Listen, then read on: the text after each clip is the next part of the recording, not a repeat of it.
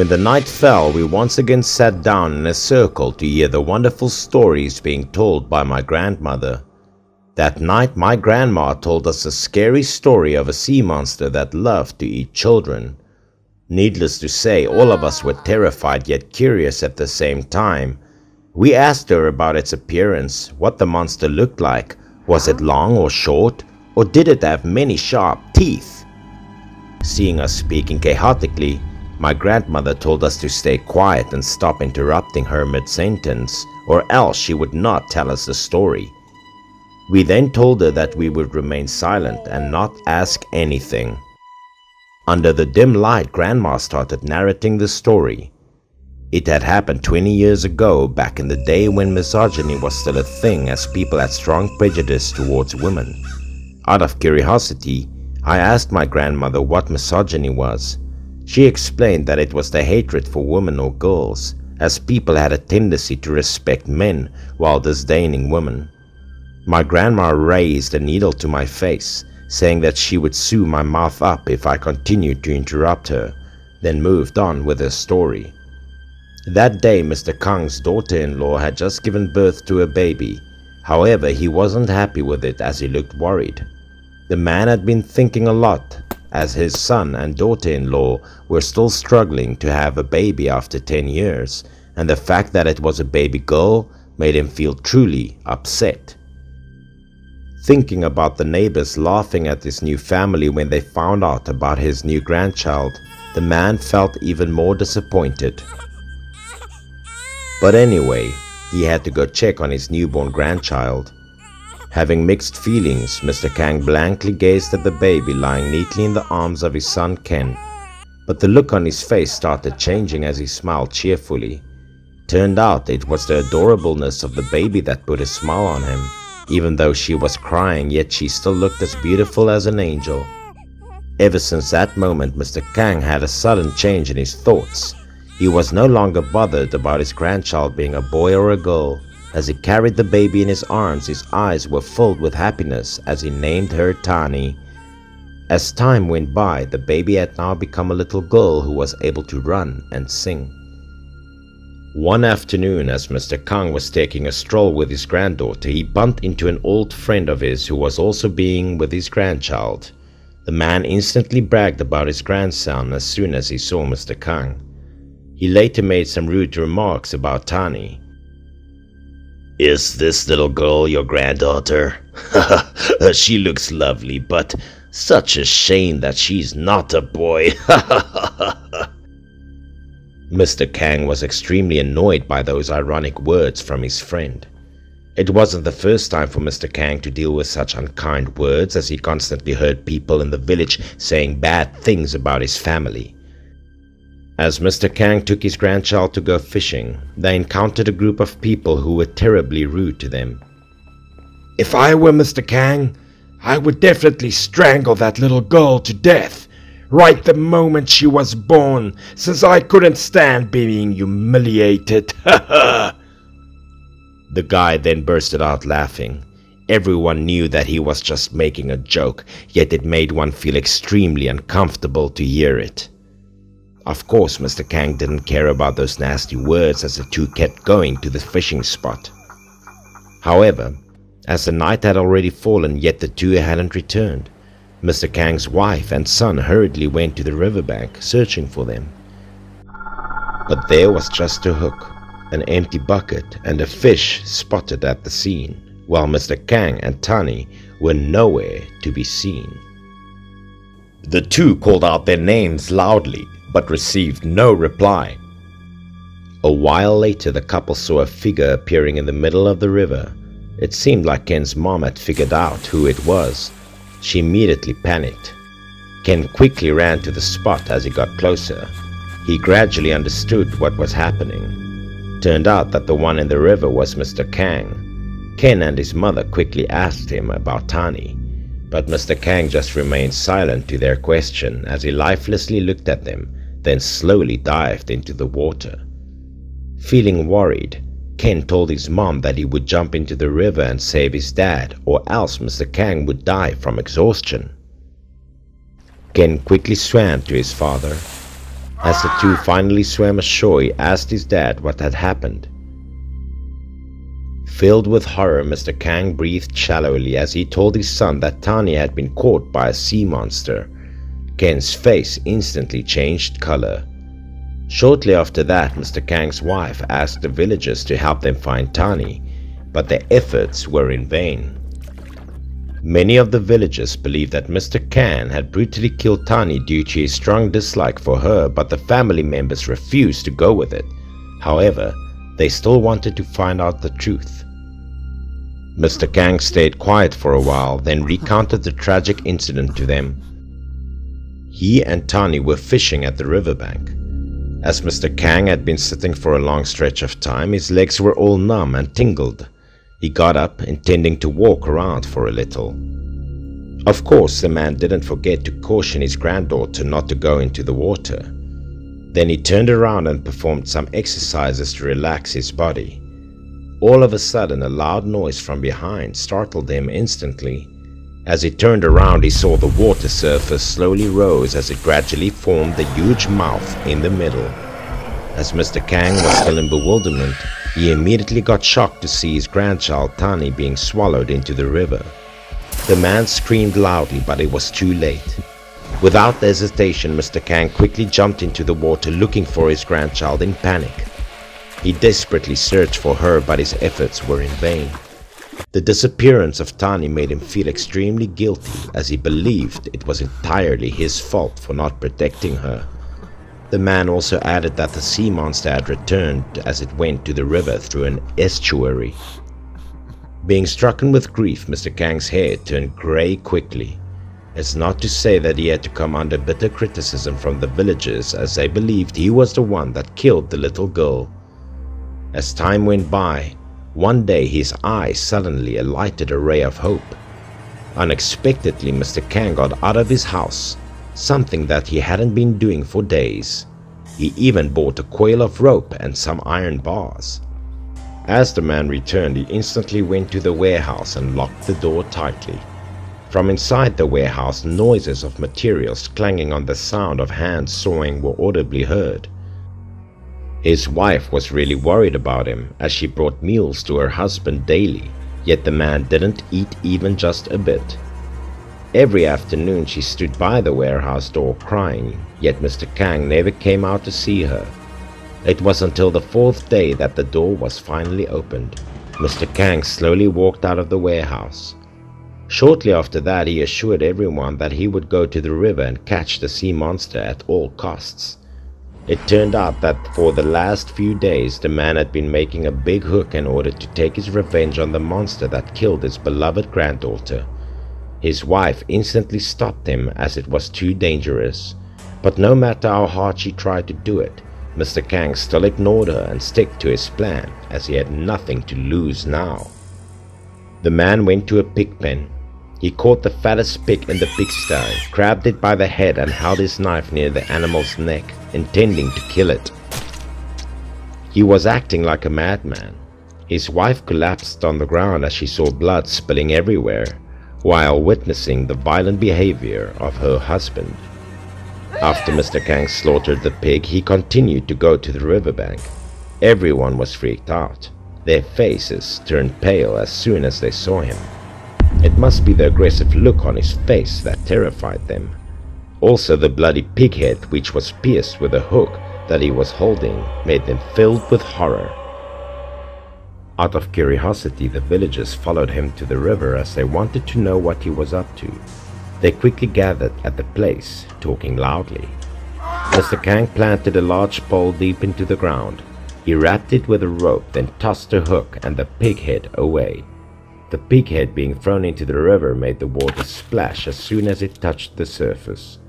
In the jostling crowds of inquisitive individuals, some said Mr. Kang had gone crazy as they didn't believe in the existence of a sea monster in the village. But the man wasn't discouraged by it as he grabbed the fishing line firmly, waiting for the monster to come out. One, two, and then three hours had passed yet nothing happened. People started leaving as they assured themselves Mr. Kang had gone insane. Mr. Kang still patiently waited for the monster. His eyes started to get heavy, then slowly drifted into sleep. But the man couldn't even sleep peacefully as he saw the face of his granddaughter in his dream. Tani was like a little angel with her plump angelic face. The little girl walked closer to her grandfather as she put her tiny hands on Mr. Kang's face, trying to awaken him just like she usually did when he fell asleep during fishing. Mr. Kang quickly got up as he heard Tani calling him. Right that moment, the fishing line suddenly became tight, as if something had been caught on the hook. In the river, waves were seen slowly forming as the water flowed ceaselessly. Knowing the prey had been captured, the old man hurriedly retrieved the fishing line as he felt something moving strongly in the water. The string rubbed against his fingers, causing them to bleed. He tried to lean backwards whilst using his weight to pull the thing out of the river. A painful expression was clearly shown on his face as he frowned and grinded his teeth, yet he still clung onto the string. Realizing how useless it would be if he only used his hands, the man tried to place the fishing line on his shoulder. The great force caused the string to get tightened and cut his shoulder as blood dripped out of his wound. The monster was indeed powerful as it floundered him with just a single movement. Mr. Kang quickly clung to the wooden pole he had prepared before. But the man himself couldn't fight back the monster on his own. He started trembling with pain as the cut on his shoulder became deeper. In the water the sea monster was moving its tail violently, but his sheer willpower didn't allow him to give up easily as he continued to fight the monster for the whole night and collapsed later in the morning. At that moment there were some people walking by. They were in utter shock to see Mr. Kang being badly injured. Both his hands and his shoulder were covered with blood, his face contorted with pain, yet he was still holding the string.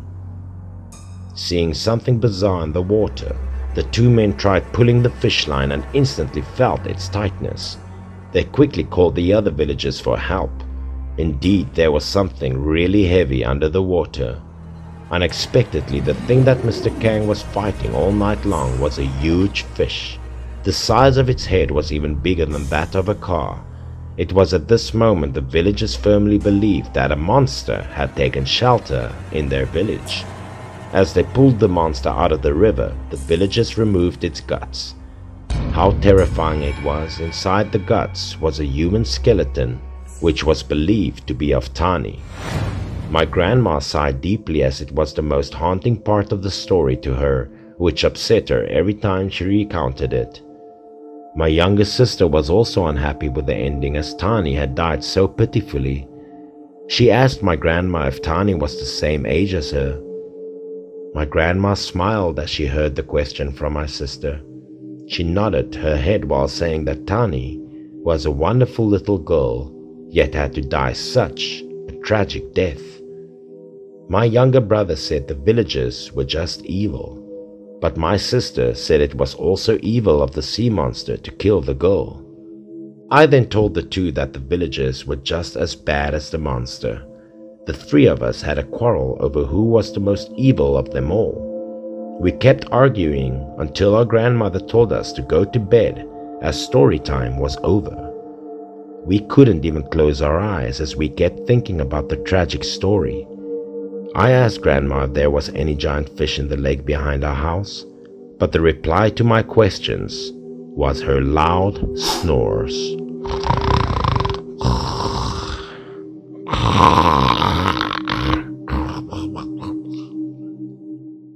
The Witch Reborn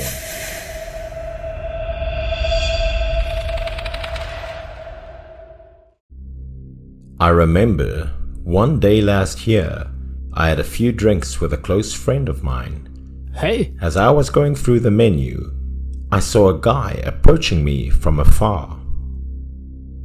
As we sat down drinking for merely five minutes, Iris had already drunken up a bottle of beer. It turned out that the guy had just broken up with his girlfriend. Iris didn't utter a single word as he kept drinking and drinking. I didn't know what to do but gently put my hand on his shoulder and comfort him. The guy had a distant look in his face. As he sighed deeply, he started telling me something that had confused him lately. Iris and his girlfriend shared the same interest for horror movies. After getting to know each other, the two decided to begin a relationship. The girlfriend, despite having a keen interest in scary films, always pretended to be scared as she screamed and fell into Iris's arms.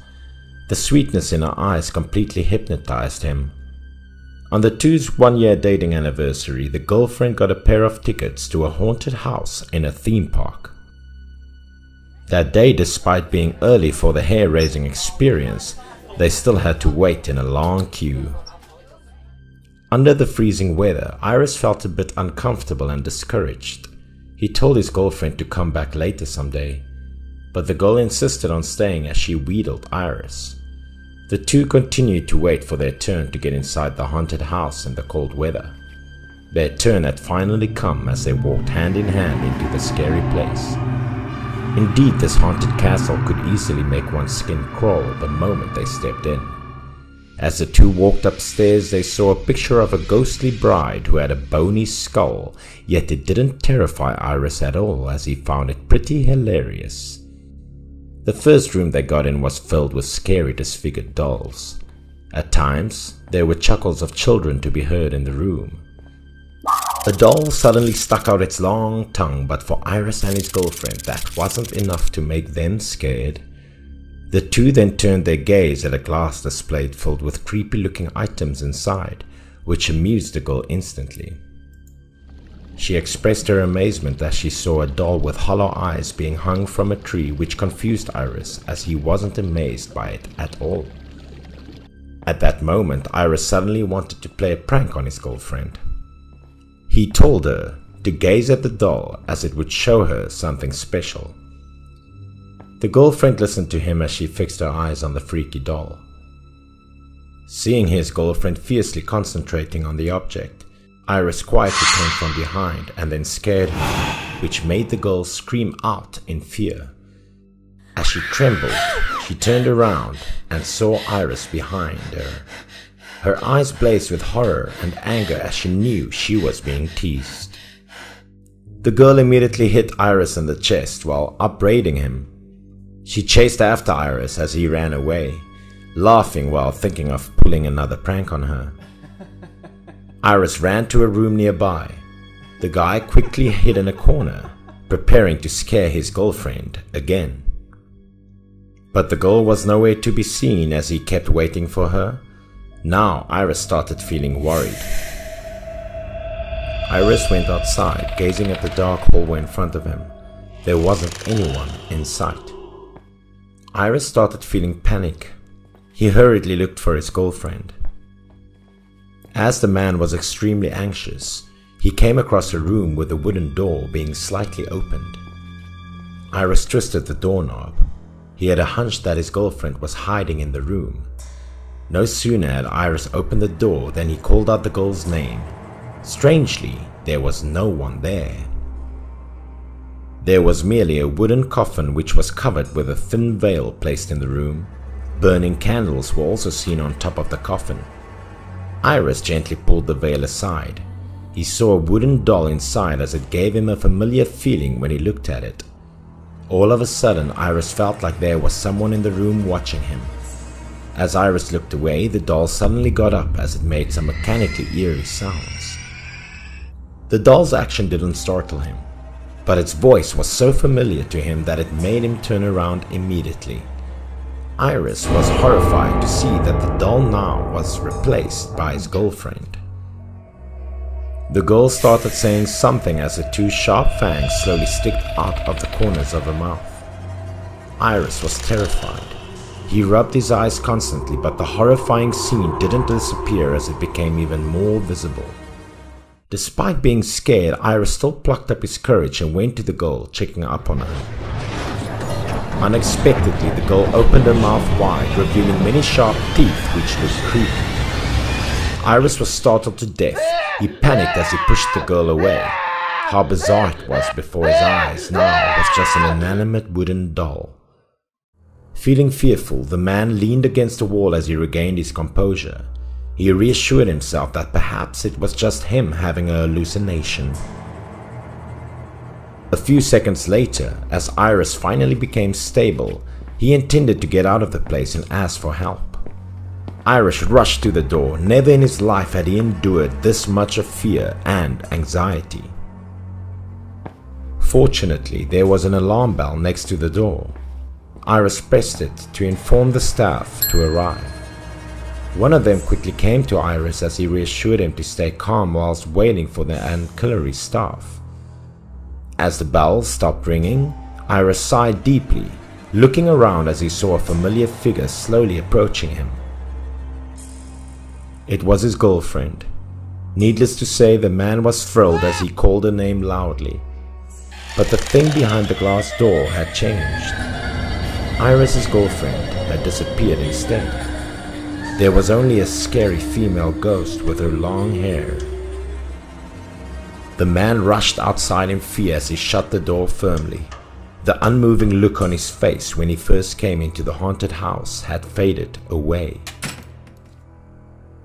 Iris had his eyes closed tightly for a while, then he slowly opened them. In the next room, the girlfriend reappeared. A female voice called out from behind Iris. He turned around and saw his girlfriend standing next to the coffin. Even though Iris was filled with fear, he still ran to his girlfriend without hesitation. However, the girlfriend walked away while Iris was chasing after her down the hallway. Then they moved to another room. As Iris had just made it to the room, he was stopped by two creepy dolls. Hence losing track of his girlfriend, inside the room a cross was seen with a dress hanging from it. The fearful expression was clearly shown on his face. It was the dress of his girlfriend, one that she usually wore. How did it get here? At that moment, someone quietly put their hand on Iris's shoulder. Iris was startled yet didn't dare to turn and look who that was. Shortly after, a voice of a young man was heard. Sir, are you the one that called the ancillary team for assistance? Iris breathed a sigh of relief. He turned to see the man and inform him about the disappearance of his girlfriend. The male staff told Iris that his girlfriend had left the place earlier. Afterwards, the guy accompanied Iris to the exit way. Indeed, as Iris got outside, he saw his girlfriend waiting for him at the gate. The man quickly ran to his girlfriend. He grabbed her hands and then apologized. Yet the girl didn't say a word.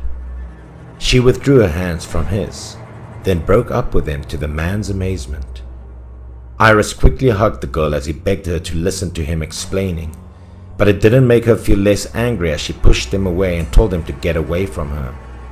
The girl then turned around and walked away, leaving Iris behind. Of course, Iris wouldn't let his girlfriend stay mad at him like that. He chased after the girl and stopped her but he was startled to see the face of his girlfriend now being replaced with that of a doll, which was covered with cracks, looking terrifying. Iris was frozen, his face turned pale. He speechlessly looked at the girl walk past him as if they were two strangers. As soon as he returned home, Iris made phone calls to her, but it didn't help him at all. Knowing it was useless for him to talk to her on the phone, Iris went to the apartment at which the girl stayed, in the hope of changing her mind. That day the girl wore a lot of makeup, which was quite out of character. As Iris went to see his ex-girlfriend, he saw her hand in hand with another man, looking happy. Not only that, the girl even gave the man a passionate kiss when they were at an alley, which left Iris heartbroken. In the dim light, Iris once again saw the creepy face of the doll he saw in the haunted castle. Iris had thought about it for a while. He wondered if it was the ghosts disguised as a doll. If they had taken control of his girlfriend's body and made her act like that. Later, Iris went to the girl's workplace, asking the workers about her, but they told him that she had resigned from her job and went somewhere else. Iris cried a lot as he recounted the story to me. I didn't know if it was the breakup or the awful experience he had at the haunted house that caused him to be like that. Only until later did we find out. that the haunted castle had disappeared as no one knew about its current location. Lately, Iris came across a picture of his ex-girlfriend on Facebook. The girl had begun a relationship with another man, yet he looked like a dead body. Iris wondered if he should send her a message, but eventually he chose to give up on her and move on with his life.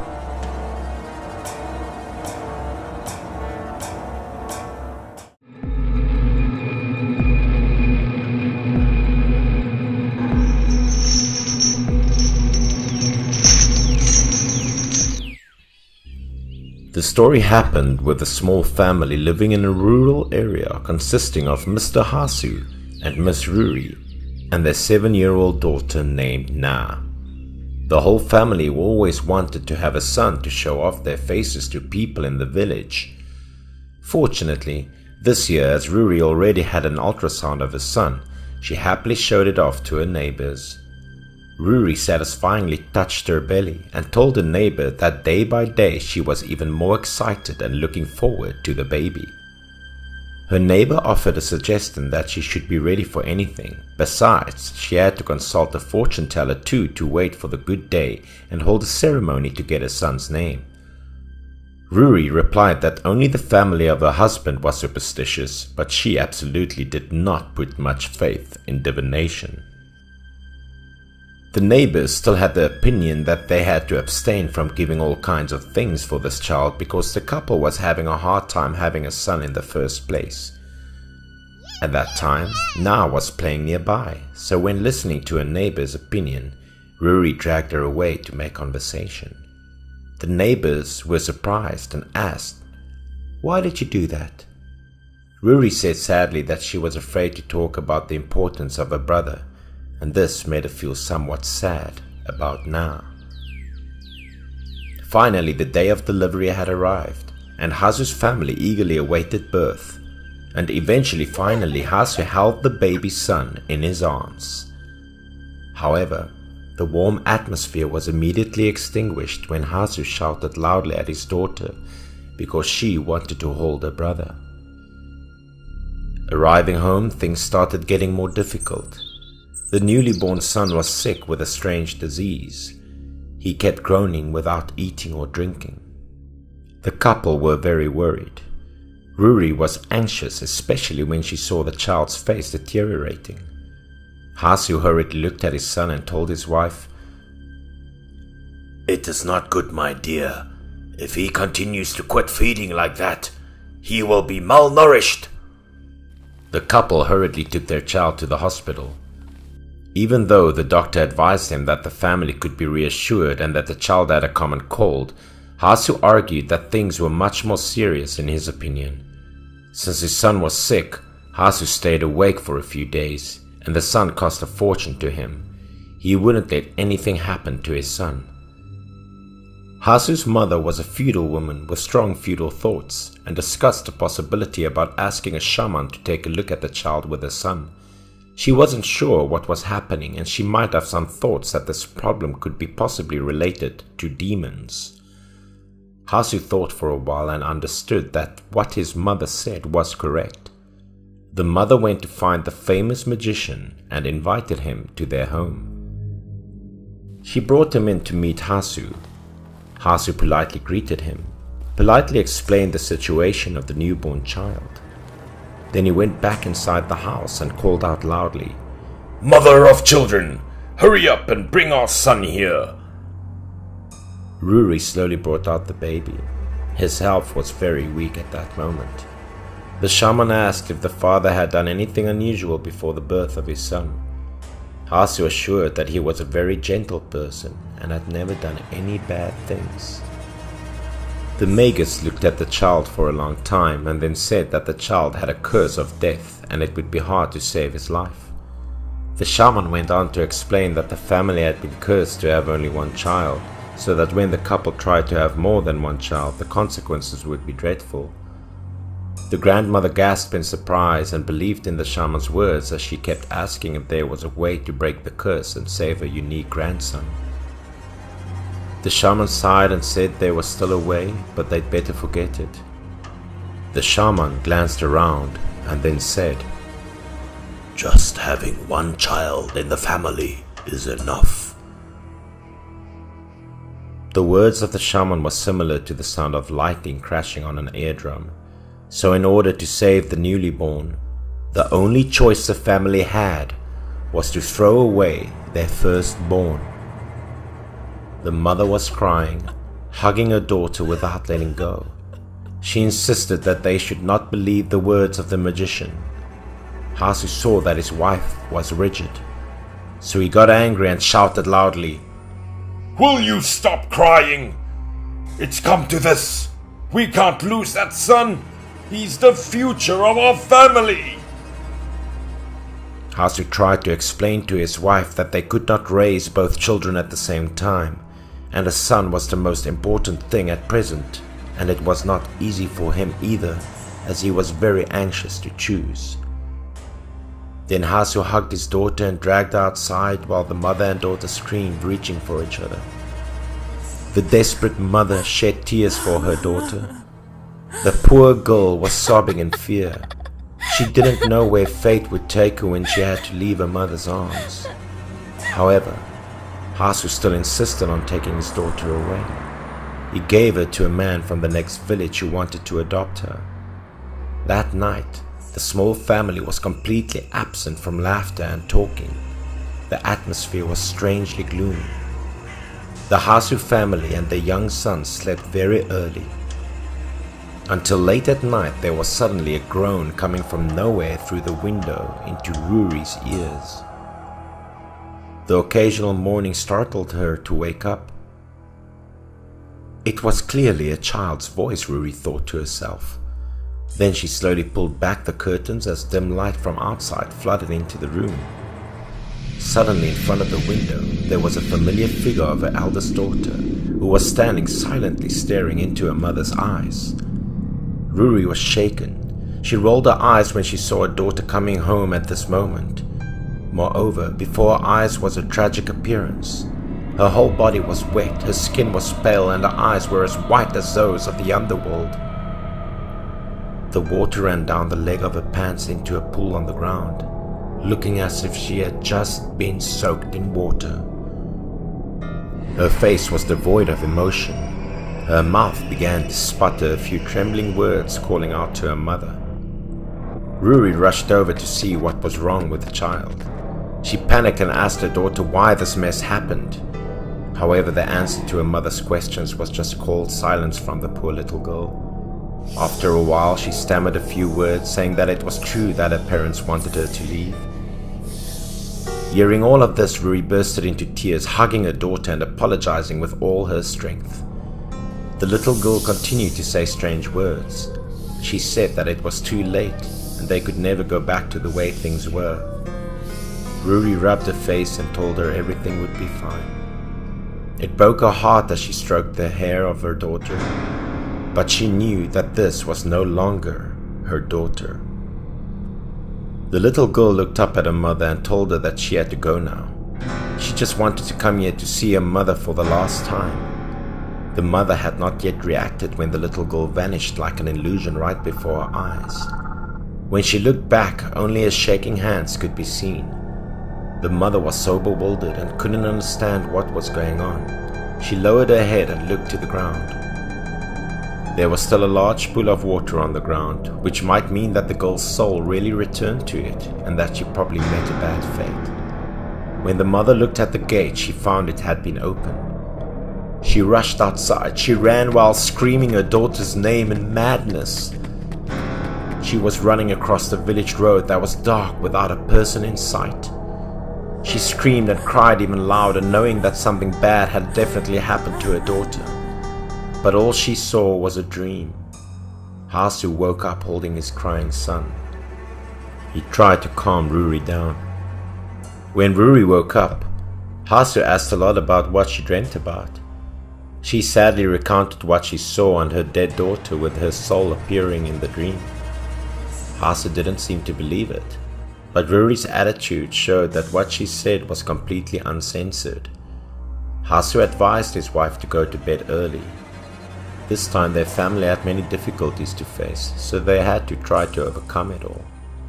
The next morning, when Ruri was going to visit her daughter with her belongings, there was a loud scream in the yard as a man in the next village who adopted Na came running in asking to meet the couple. Hasu greeted and asked him about what was going on as the man stammered and said, Your, your daughter left my home last night and I didn't see her in the morning. Ruri panicked when she heard the news. Hasu was now sweating profusely. His face was showing real concern. The man added that at the back of his house was a forest and a dangerous river, so they needed to find the girl immediately. When the mother heard it all, her eyes went wild with fear. She remembered what happened last night when she met the little girl. Could it be that this was an omen? The three of them went together to search for her and hoped that she had just gotten lost somewhere. But a tragic thing happened. Hasu eventually found the body of his daughter lying face down in cold water as he dragged his heavy steps with long tears. Holding the body of a child in her arms, Ruri cried for many hours on that day, and Hasu knelt on the ground with guilt and regret. Her mother mourned and tormented her heart for not being able to protect her daughter. Several months after the horrible event, the tragedy of the Hasu family didn't end there. The son also couldn't survive, as he passed away in the autumn of that year. The poor mother went mad with grief. She kept holding the pillow in her lap and calling for her children. And Hasu? He fell to alcohol addiction, as his fortune also disappeared with it. Now he had truly lost everything.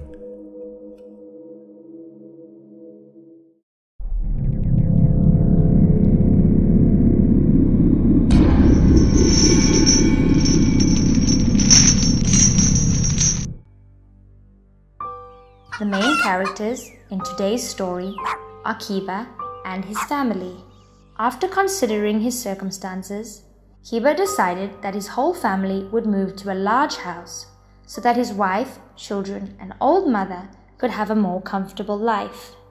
The new house that Kiba bought was close to the old one, so moving was quite convenient. Kiba had also bought new furniture to redecorate the house and make it more spacious and comfortable. Kiba's mother was 70 years old this year. Although she was weak, she was eager to help her son. Kiba's wife was also very excited, wanting to help clean the new house. Kiba told his mother to just relax and go for a walk around the house, leaving everything to him and his wife. Kiba's son was also extremely interested and intrigued by this new space, so he kept running around. By night time, the whole family had finally finished cleaning up this new house. Kiba was a very loyal son, so he prepared his mother's room thoughtfully, and before going to bed, he asked her if everything was good enough, and if she needed anything, she must just ask him. Kiba knew she had been cleaning and helping all day, so she should have an early night. He then advised his mother to sleep early and exited her room. Tomorrow morning, he would go to the market to buy some personal things for her. Then Kiba also returned to his room. His wife was putting things together in the room, and his son was already sleeping. Kiba's wife asked him if his mom was asleep. She thought that she had looked a bit sad that day. Kiba said that maybe it was because she had to leave her old house where she created so many memories, but that she would be fine with time. Both Kiba and his wife slept until dawn, since they were so tired from the previous day. Since he didn't see his mother waking up early as usual, Kiba came knocking on her door. He kept calling her, but she didn't answer. Seeing that, his wife's face couldn't hide her concern.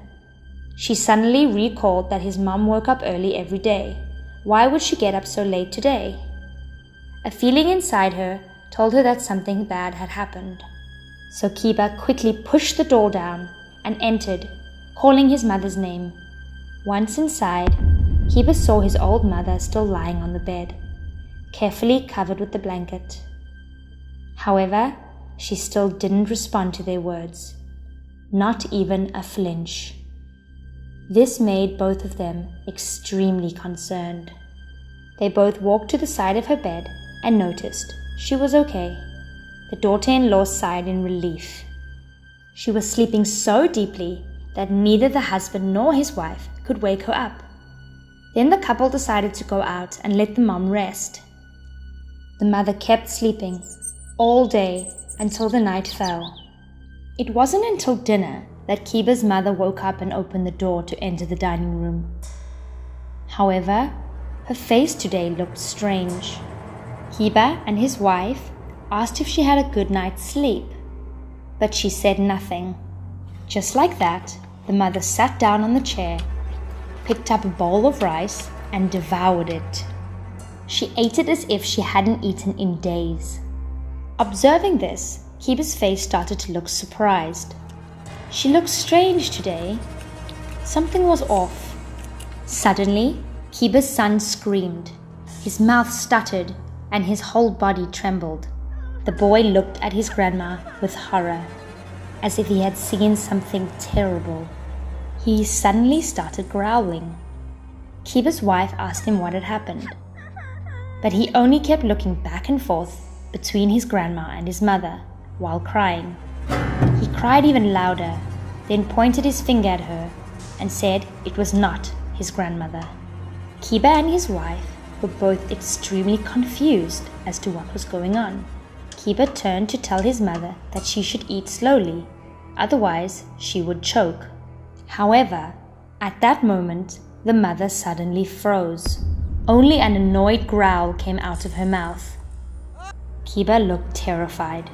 Why had his mother suddenly changed? Kiba's wife was so scared that she turned pale and thought, why had her mother in law become so scary today? Their son kept on crying, louder and louder. After finishing all the food on the table, the mother stood up and walked straight back into her room. Kiba's wife knew something was wrong. Ever since they moved into this house, she seemed to be different.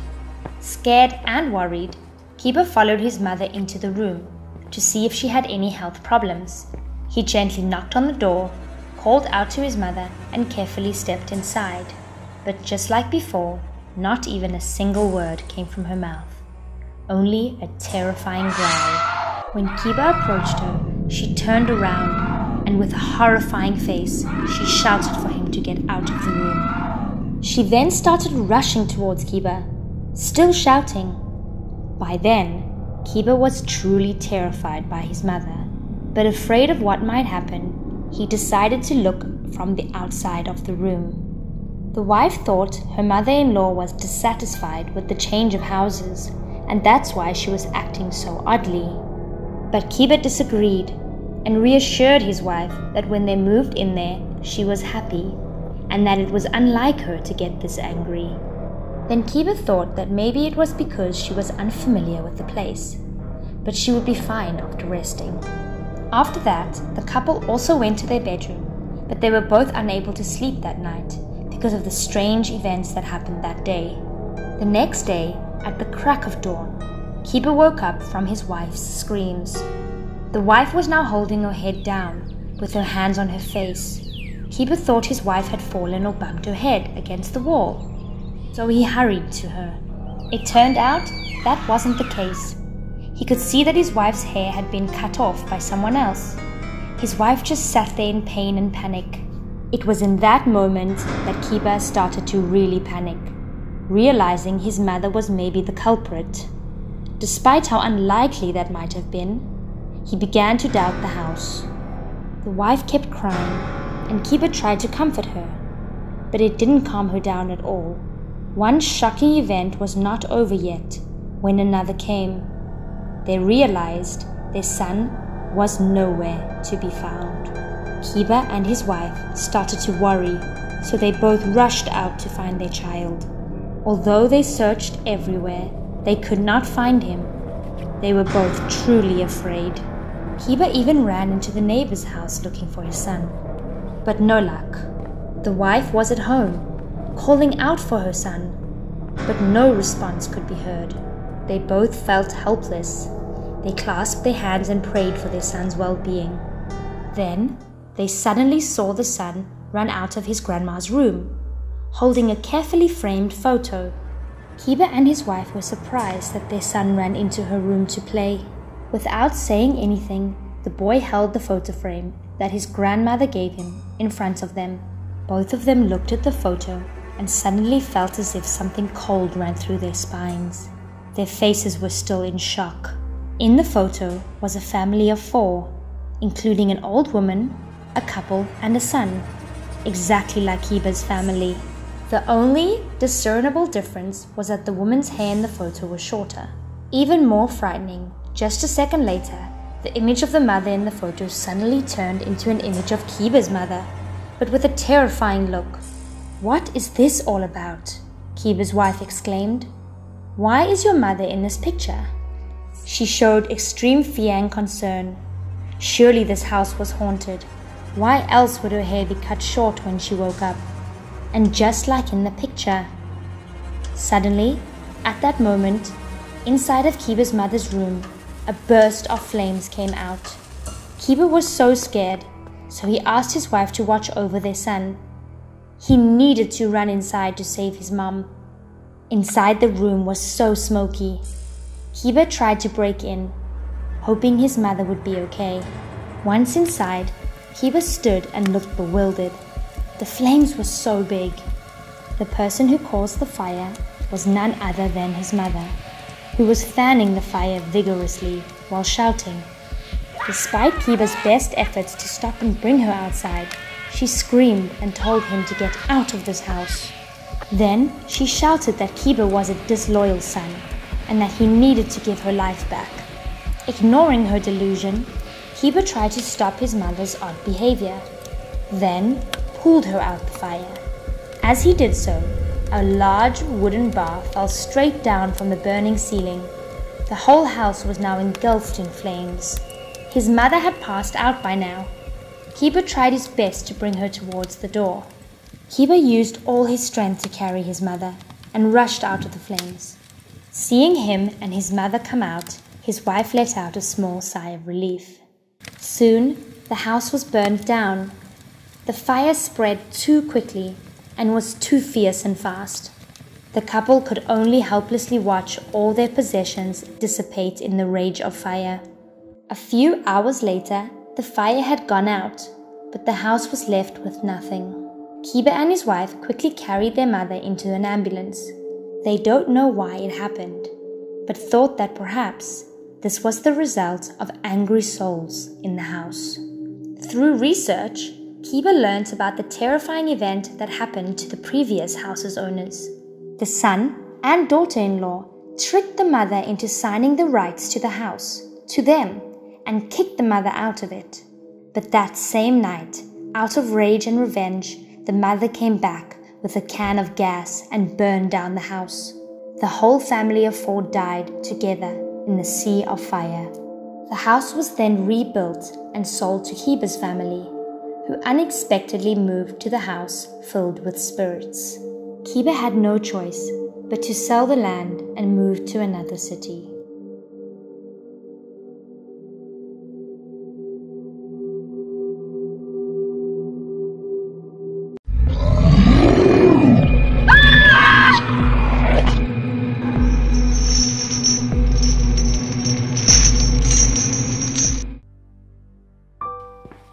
That day, as the police department received an important report from an archaeological institute, they quickly arrived at the place. Mr. King, the head of the research team, together with his subordinates, were there to welcome them. Mr. King expressed his gratitude towards the investigation team led by Officer Chow. Thank you for your arrival here, Mr. Chow. Officer Chow asked Mr. King about the mysterious disappearance of the dead body as he demanded him to tell everything he knew about it. Mr. King said the ancient mummy they had previously found suddenly disappeared last night, three days before his excavation team had found an ancient tomb in the mountain. The tomb was located deep in the forest and was discovered by some hunters who immediately reported about it. To avoid damaging the objects which were buried with the tomb, Mr. King asked his subordinates to carefully remove them. As the coffin was finally carried out of the grave, Mr. King stared at it in amazement. The coffin was covered with an extremely fine paint. According to Mr. King, the paint was created way back to the Qing dynasty. Having years of experience in this field, Mr. King carefully inspected the outside of the coffin before removing its lid as he wanted to make sure there was no toxic gases bottled up inside it. Wow. Everyone was in utter shock to see what was inside the coffin. It was a dead body that was still intact, dressed in a Qing dynasty costume. But the horrifying thing here was that the body had a wooden beam in the middle of its chest. One of the workers blurted out that the body was that of a living dead while another guy claimed the corpse was of an older religious group that created the living dead. Both theories of the workers made sense to Mr. King, as he believed the coffin had something unusual in it. One of the workers also added that there must be something sinister going on with the corpse since it was pierced with a wooden beam. Mr. King felt worried as he gazed at the corpse. Part of it was because he had looked up lots of information about ancient graves before. The worker told Mr. King about the story he'd heard before that the dead would awake if one removed the wooden beam out of it. Mr. King pointed at the corpse, telling others to look at its teeth. How terrifying. There were sprouted fangs inside its mouth, which meant that it had gone to the final stage of transforming into a demon. It would be an absolute horror if the corpse awoke from the dead. It would definitely bring calamity to humanity as those who got bitten by it would become zombies instantly. The director of the Archaeological Institute slowly approached from behind, laughing loudly as he said their theories were utter nonsense. The man didn't believe in the existence of zombies in real life. He held at the workers, then walked closer to the corpse. The director then pulled out the wooden beam out of the dead body then told the workers to bring it back to the institute so he could get it to the museum for display a week later. The excavation team brought the coffin and the corpse back to the institute afterwards. But last night, someone had broken into the place and stole the body.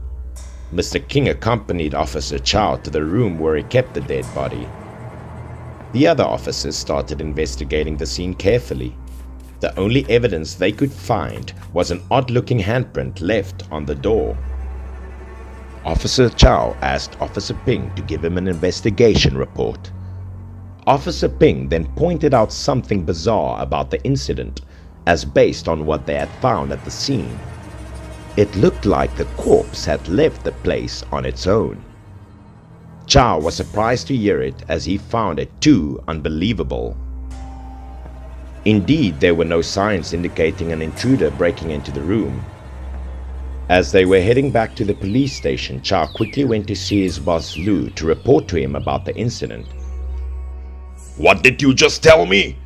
That the corpse had awakened from the death and left on its own? Mr. Lu said. Lu asked Chow if he had fully investigated the scene.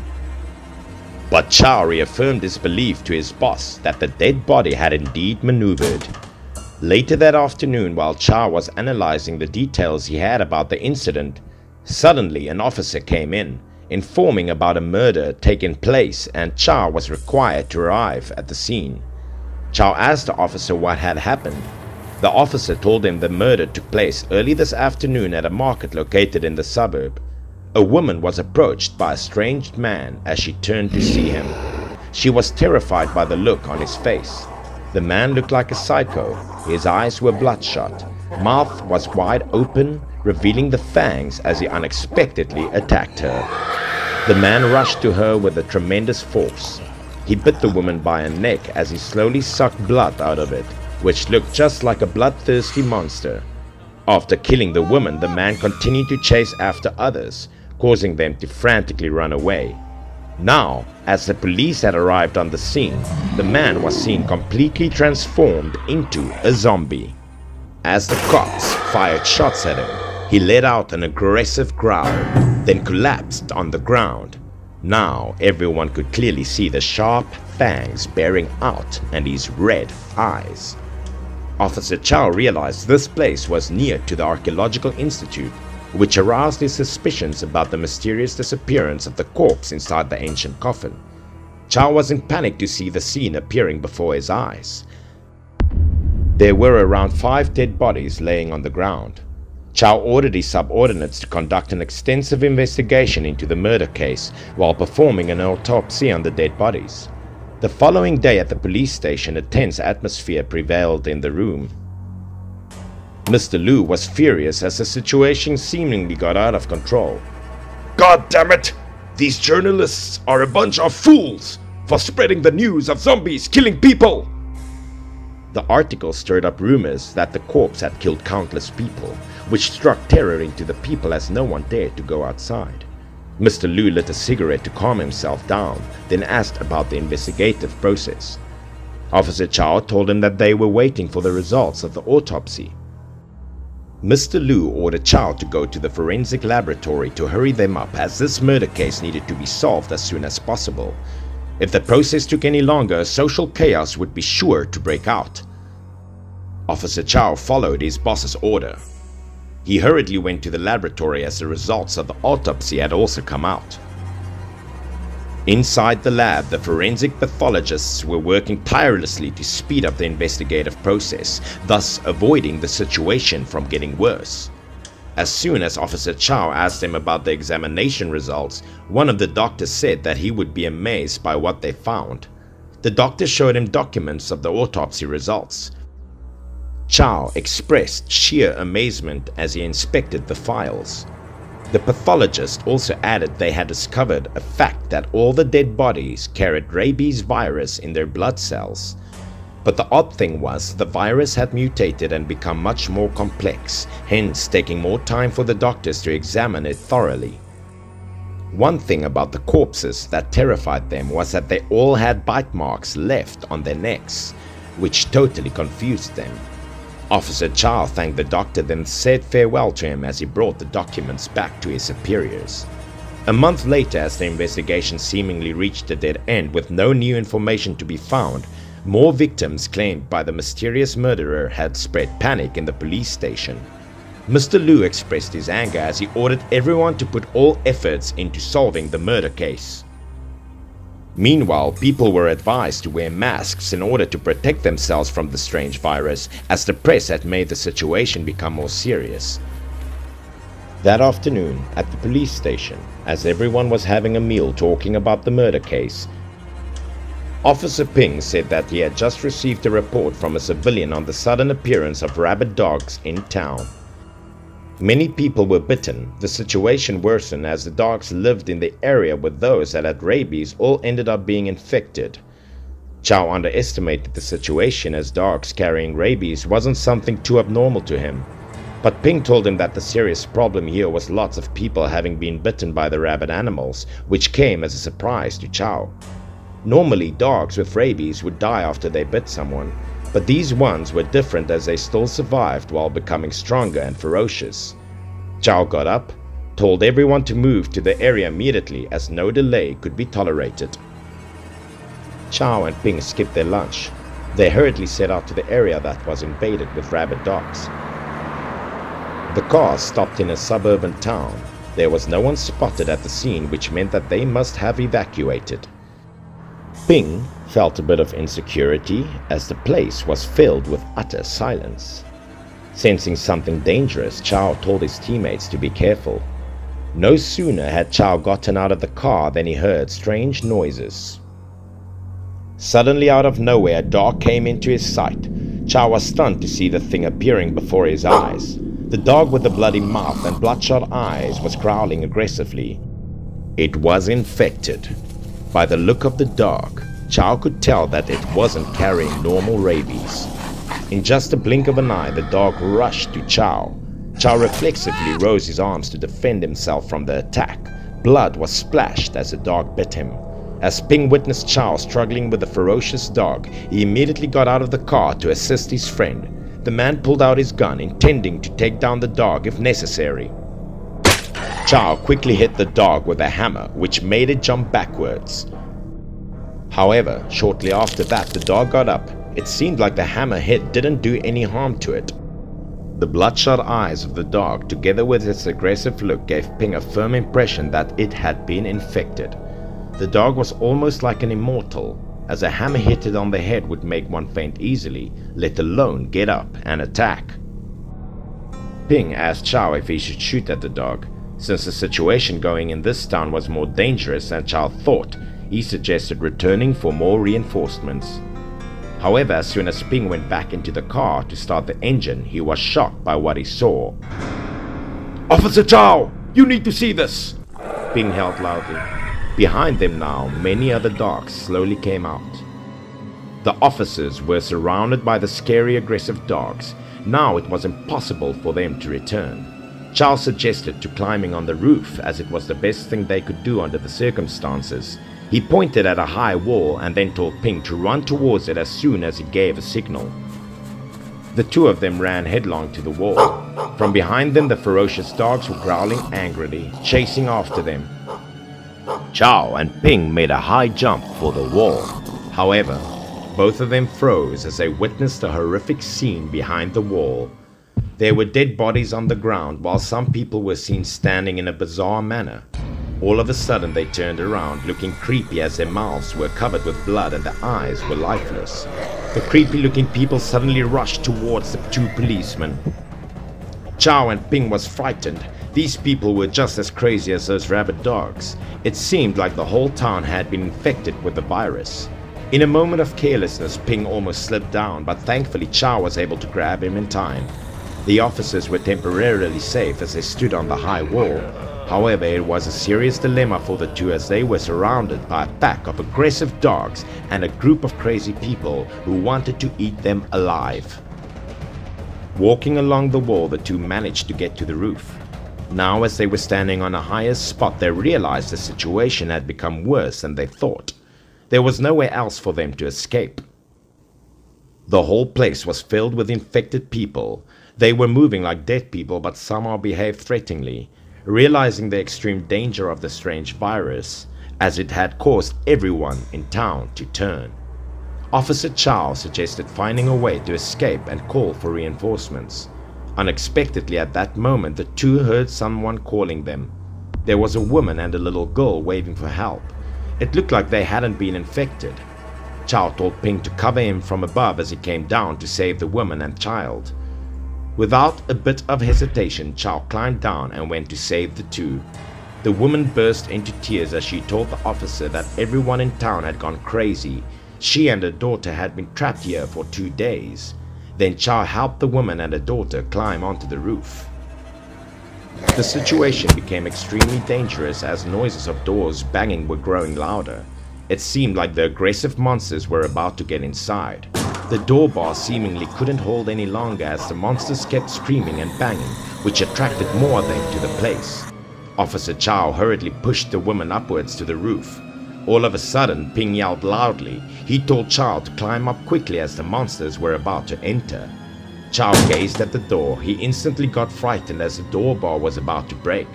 In just a moment, the door was bursting open as the infected rushed towards Chow. The monsters were fast and agile.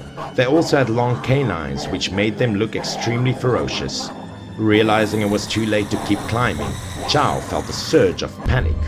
The group of crazy people frantically attacked him. Chow instantly knocked down a guy from behind with his elbow. As he was surrounded by these ferocious madmen, he kept throwing punches at them. However, these people no longer felt pain as they stood up immediately and continued to attack Chow. Chow needed to get out of his mess quickly. As the right moment had come, he quickly jumped onto the wall. He tried his best to climb while the crazy people were underneath him, aggressively rushing towards him.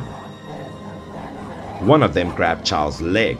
From above, Ping was grabbing Chow as he tried his best to pull the man up. As the monster clung onto Chow's leg, he was injured as blood spilled out the moment he pulled up his leg. Chow breathed shallowly. What a narrow escape it was. These people were so strong and ferocious. Chow suggested that they needed to leave this place before it was overrun with zombies. The two policemen led the woman and her daughter to a safer shelter. They stopped at the terrace as it looked quite safe to them. Chow told everyone to stay quiet as noises could lead the zombies to them. Since it was too dangerous to get back to the car and call for help, Chow said that he had come up with his own plan. The man turned his gaze at a haystack, saying that he could use it to make a signal for help. The group waited until the sun went down, then burned the haystack in the hope that the burning object would send out signals to the police. The little girl asked her mom if the zombies would break into and find their whereabouts. Officer Chow quickly reassured her, saying the police would arrive and save the four of them. Chow then asked the woman what had happened to the civilians. The woman said a few days ago everyone in town suddenly acted bizarre after they ate a pig. That day, the dog of the village chief had bitten a pig to death. The pig owner demanded the village chief to pay for it as he wanted to settle the argument peacefully. The village chief agreed to the man's demand thinking that the pig was only bitten to death by a dog and would be a waste if he dumped it. The chief decided to cook it as he gathered everyone for a feast. The people in the village were all invited to his house as they feasted on the pork. All of a sudden, they behaved oddly as they fought and killed each other. It was fortunate for the woman and her family to avoid the horrific incident as they didn't come to the gathering. Ping abruptly held out as he saw the rescue team arrived. They finally saw the signal for help and brought the whole team to save the survivors. Many police cars had arrived at the scene. The soldiers were all equipped with antivirus equipment. They used tranquilizer guns to shoot at the infected. The zombies, after being hit with the bullets, somehow returned to normal as their eyes were no longer red. The two policemen, the woman and the little girl were all safely rescued. Later, the police imposed blockade around the whole town for decontamination and disinfection. Now, at the military hospital, Officer Chow had fully recovered after two days of treatment. All the wounds on his arms and legs had been antiseptic and bandaged. Chow expressed his gratitude as the research center had developed a cure, or else he would be infected with a strange virus. But the examiner said it was not over yet. He told Chow to follow him to the morgue as he wanted to show him something. The man removed the veil of a corpse, then told Chow to look at the bite and then the dead body. He was aghast to oh. see the wound on it. This was the man that was first infected with the virus. However, the bite on his neck had a strange looking shape. Chow asked the doctor if the bite mark was from the missing mummy. The doctor looked at Chow, saying it was a warning sign that must not be ignored. This man had indeed been bitten by the mummy, which meant that the virus was originating from that. Inside the mouth, the canines have grown long, which served as proof that he had transformed into a vampire after being bitten. Chow told the doctor that if the process for cure development was delayed, there would be a lot of people, including him, being turned into bloodthirsty monsters. The doctor agreed with his statements. It was fortunate that they had stopped in time, or else it would be a doom to humanity. The next day at the police station, Mr. Liu once again became angry as the press still reported news about the missing of the ancient mummy. Later, he ordered the police officers to find out the mummy at all costs and burned it as it was the only way to make things right. As Officer Chow walked out of the room, he had a feeling of worry. There must have been someone behind the mysterious disappearance of the ancient corpse. And for that reason, he couldn't make certainty of anything until he found the mummy.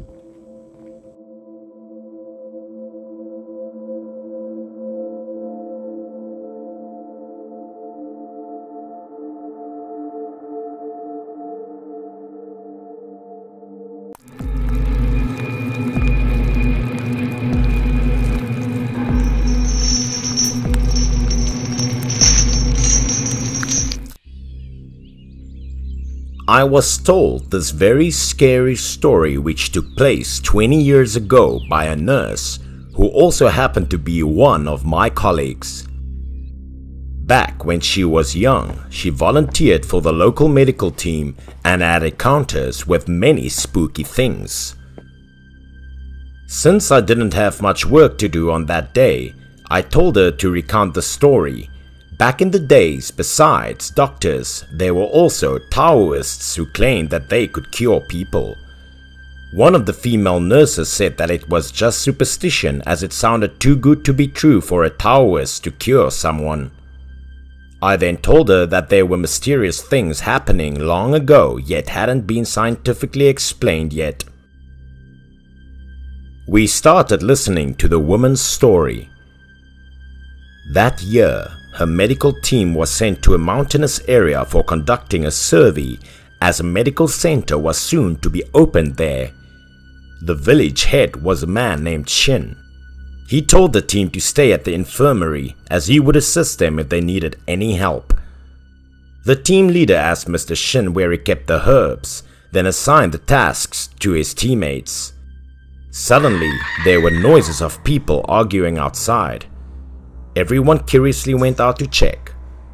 Turned out that the wife of the village chief was having a quarrel with another woman who desperately appealed for her husband to be freed. Seeing the doctors, the woman instantly rushed to them. She went to the leader of the group, knelt down and cried terribly. The woman then begged them to save her husband from death. The village chief and his wife quickly rushed to stop the woman, saying she was being emotionally unstable but the doctor requested the two to let go of her as she wanted to check on her husband's condition. Mr. Shin couldn't hide the anger on his face. He told the doctor that the man had been possessed and was under treatment, thus he shouldn't interfere in the process. Now the doctor was even more concerned as he heard the village had said something about possession. He insisted on seeing the sick man. As they were on their way to the place where the man was being treated, the woman introduced herself as Lan, while Zon was her husband, then recounted the story to the doctors. Her husband Zon and the village chief were close friends as the term of office was about to expire. Shin had to cede the position for village chief to Zon. However, the head's wife was displeased as she didn't like her and Zon at all. That day, after Zon returned home from the jungle, the woman saw a red wound on her husband's forehead, yet Zon reassured her that it was just him clumsily tripping. However, Zon suddenly had a change in his personality as he constantly chased and hit other people without any reason. It was rumored that Zon had been possessed by a ghost, hence not being capable of becoming the next village chief. What was even scarier, the man acted more outrageously as he grabbed his head and screamed loudly, saying there were hundreds of insects wriggling in his head. Having no other choice, Lan had to tie her husband to his bed, leaving him shouting in pain. But one day the man untied the rope and rushed outside, which was completely unexpected to Lan. He aggressively attacked everyone he encountered, Later, the villagers had to tie him up and carry him to the house of the village chief.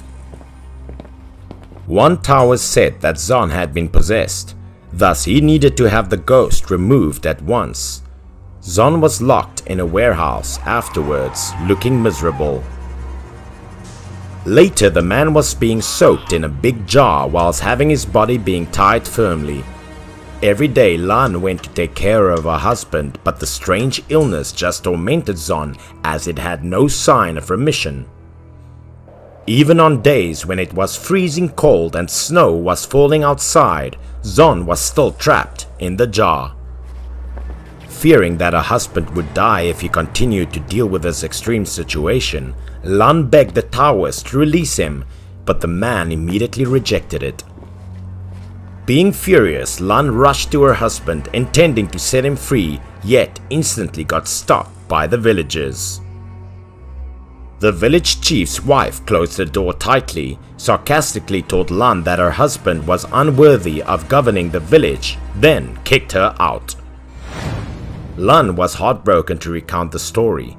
She neither believed her husband was possessed nor could be cured by that Taoist. As they finally arrived at the place, the scene appeared before their eyes freaked them out the moment they opened the door. Zon looked extremely fatigued. He was trembling from the freezing cold while his body was tied firmly. The water surface had also frozen. How could it be tolerable for a human being to endure all of this? The doctors quickly carried him out to the jar. Everyone was stunned. They wondered how the man was being treated in such a wrongfully strange way. The Taoist was also there. He looked worried, as if he was in fear of something. Meanwhile, the village's head's wife was saying something under her breath as she disdainfully gazed at the doctors. Zon was rushed to the hospital afterwards. His whole body was covered with sores. However, the man didn't make it as the sores became larger. He foamed at the mouth and died tragically. But the moment before he died, the man had held the chief's name and pointed his finger at him. Alan felt an immense pain in her heart as she witnessed the death of her husband. The female nurse had a suspicion that this incident had something to do with the village head and his wife. Lan returned home with great sadness while the villagers were still gossiping. They said Zon had done many bad things before, hence not being saved. Later that afternoon, the group of doctors had a discussion as the main doctor believed that the man had been killed by an abnormal parasite. The rest of the group was assigned to go out and inform the villagers that the man had died from a parasitic disease, not demonic possession. After telling the villagers to be cautious about the virus, the female nurse gazed at Lan's house. As she headed to the house, she saw two children running past her while yelling loudly. The female nurse kept walking. As she gazed inside, she saw Lan was comforting her son. Lan told her that her son was teased by some other kids, thus she chased them away. A while later at the riverbank, the two kids that the female nurse had previously encountered were found dead, drowning. What was more horrifying there were sores appearing on the two corpses, which similarly happened to Zon. The villagers believed it was the ghost of Zon that sought revenge on them.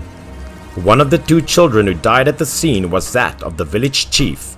Hearing people say Lan had chased the two kids moments earlier, the wife became furious as she claimed it was Lan's fault that caused the death of her child.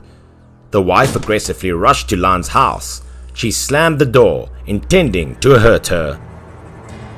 Unfortunately, as she kicked on the door, the roof tiles dropped from above and landed on her head. She screamed painfully as blood slowly dripped down. Lan and the female nurse were stunned to witness the scene. The nurse quickly checked on her, but it seemed like the severe injuries had made her lose consciousness. After the woman was taken to the infirmary, she suddenly acted crazy as soon as she awoke. The woman was tied to the bed right away. What terrified those present at the scene was the woman started having sores all over her body. The woman quickly got frightened as she didn't expect herself to endure this horrific disease. The female nurse quickly informed the village head on his wife's condition. The main doctor expressed his disappointment as he told Shin that his wife had been infected with the parasite that had killed Zon. Since the symptoms developed too quickly, there was just a slim chance for her to make it out alive. Shin refused to believe the doctor as he called some of the villagers to help him bring his wife to the Taoist, asking him to remove the ghost from her. The villagers quickly gathered in front of the Taoist's house they seemingly didn't believe the doctors either. The main doctor told the nurse that he still hadn't figured out how the parasitic virus was transmitted as some got infected by it while others didn't. All of a sudden from inside the house there were piercing screams which aroused the amazement of those who gathered outside. Shortly after that they frantically ran away which created absolute chaos. The female nurse rushed inside the house to check. The scary scene in front of her eyes instantly made her skin crawl. The village head's wife had died as she laid in a pool of blood with foam in her mouth and sores spreading on her body just like Zon. However, it was another thing that caused her death. Laying next to the woman was the Taoist. Turned out that Mr. Shin had beaten his wife to death with a bar as he claimed the two had gone crazy and Zon was there to take revenge on them.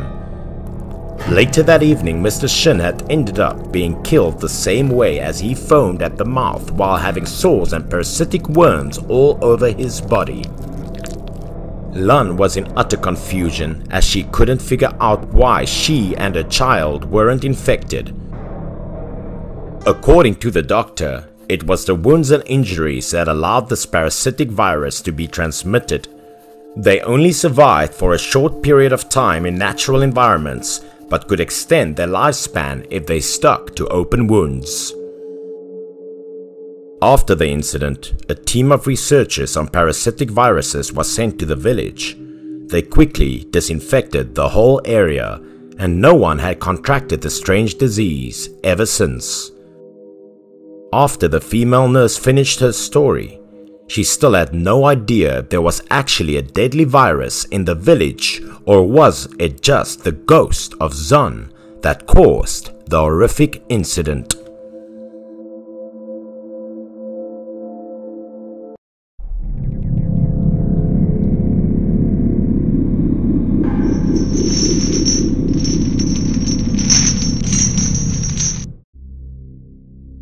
This young student at my company who just started his internship there.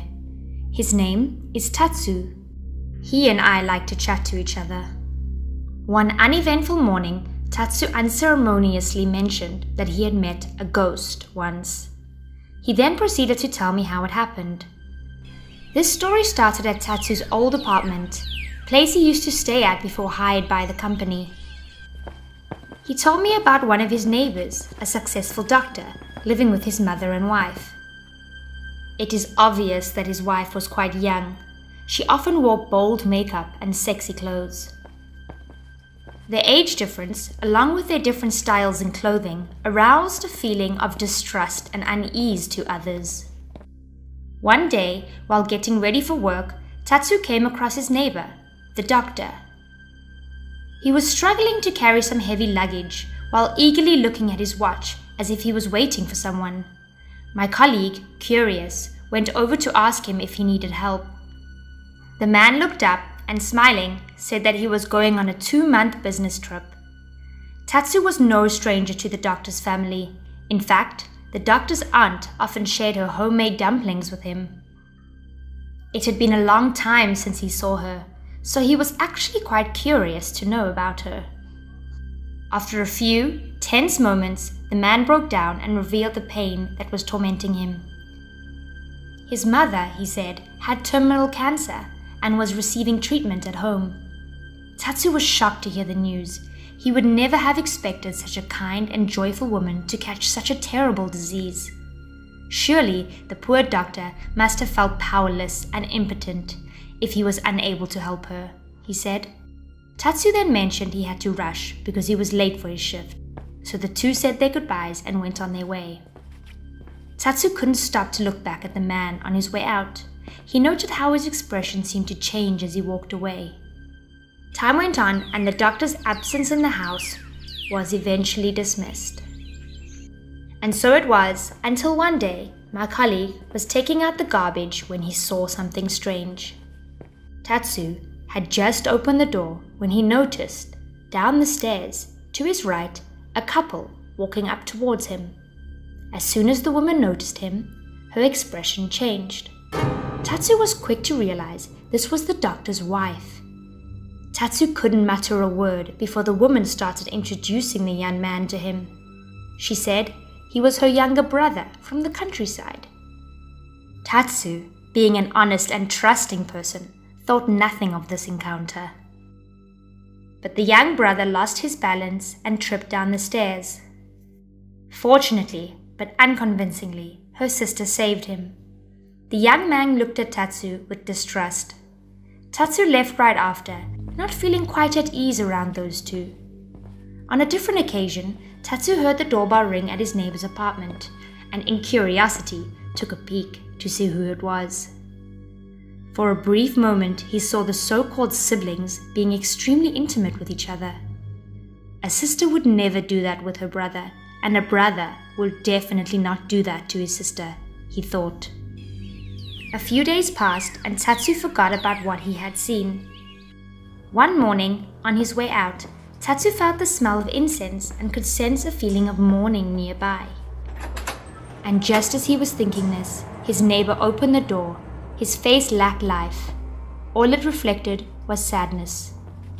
He was wearing a traditional white garment that is worn for funerals. I had to ask Tatsu if he really dared to ask him if his mother was dead. After hearing this, he nodded his head to confirm, while wiping the tears from the corner of his eyes. When Tatsu heard this, he was shocked. He couldn't believe she was gone so soon. He offered his condolences to the family and asked for permission to come in and burn incense in her honor. As soon as he walked into his apartment, he saw the doctor's wife sitting on the sofa, eyes glued to her phone and with an indifferent expression on her face.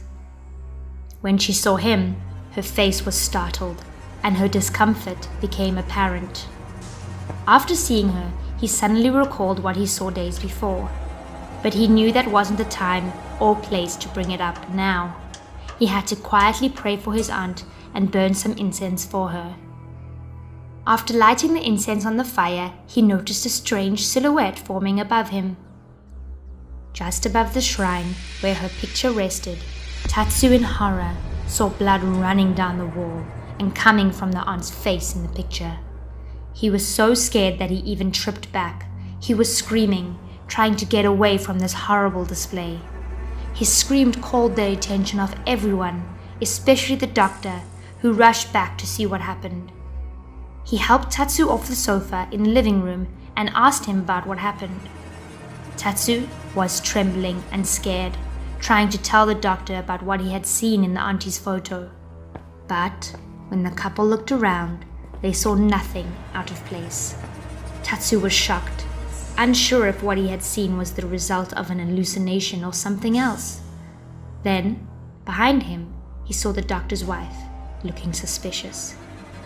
Before he left, he said his goodbyes to the man and tried to comfort him as much as he could. Tatsu thought that was the end of it, but not even a day after, his life turned upside down. The next night, Tatsu left for work late. He was doing overtime and left for home at 11 pm.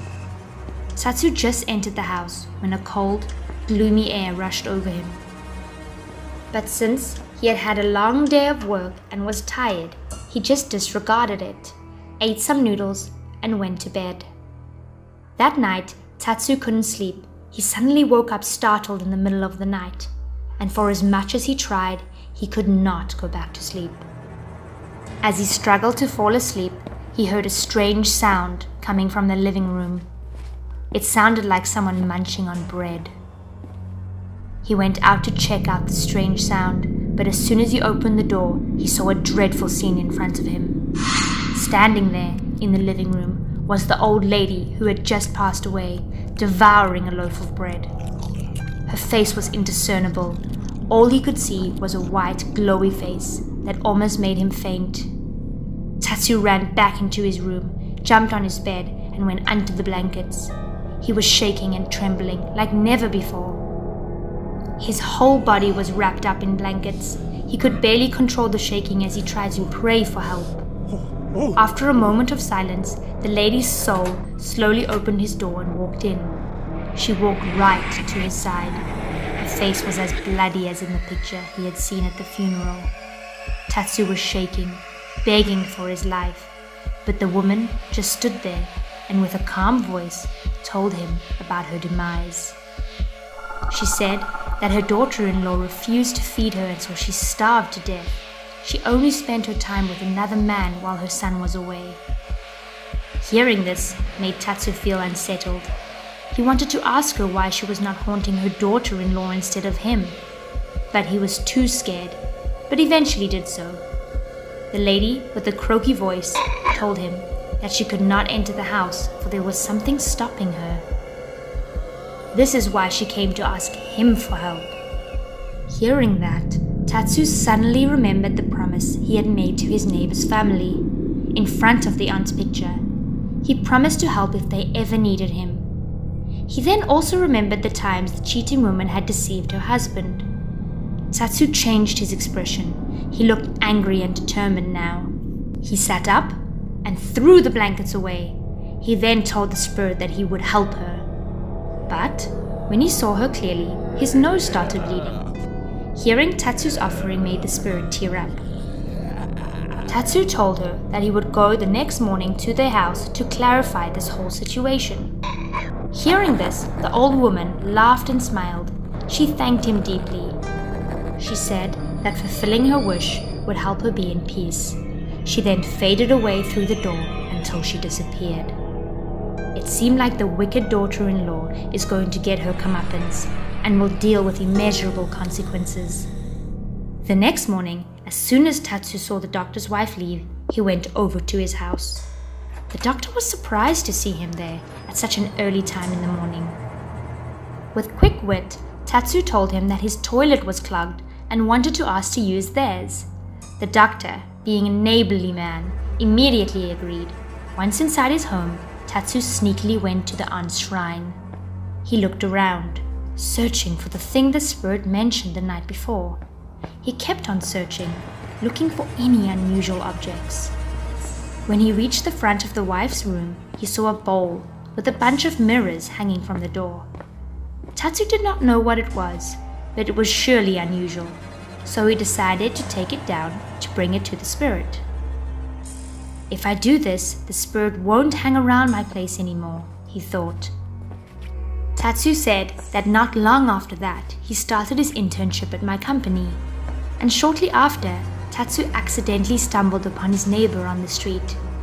This time around, though, he looked even more devastated, like he had just been through more pain and sorrow. He tried greeting him, but the doctor did not answer.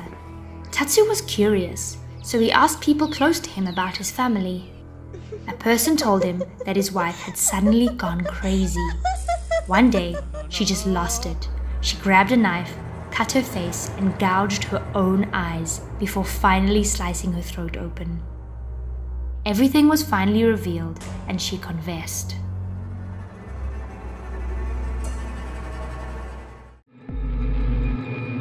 Experimented Spider Man.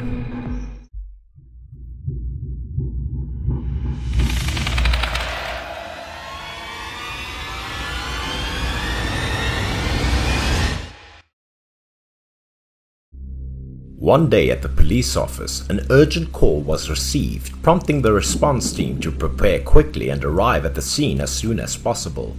The heavy rain did not demotivate the hard-working Captain Chow. At the scene, the examination team was present earlier than the rest. But there was something puzzling them as bright as daylight on their faces. The chief of the autopsy team named Shen reported to Captain Chow that this was an extremely bizarre case. The wound on the victim and even around the scene showed that ordinary humans did not cause it. And as soon as he saw the dead body, Captain Chow could not contain his surprise. The victim died in a highly gruesome way, and the expression left on the face of the deceased seemed to be intensely frightened. There were countless fatal wounds on the victim's body, and all of them looked horrific. According to the examination team, the wounds were not caused by a normal weapon.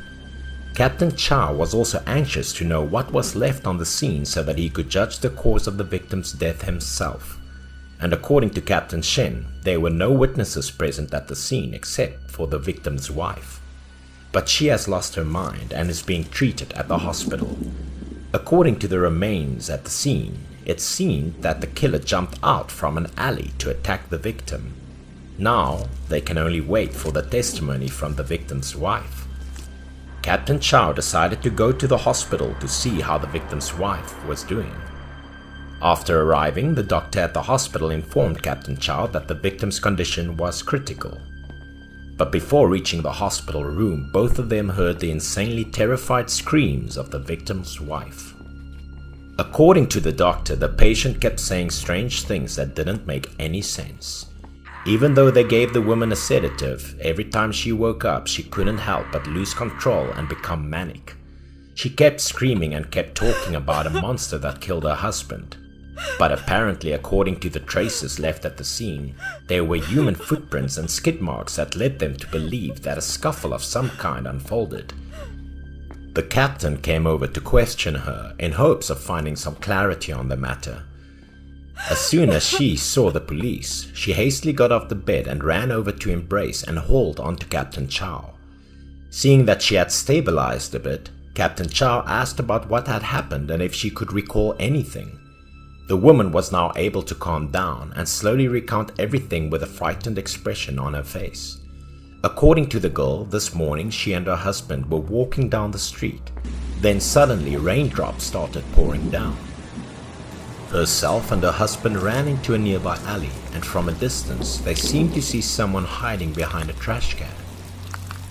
Before they could figure out what the other person was doing, they were shocked when the man suddenly turned around with his white eyes and bloody mouth biting down on a mouse. It was frightening to see his face covered with dark patches while he didn't appear to be entirely human. Suddenly the creature leaped out of the trash with tremendous speed. It rushed towards him like a hungry tiger, its mouth wide open with sharp teeth, looking extremely ferocious. Her husband pulled her away as they quickly ran out of the alley. But the hideous creature did not let them go. It had many arms like a spider and was very fast. Its fingernails were as sharp as a wild animal's claws. It scratched her husband's back, making him scream painfully.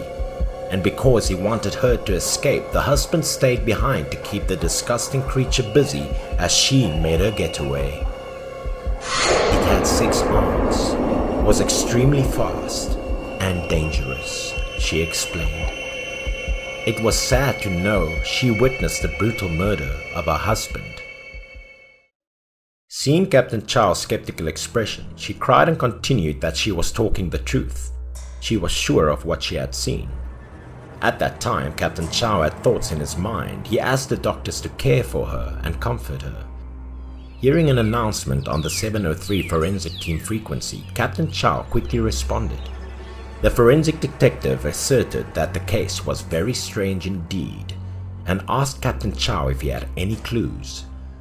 He claimed that this case was really bizarre and asked if Captain Chow had any leads.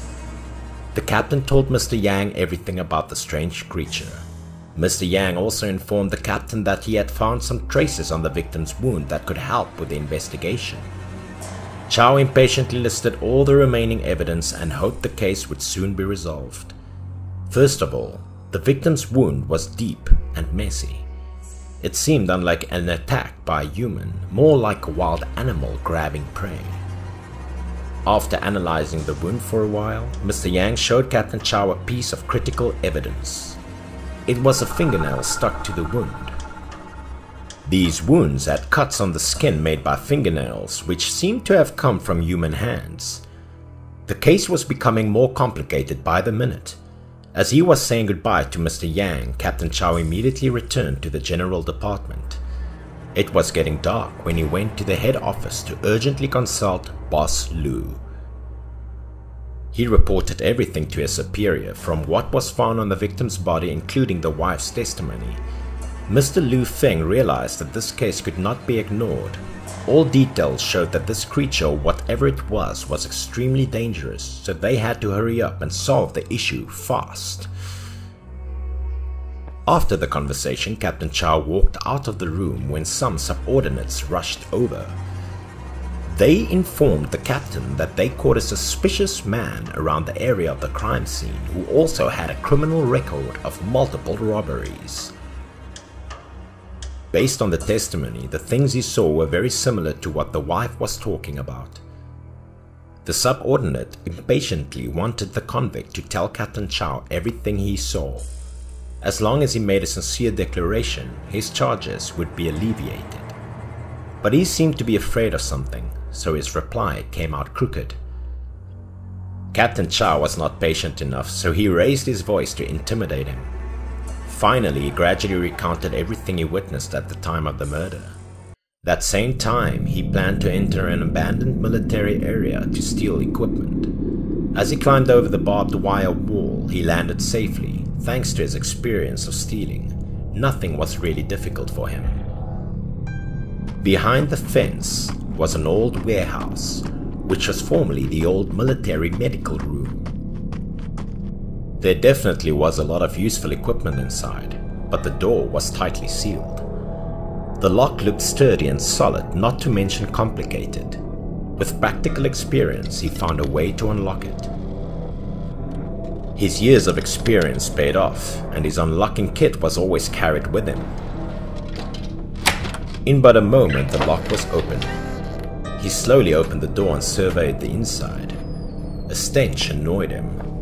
The room was empty, and in the distance was a curtain. It seemed to have something behind it. As he approached, the stench got worse. Dragging the curtain aside, there were many hospital beds and medical equipment. He looked around and found a very bizarre surgical sketch on the wall that portrayed a human, but with six limbs, like an insect. After seeing the sketch, he panicked when he saw that there appeared to be a person lying down on a bed nearby covered by a blanket. The blanket seemed to be trembling slightly. Despite the terrible stench, he intended to uncover it to see what was lying below. With all his courage, he placed his hand on the blanket. He pulled the blanket away vigorously.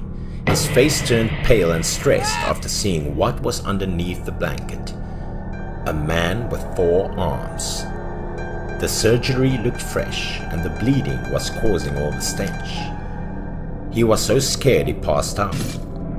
With trembling legs, unable to stand up, he crawled on the floor. While frightened and crawling little by little to get out of the room, he bravely decided to get up and run. As he was trying to make his escape, he ran into a man who had appeared behind him all of a sudden. The man looked at him with a fierce face as if he knew exactly what had occurred. Without much talk, he held up a small knife, his face full of murderous intent. And he did not hesitate, rushing to stab the thief. The thief frantically reached out to try to block the knife. This left his hand with a deep cut and bloodstains all over his arms. He desperately pushed the other man away and rushed out. Luckily, was able to climb over the fence and escape. He panicked and ran for his life. The terrifying man didn't seem to have the intention of chasing after him. He stood from afar and watched him, his cruel face still holding the knife. He told all of this with an expression of great panic since he was just a thief after all, and not a violent man. After being able to drag himself home, he was still in shock over what he had just witnessed. In his room, he bandaged his wounds from the knife cut. What he had just witnessed this early in the morning made him unable to rest. He was scared, so he kept the knife by his hand to feel more secure. Suddenly, the terrifying man appeared and raised a knife above him. Even though it was a small surgical knife, it was extremely sharp. He was stabbed with blood gushing out like a stream of water that he could not hold back. Shaking awake, he screamed while sweat poured down his face. Touching his body, he realized it was all just a dream. He was haunted by the terrifying man. Now sitting upright for too long, he caught a glimpse of something outside the window. Outside, something that looked like a giant spider appeared, clinging to a window. He trembled with his knife in his hand and stood hiding by the side of the wall. Regaining his composure, he reached out to lift the curtain in order to get a better view of what was going on outside. Days later, no matter where he went, he imagined the other man watching him. So when he heard that there was a strange murder and the culprit was a disgusting creature, he went to the scene to investigate the situation. With his testimony, Captain Chow decided to go there for an inspection. He hurriedly left the room. With a few more comrades, he went to the abandoned military zone that the thief had told them about. The teammate announced that the door was firmly locked. Captain Chow looked around, then decided to climb over the fence to get inside. The two could quickly and safely come right where the thief had told them about. With their guns firmly in hand, the two entered the house and also saw the curtains that the thief reported. Captain Chow and his teammates were very careful with what's behind the curtain. After a moment of investigation, the two charged straight in. Captain Chow provided support for his comrades, and on the bed was still something lying and covered by a blanket. The teammate reached out and tugged on the blanket to examine the contents. Then an extremely fast knife passed across his neck, making him unable to turn his head. The non-stop blood flow made him tremble, under the blanket was the man the thief told them about he had apparently been hiding there for a while. Captain Chow just turned around to shoot at the guy, but he quickly launched a scalpel at the captain. Thanks to his luck and quick reflexes, Captain Chow was able to dodge easily. The captain rushed to catch the man, but he was incredibly agile. They writhed on the floor, Captain Chow could not avoid being injured. Taking that opportunity, the man ran to the door. Watching his teammate collapsing on the ground, Captain Chow was extremely angry. He rushed to the door to chase after the man. Meanwhile, the man was trying to climb over the fence. The captain held up his gun with real combat experience. A shot was fired. As gunfire rang out, the man could not escape and fell from the wall. After that, Captain Chow helped his injured teammate to the emergency room. The teammate was taken to the hospital in time, so his life was saved. The captain reported everything to his superiors. Boss Lu also investigated the man's identity. He was a doctor in the old army, always dreaming of creating a cold-blooded warrior. Captain Chow was extremely angry because of the man's inhumanity. He captured living people to research and deliberately created a monster. At the same time, hearing the announcement that the man had regained consciousness, Captain Chow and Boss Lu decided to go to the man's hospital room. The man was still very stubborn, lying on the hospital bed, even though his hands were handcuffed and surrounded by the police. Boss Lu Feng angrily asked him about the research, but instead the man just showed a contemptuous face, smirked, and said that he would leave here soon. Captain Chow and Chief Lu Feng both knew what he meant. Leaving the hospital room, they were both worried that perhaps the other monster would come. Boss Lu Feng told Captain Chow not to let him have a chance to escape. Captain Chow was also very determined. He said he would be the one to watch out for the man. They also knew that the monster would be coming soon and they didn't know how terrible the guy was in the end, but they had to be extra careful anyway. That night, Captain Chow sent strict guards to stand outside the room, and Captain Chow was also there to observe the situation. Seeing that his subordinate teammate was tired, the captain did not hesitate to replace him to guard the hospital room door. The teammate announced that he would wash his face to stay awake and then return to his position. Having said that, he walked towards the toilet area, but as soon as he disappeared at the end of the hall, there was a sudden noise. After that, his body was knocked away by something powerful. From a distance, a man in a black robe with a tall build approached. With sharp teeth and white eyes, it looked like a monster, not an ordinary person. Captain Chow quickly ordered everyone to get in position and pull out guns to defend themselves. Immediately, Captain Chow and his teammates surrounded the monster but in an instant from within his black cloak many arms were exposed at lightning speed and forcefully attacked the policeman.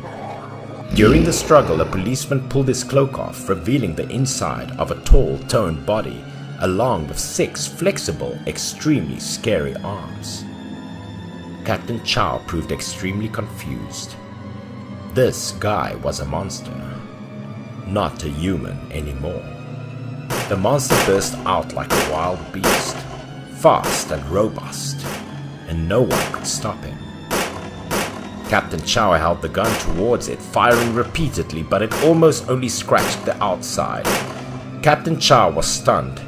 It was too fast and could dodge his bullets. Suddenly, it hung from the ceiling fast, looking like a spider. Then it plunged from the ceiling downwards towards Chow at lightning speed. Captain Chow held up his gun and repeatedly fired at it, but it only injured its skin at this distance. Upon landing, it also injured Chow's arm. Right after, it rushed into the room where the monstrous man was locked. Despite the painful smearing wound, Chow was determined to chase after it. But at that time, the monster had freed the sick doctor. It carried the man in his hand and prepared to jump out of the window to escape. That monstrous doctor turned to look at Chow, still showing a smile of contempt and pride. Then the monster jumped out of the hospital room window with the doctor in its arms, even though they were on the fifth floor. Captain Chow chased after them but couldn't keep up. He aimed his gun straight at the two criminals. At this point, the monster had already launched straight ahead and clung to the building next to it. Captain Chow fired multiple shots repeatedly to stop them. However, all the bullets only hit the hand and body of the creature, which was unfortunately not enough to defeat it. Suddenly, the gun ran out of ammo in the most critical moment. Captain Chow was worried because the criminals were right in front of him. They would escape if the captain didn't take any further action. While the oil was boiling, a gunshot was heard from behind Captain Chow. The bullet flew straight at the head of the hideous monster. The fatal shot made the monster and the man fall from above together. Captain Chow turned to look back. It turned out that Chief Lu Feng arrived in time. As expected, the oldest spicy ginger, the boss Lu, who was a fine marksman. The sound of the two perpetrators falling from above attracted many onlookers. When they looked closely at the monster created by the doctor, both Chow and Boss Lu Feng felt unnerved. Two corpses fell from above, so a lot of blood was spilled on the ground, and Boss Lu ordered that the scene be handled quickly to avoid people's curiosity. The next day at the police station, Captain Chow reported the entire incident of the case. Captain Chow and Boss Lu were still in shock. After all, this was a crazy monstrous case and crazy research project. Captain Chow offered to destroy the creature's corpse, along with the research reports of the monstrous doctor. Boss Lu Feng also agreed with this suggestion because this research was too barbaric it was impossible for another madman to find it and do it again. In the end, Boss Lu Feng decided to put a red seal on it to finally close the case. This was a monstrous case that would probably haunt the investigation team for a long time.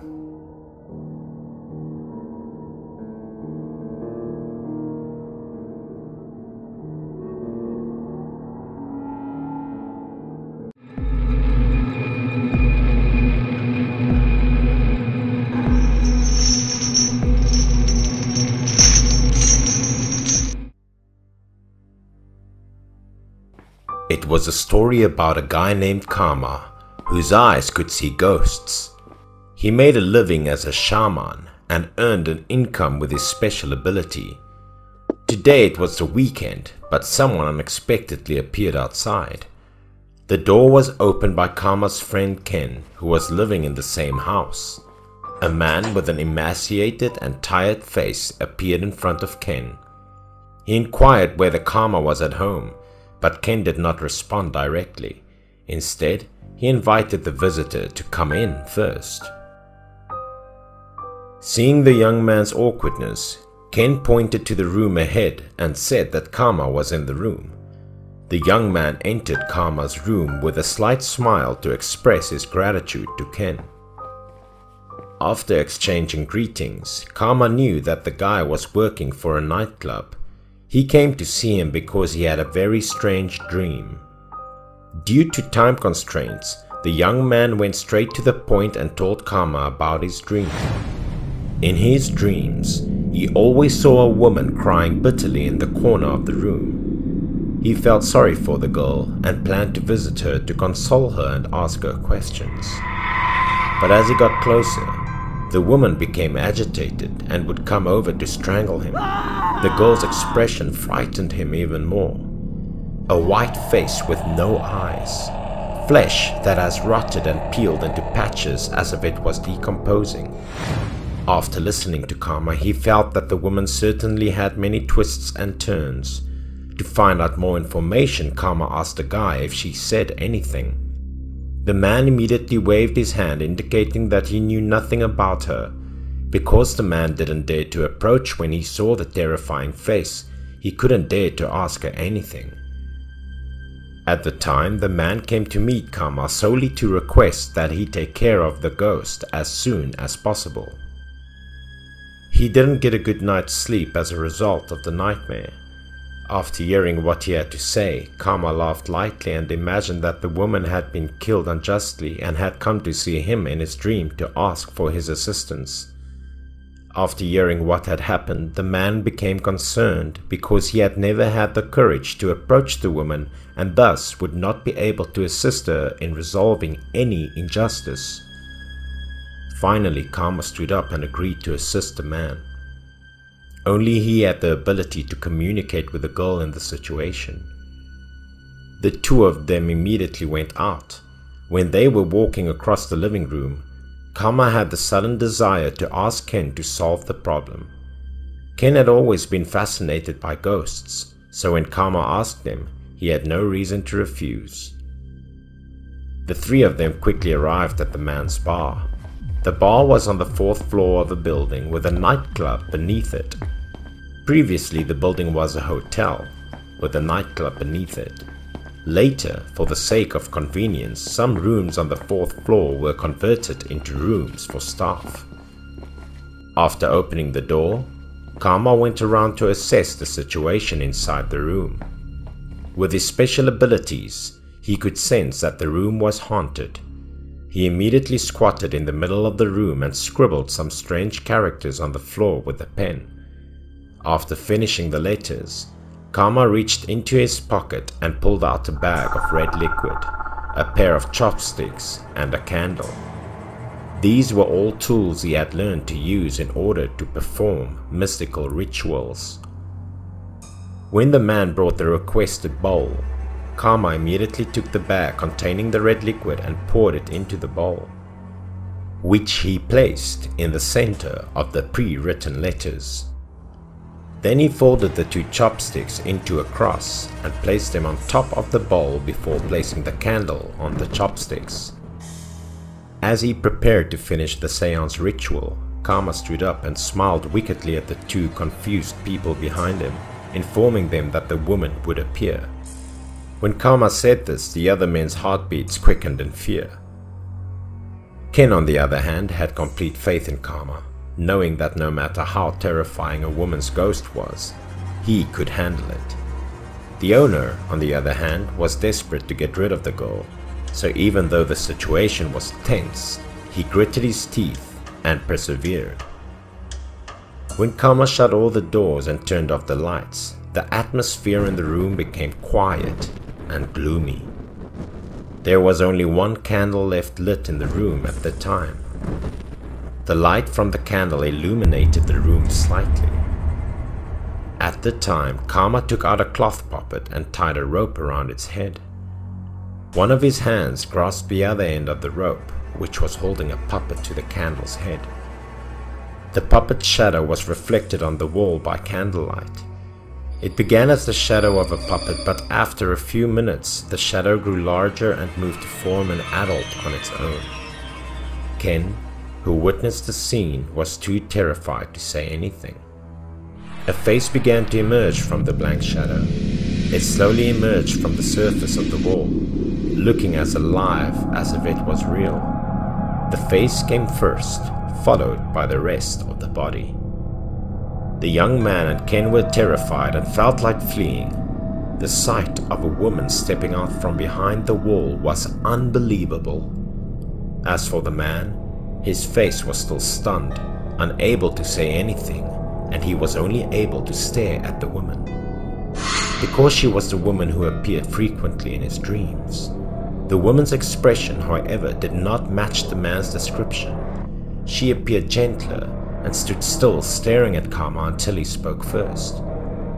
Hearing Kama's promise to assist in restoring justice, the woman began to cry and shared her story. The woman's name was Aiku. Because of her poor family circumstances, she dropped out of school early to work in order to earn money. At the time, her mother was seriously ill and needed a sum of money to get medical treatment urgently. She went with an introduction to meet a wealthy individual who could lend her a large sum of money without charging interest. Seeing Aiku's beauty and pleading, the boss quickly agreed to loan Aiku the money and asked her to pay it back within two years. After that, Aiku began working around the clock in the hopes of paying off all her debts, but an incident occurred not long ago. The boss summoned Aiku to a private room one night because he needed to speak with her about something. Aiku noticed her boss blushing and knew right away that he had been drinking heavily. At the point he motioned for her to take a seat beside him. Because Aiku couldn't refuse, she sat next to him while hearing about the debt she had from the boss. His statement caused Aiku to panic and she did not dare to look at him. According to the agreement, she would pay the full amount after two years, but there was no deadline to repay the debt at the time. The boss immediately laughed and pointed to the wine bottle on the table, telling her that if she drank the bottle of wine, all her debts would be forgiven. When Aiku heard his statements, she felt both happy and worried. After that, Aiku decided to pick up the bottle tilt her head backwards and take a few drinks until the bottle ran out. Aiku's stomach became tense and uncomfortable after consuming a full bottle of wine. Nonetheless, she tried to calmly place the bottle of wine on the table and politely asked the boss to keep his promise because she had met the conditions he set. When her boss saw what was going on, he was taken aback because he had previously underestimated her. The boss believed that the money could make Aiku do whatever he wanted. He tried to seduce her into selling her body to him. Even though Aiku was inebriated and irritated by alcohol, she was fully aware. She realized her boss's intentions and became embarrassed and enraged. Because she was a kind person, she refused to sell herself for money, so she did not hesitate to slap the boss to express her displeasure the boss's face was expressionless as he was brutally beaten. But his attitude quickly shifted, and he became enraged as a result of Aiku's actions. He couldn't keep his rage in check and immediately raised his foot, kicking Aiku to the ground. He even summoned his people to come in and beat Aiku mercilessly. After a while, the poor girl was eventually beaten to death. Despite knowing that the junior's actions went beyond their original intentions, he decided to handle her until the end. At the time, there was an empty room upstairs that was rarely used. So the boss hid Aiku's body there and converted it into a staff room. Kama couldn't help but sigh and lament the unfortunate girl. However, the fact that she knew who the enemy was without seeking vengeance in order for her to be freed made him wonder. It was not that Aiku didn't want to leave, but something in the room was keeping her from doing so. Kama did not respond. Instead he went to the door to look around and look for the main door frame. Kama eventually found a pair of scissors on the door frame. The boss managed to seal Aiku's spirit inside the room due to his fear of retaliation from her soul. Kama turned to face Aiku, held up the scissors in his hand, and told her that now there was nothing to stop her. She could do whatever she wanted. When Aiku finished listening, Aiku smiled contently. the ghost of Aiku slowly exited the room and vanished. In the next day, the young man rushed to inform Kama of the shocking news. The boss had a freak accident and went insane after being avenged by a so called ghost girl. It was exactly what he deserved in retaliation for his crimes.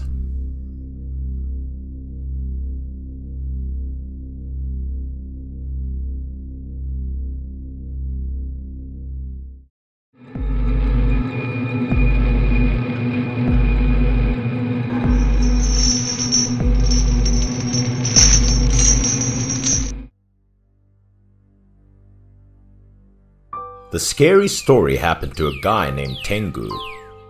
Every late afternoon, some of the old people gathered in groups of five or seven under the village's top banyan tree to play chess. Tengu was also at the chess game at that time as he observed and commented. Tengu was the type of person that no one wanted to meet. He wandered around the village all day and he teased everyone he met. He made many people feel uncomfortable. Originally in a village, he was a thug. He did not research anything, hence before everyone's reaction, he immediately rolled his eyes and did not respect anyone. The village leader was furious and he ordered that Tengu be punished for offending others. As a result, he simply left. He still tried to turn his head and sneered a few more phrases with a tone that everyone suggested he had spent playing chess for a long time. In his free time, he had nothing to do. Tengu asked people to join in playing cards. He must be a gambling addict. Because everyone knew Tengu didn't have money in his pocket, no one would allow him to play. Even among them, some individuals looked down their noses at Tengu and just gave him a fleeting glance before walking away. While they played cards, they talked about an ancient tomb, the tomb located in the western forest. In the tomb, there was a big fox. The fur of the fox was worth thousands of gold. Whoever found this fox would be rich. Tengu immediately showed great interest when he heard the story. However, the western forest was a dangerous place. Tengu seemed unconcerned about the threat. He eventually located the tomb that the others had indicated after more than 30 minutes of trekking. The tomb appeared to have been there for a long time. Even the inscription on the stele had faded and couldn't be read. Because he thought the tomb must have a big fox in it, Tengu patiently hid at the foot of a tree and waited from afternoon until nightfall. Suddenly, Tengu looked surprised, as if he couldn't believe what he was seeing. It was exactly as they said. A red fox had appeared from underneath the tomb. Tengu couldn't hide his joy when he saw the size and fur of the fox. Tengu had never seen any red fox before. If he caught it, he would have a great treasure to sell. The fox appeared to notice that it was being followed. With the ghostly eyes, it returned the stare. Tengu couldn't sleep at night because he couldn't get his mind off the fox. He spent all night to prepare the necessary supplies to trap the fox. Early in the next morning, Tengu went into the forest and carried his handmade trap prepared from last night. After setting a trap, he hid behind a tree. He held a large stick and waited. Tengu fell asleep due to the rapid passage of time. Tengu was finally awakened by groaning after a lengthy sleep. He cheerfully looked and anxiously awaited the results of his rope trap. Indeed, the fox was trapped.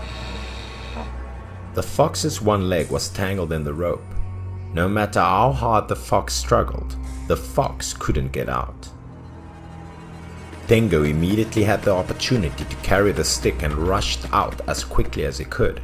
He intended to kill the fox with one blow of his stick. He swung down his stick and shot right at the fox without hesitation. The powerful blow struck the fox's hind leg. It caused the fox to splatter blood, but it also broke the rope. The fox seized the opportunity and dashed towards the lair beneath the tomb with the last of her remaining strength. Tengu tried to keep up, but he couldn't. It was deep and dark inside, and the cave's entrance was narrow, so there was no way to catch her. Outside, Tengu can only be irritated because there was nothing he could do. He slammed his hand against his thigh, his face flushed with regret because he was only few steps away from possessing a great treasure. He walked away with a stick, but his ambition remained. He was well aware that the fox had been seriously injured and would be unable to move. He'll be back the next day Tengu couldn't sleep that night because he didn't eat anything all day and came home to find no rice left. He felt hungry. On the other hand, he was worried that the fox would be taken away by others, so he kept tossing and turning. Then, before dawn, Tengu carried his stick into the forest in order to hunt down the fox with a beautiful fur. However, on the way to the grave, Tengu happened to notice a small house in the middle of the murky forest. He'd never heard of people living in the forest before. Furthermore, every time he passed by, he didn't see such a house. The house emitted a bright light, and the longer he looked at it, the more he felt an invisible attraction. As a result, the young man approached with curiosity and excitement. Tengu peered through the window to see if anyone was inside. Then his eyes glowed with surprise and lust. At that moment, inside the house, there was a beautiful young woman who was bathing in a tub full of water. Furthermore, the girl, after discovering Tengu, turned her back to perform some seductive actions in order to invite him in.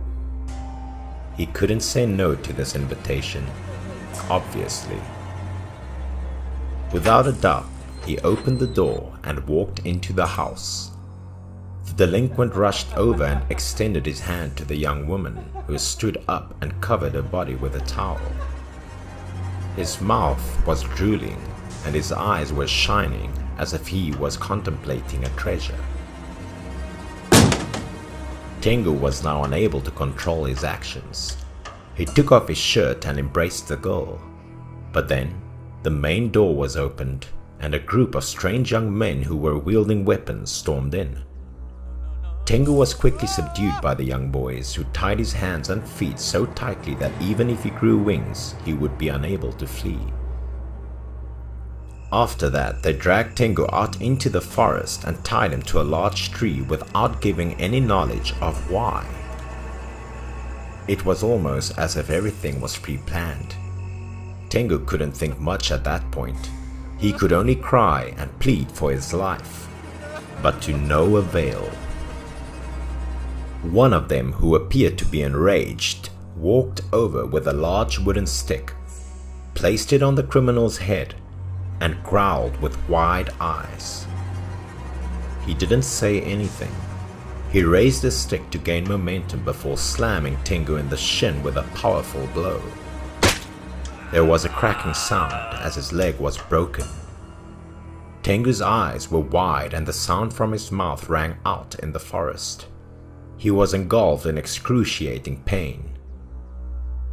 Tengu had already passed out, and by morning he collapsed as he was still tied to a large tree. Fortunately, a hunter came across him and brought him to the village for treatment. Tengu could no longer walk normally after the night, and he might have to rely on crutches for the rest of his life. Tengu had a feeling his broken leg was related to the red fox. A week later, Tengu decided to return to the forest, to the location where he had seen the strange house to discover the truth. Indeed, when he arrived, the house was nowhere to be found. only a group of wild foxes were running around. It seemed that it was possibly the revenge of the fox elf herself.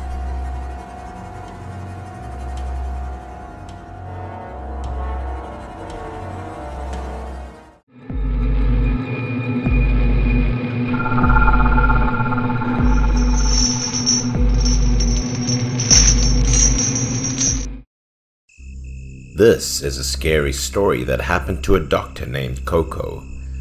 During her internship at a hospital, she repeatedly encountered horrors. The first time was when Coco and the female head of the department were on duty together during the night shift. It was almost 12 o'clock at night, so the head of the department was feeling hungry. She asked Coco if she wanted something to eat. Coco, also feeling hungry since she only had eaten a bowl of noodles earlier that afternoon. Coco immediately got out of her seat, happily asked the chief doctor what she wanted to eat and decided to go to the convenience store which was opposite to the hospital to buy something. At the first time when she was placed to work at this hospital, Coco did not dare to walk the corridors alone at night, because it was very long and dark. The surrounding space was silent. Only the sound of footsteps echoed. It would make people feel frizzy at first, but after time they would get used to it. Coco stepped out of the hospital and slowly crossed the street to see the convenience store right in front of her. Halfway across the street, the light from oncoming traffic lights made her feel dizzy. Coco turned her back to look back and realized it was a large bus. The appearance of the bus made Coco feel very strange, because buses like this didn't usually run late at night. Although she was not far away, she could not see the bus properly. The inside was blurry and looked very dim behind the lights. Coco did not care much about it as she quickly walked into the convenience store nearby. After choosing some items to buy, Coco brought them to the checkout counter to pay. The payment was quick and less than 10 minutes. Coco walked out of the store. Standing right opposite the hospital, Coco suddenly saw the blurry bus parking in front of the hospital gate, as if it was waiting for guests. Two minutes later, Coco saw two people walking out from the hospital gate. One was an old man who dressed in a black fabric shirt, the other, a young girl who was wearing a crimson red dress. After the two of them got into the vehicle, the bus turned around drove away. Coco returned to the office. She did not know that there was a bus stop in front of the hospital gate, so she immediately asked the head of the department to confirm this new information. The head of the department also said that there was indeed a bus stop in front of the hospital gate, but it usually finished at 9 o'clock at night. At this point, Coco blurted out what she just witnessed. The head of the department did not believe her she assumed that Coco was mistaken, because there could not be any buses running at 12 o'clock at night. Coco once again firmly asserted that what she saw was a bus, and that there's no way she could be mistaken in its appearance. When she finished listening to Coco, the head of the department seemed to remember something and looked like she had a bit of a shock on her face. Coco became aware of this, which sparked more intrigue in her mind as the head doctor's strange expression made her feel subconsciously scared for what's to come. The head doctor didn't explain anything. She suddenly got up and walked out. At the same time, she said that what Coco saw reminded her of something. Seeing the head doctor's strange appearance, Coco could not help but follow her curiously. In the hallway, the head of the department was walking and recalling a month ago there was a nurse on night duty and she also saw a bus stop in front of the hospital to pick up passengers. The head doctor was suspicious of something. She immediately led Coco to find the nurse who was on night duty and asked if there were any patients who died tonight. The nurse on duty immediately replied that two patients had just passed away. She also felt strange, for some reason as the head doctor took care of the deceased patient. After getting the answer, the head of the department continued to ask for more information about the two dead people. The nurse on duty was surprised and said that the two had just passed away were an old man and a young girl. Due to their critical illness, the hospital was unable to treat them in time. Coco was surprised to hear this and immediately confirmed whether the two deceased were a person dressed in black and the other wearing a red dress. Suddenly the nurse next to her was astonished. She wondered how Coco was able to tell what the two deceased patients looked like. The nurse went on to confirm that the two died just as Coco described it. The old man died first. He was dressed in a robe by the family earlier in the hospital. The young girl had suffered a stroke and died two hours later in the red dress she wore before coming to the hospital. Coco was stunned and in dismay for a few minutes when she realized that the two people she saw must have been ghosts. Seeing Coco's unstable expression, the two nurses expressed concern and couldn't help but wonder what happened to her. At this point, the head of the department told the two nurses what Coco had seen. The story shocked the two nurses. They became more and more worried because something similar had happened before. Last month, a night shift nurse accidentally saw a lot of people picked up by a bus at the hospital gate. Later, she found out that they were all dead patients from the hospital. Since then, everyone assumed that it was a bus coming from the underworld to pick up the souls of the dead. The second thing that Coco witnessed happened in the hospital's pediatric department. That night, Coco was on shift duty. In her spare time, she went online to read the news for entertainment. At this moment, Coco suddenly heard a lot of loud footsteps, children and laughter in the hallway outside the door. Children were active. They joked and ran loudly in front of Coco's office, which made her feel very strange. It was almost 12 o'clock at night. Usually the kids should have gone to bed already. Out of curiosity, Coco decided to go outside and take a look. She opened the door, leaned forward and looked out. The lights in the corridor were switched on alternate. There were dark and light spaces. Coco looked into the direction where there were footsteps and children's sounds but could not see anyone. Coco turned her head to the opposite direction, still unable to see anyone. She thought she must have misheard something, so she intended to go back into the room and then close the door slowly. However, when Coco was about to close the door shut, from the end of the hall there suddenly came a burst of children's giggles. Coco immediately stepped out and suddenly saw a figure of a boy running across the corner of the dark corridor.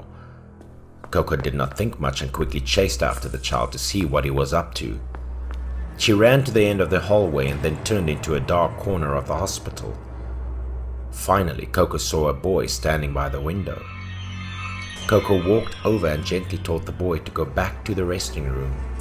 At the same time, she asked why the boy was not sleeping since it was late. Hearing Coco's question, the boy slowly turned around. It turned out that this was the patient's room 402. The boy suddenly laughed happily, saying that he was playing chase chase with a little girl, so he didn't want to go to bed early. Coco looked back but did not see a little girl he was talking about and urged him to go back to his room to sleep. Having to go back to the room, the boy expressed regret. Although Coco said that there were no girls here, the boy insisted that the girl next door asked him to go out.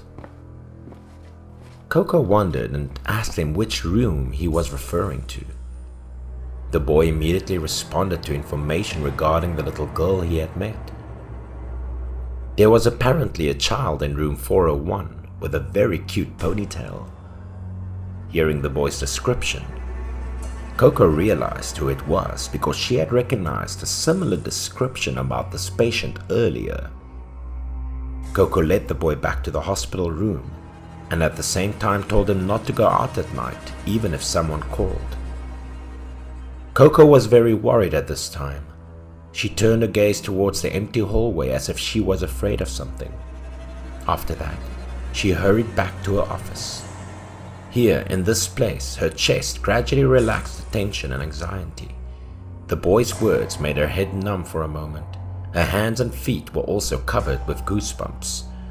Because the little girl in room 401 that the boy described accurately just passed away more than two days ago.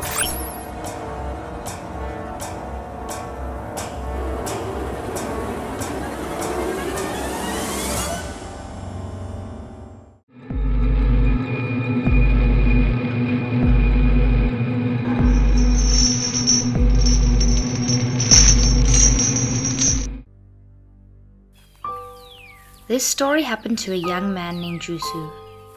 After graduating 12th grade, he passed the entrance exam to a university in the city.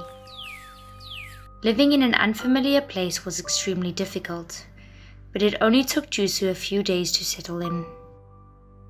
He even made friends with two boys in his dorm and was about to have his first college trip.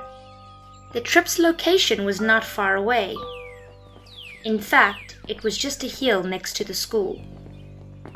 As planned, they would camp overnight on the hill.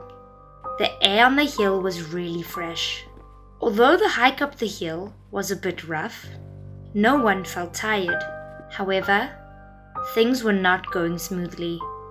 After walking for a while, they started to get lost. Eventually, they found a small path covered with trees. It looked very murky and mysterious. At the end of the small path lay a cold and lonely grave in the woods. Jusu was basically a child without fear. Seeing that, he invited two of his friends to come for a closer look. At first glance, it definitely looked like a tomb, but the shape of the tomb was really strange. The other two boys only stood there for a few minutes, then left. But Jusu still lingered, standing there, staring at the tomb. But strangely enough, the more he looked, the more he felt some kind of magical energy. This energy completely engrossed him. Then his friend came over, shook his shoulder, and called his name loudly. Jusu suddenly woke up, but Jusu's face was still pale and his limbs soft. He was sweating like a waterfall. Not only Jusu's face, but also his friends' faces had deteriorated, as if they had just seen something terrifying. The picnic must stop. But from that day on, strange things kept happening to dorm room 310. The first thing that happened was with Jusu's slippers. He has a habit of neatly arranging his slippers under the bed when he sleeps. But since that night, he was waking up to his slippers dispersed all around his room. Days later, the slippers were still being rearranged all over his dorm. So Jusu decided to talk to his roommates. But their expressions were very strange. One afternoon, Jusu suddenly saw all his roommates packing up, as if they wanted to leave. He thought they must be angry about the trivial matter a few days before, and that they decided to move. But looking at their facial expressions, Jusu could tell it was for other reasons. Then, someone new moved in, and his old roommates left overnight. But Jusu stayed because he really didn't believe in ghost stories. Until one night. On a normal evening, while reading a book, Jusu fell asleep and was woken up by the dorm's bell. But he just closed his eyes, ignoring it. Five hours passed, and it was dinner time. At dinner, the dorm manager didn't see him come down. She was afraid that something was wrong she ran upstairs to call him. Not believing his eyes, he looked at his watch again. But it was still five o'clock. His watch had stopped working. Even though he panicked a little, Jusu tried to reassure himself that he had just fallen asleep while reading the book. After dinner, Jusu decided to finish reading the book before going to bed but with only a few lines, he could barely hold his eyes open. His body really couldn't resist sleep. Then he put the book aside, turned off the light, and went to bed. Suddenly, he woke up at 4 a.m. in a panic, as if he had just had a nightmare. Not only that, he had also found himself wearing proper clothes. But from what he remembers, he wore an old t shirt to bed yesterday. His feet even wore shoes, and the shoes were covered with dirt and mud, as if he had been walking around for a long time.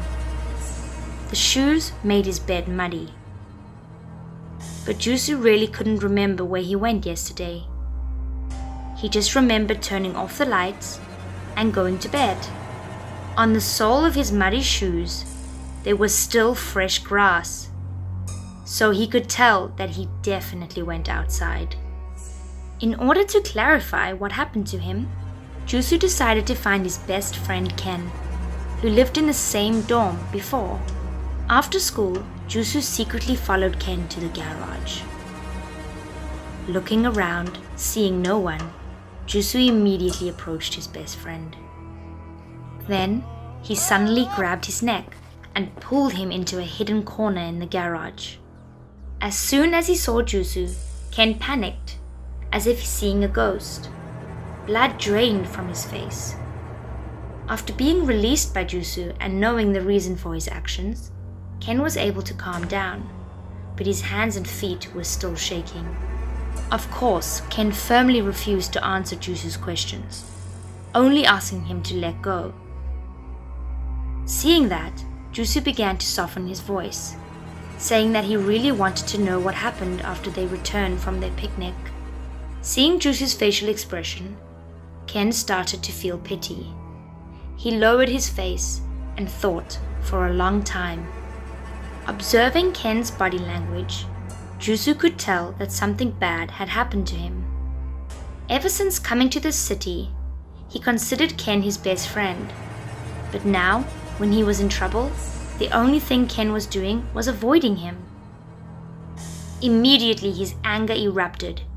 Jusu could no longer keep calm. He grabbed Ken by the collar.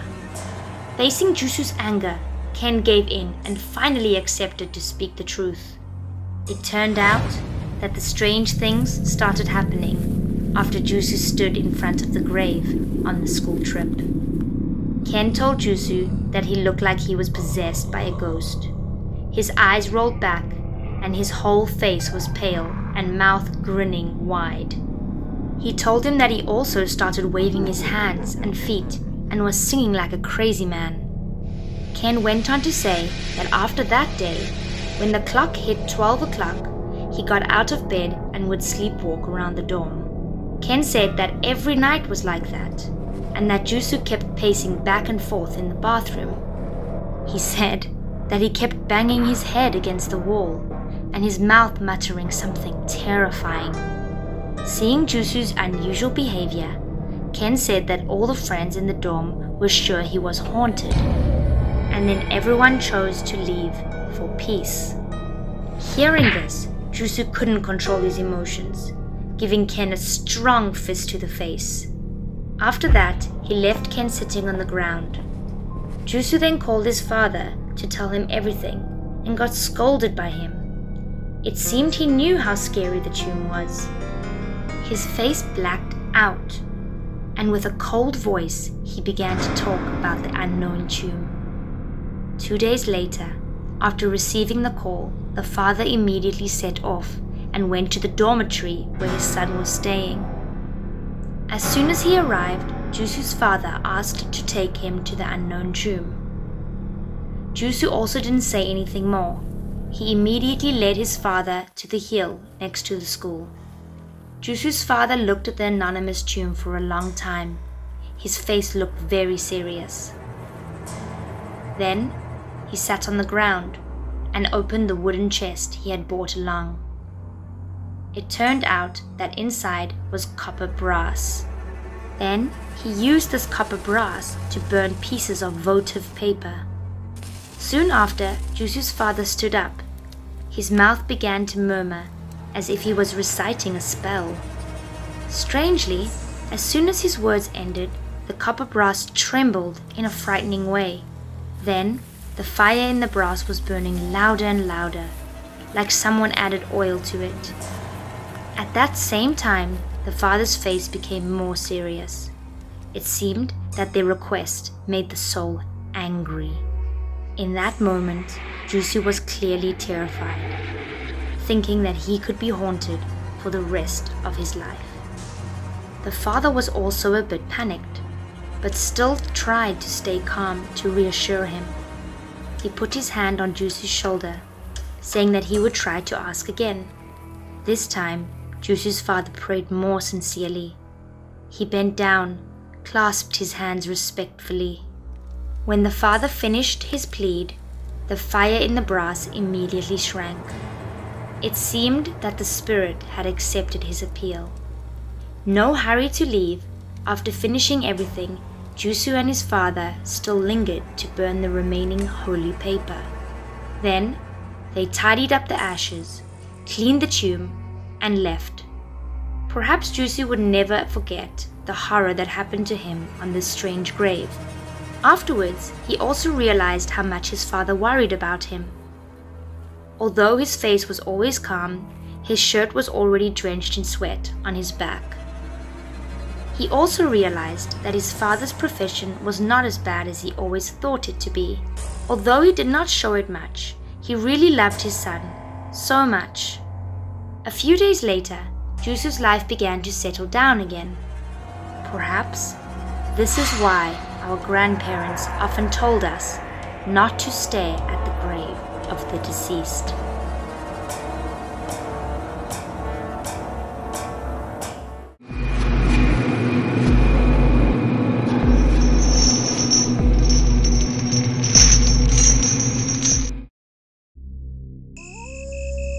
This horrific story happened 10 years ago, which was in regards to the deathly graveyard where numerous people met their fate. Keita, whom I met in secondary school that year, was a close friend of mine. After school, we decided to explore the graveyard where Keita often heard rumors about it. We both turned a deaf ear to all the rumors about so-called graves and danger in the woods. We played freely, we even took soil from the graves, rounded it up and threw it at each other for fun. It was not until late night that Keita suddenly caught a bad fever. His whole body was aching in cold sweat. Keita's grandma was extremely worried about him. Me and my grandma immediately came to visit him as we heard about his illness. Seeing Keita suffering from a terrible cold, my grandma recalled a story of a boy who was once in his shoes a couple of years ago after he played at that cemetery. She told me that because Keita was a panicky type, he would probably lose his soul, and only his relatives or ancestors could bring it back. Keita's grandma instantly asked my granny how to do it, and she then told us she should be the one to call Keita's soul back. Just for in case, my grandma told my dad to go with Keita's grandma. I sneaked after them to satisfy my curiosity. With a small torch, my dad and Keita's grandma slowly headed off to the abandoned graveyard. Although I had cold feet at first, I still followed them to see what was going to happen. The wood had a freezing wind and a dreary atmosphere that could make any nervous type of person faint. My dad was lighting the path while Keita's grandma consecutively knocked the brass on her hand to awake ravenous souls. Keita's grandma knocked it harder over time and shouted out Keita's name while she was walking towards the churchyard center. Then suddenly, the wind became stronger with a blare hiss. My grandmother assumed that if we called out to the lost soul loud enough, it could hear the relative's voice and follow them back home. I observed this in silence, even though it was terrifying to see Keita's grandma keep hitting the brass in order to entice his soul to follow them back. Surprisingly, Keita was able to get up and was eating away at food as we arrived back home. He ate the dumplings like a horse while consisting of a weird complexion and dribbling sweat. Keita's grandma was on cloud nine to see a beloved grandson regain his self-conscious. She quickly embraced him. Nevertheless, Keita ignored his grandma and insisted on consuming the dumplings. The day after, seeing him in class, I instantly ran to his seat and asked whether he was feeling better. In response, Keita didn't even notice me as he consumed his meal. Regardless of my questions, Keita seemed not to acknowledge me and expressed unpleasantness on his face. During school lunch, Keita finished his meal and then surreptitiously stared at everybody taking out their lunch. Keita sat next to a boy in class. When he saw the boy's cake, his mouth started watering while gazing at the piece of cake. He could not contain his ravenous appetite. Keita rushed forwards, attempting to steal the cake. In response, his friend also tried to pull it back. He could not hold in his anger. The boy simultaneously cursed and hit Keita. But it was nonsense. Keita was not only unaffected by this, but also devoured the cake unapologetically. Despite being thrashed, Keita still minded his own business. Keita's strange behavior amazed his friends. When Keita almost finished eating, he was totally out of steam, lied down on the ground, gasped for breath, with eyes splashed in that of a red blood color. After a while, he continued to crawl on the floor to eat scattered pieces of cake in the presence of everyone. Non-stop. To everyone's amazement, he went to every table in class and collected all the lunch boxes around. It was like Keita had been starving for years. He ate relentlessly. In order to address the problem, the principal called Keita's grandma to take him back home. Keita's grandma was extremely freaked out. She took him to the hospital right after. However, the doctor claimed Keita was in a perfectly healthy condition. Not within a day, the rumors had it that a hungry ghost in the wasteland had been mistakenly called instead of Keita's soul. Even right next door, two women gossiped about Keita's story and decided to ostracize him for good. Keita's grandma lost her temper and scolded them for backbiting her beloved grandson in order to protect him. All of them contemptuously isolated Keita's grandma, thus pushing her to stranded misery. She tried to stay strong and persistently took care of Keita. She also suspected that she had called the wrong soul. As yet, she hadn't known what to do next. Undoubtedly, Keita gradually became monstrous. He ate unprocessed foods. What's worse, he even stole a live chicken to drink its blood and eat it raw. At this point, she knew for sure that she had mistakenly called the hungry demonic spirit at that graveyard, so she had to unwillingly lock him up as the last resort. In the known of Keita's situation, I bring him food every day. Inside the locker, Keita huddled pitifully in the corner of a dark room where a little light crept in. All the questions kept popping up in my head. Was that miserable entity possessing Keita? I assured myself that perhaps he was just sick and he would be on the mend soon. But the gore in my sight as Keita turned around frightened the life out of me. He was feasting on a live rat. He glanced at me with bloodshot eyes. I was haunted with a sense of horror.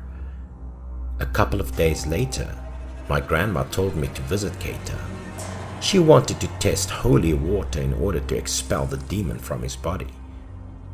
Thinking of the recent horrors, I didn't want to stay, but couldn't help but do anything else but go to Keita's home with my grandma as she wished it. As soon as we walked through Keita's door, we suddenly smelled a strong stench which was stinking from inside. Promptly we continued to see what was going on. We navigated the house from top to bottom. It was covered with bloodstains, tracked into a blood-red path that led to a corner. I had a bad feeling as we followed the stains. The deeper we went into the house, the more unsavory the smell got. I could not stand the stinky stench of blood, plus the disgusting smell of a decomposing corpse. My head kept spinning around with an overwhelming feeling of throwing up. Next, the terrifying scene was beyond all my imagination. Keita was bent over devouring something. He was tearing his grandma apart while devouring her. Her eyes were still open but blinded white which gave me goosebumps. Keita ignored our presence. He chewed on his grandmother's arm, ripped every piece of meat into his mouth with eyes full of barbarism. He was devouring his own grandma. That's when I realized that the creature over there was no longer Keita. It turned out to be a starving demon. I shouted out in panic. I couldn't stand the gore as my grandma fainted. All the food in the basket was scattered everywhere on the ground. Too afraid, I quickly rushed out, calling for help. The villagers quickly came to restrain Keita and locked him up in a closed room, tightly tying him up to a chair. Later on, that terrible day, Keita was said to have passed away. Yet the information was still unclear. The rumors had it that Keita turned insane as he killed his own grandma. Others said that was because Keita's grandma had mistakenly called out a starving devil from the graveyard. The story has not met its conclusion and left me obsessing over it for the rest of my life.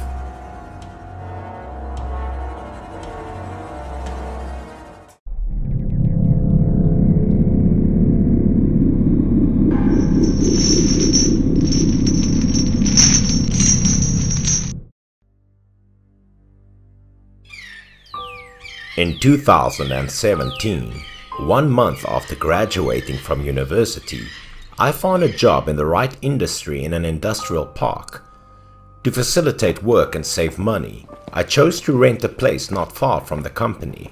The host took me to see the room.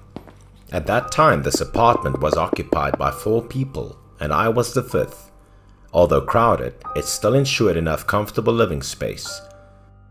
One advantage of renting a single room in an apartment was that I only paid a small amount for the room I lived in, but enjoyed ample communal space. The first person I met was Chan. He worked as a security guard in a shopping mall. After the landlord handed over the room, I started to get to know my housemates. Chan was a friendly and cheerful person, so we quickly became friends. Then I asked Chan about the rest. I should say hello to them as well. However, Chan told me not to pay attention to them because they were not very friendly. Then, after a few greetings, I also went into my room. When I stayed for a week, the second person I saw was Kalim. He lived with his girlfriend and was not very friendly with people around. The third person in the house was Ten, a young man three years older than me. He was rather aggressive looking guy, so I didn't dare to interact much. My room was in the middle. On the left was Chan's room. On the right was Kalim's room. A thin wall separated the rooms, so the sound insulation was poor. So every night I could hear Kalim's loud voice. Every time I couldn't stand it, I hit the wall with my hand to let him know. It was not until late at night that his voice ceased. One time I couldn't sleep. I went to the balcony to smoke and talk with Chan about Kalim's problem. Because Kalim lived with his girlfriend, it was understandable that Kalim was a little noisy. Talking about this, Chan expressed jealousy because Kalim was a lousy person, poor, but had a girlfriend.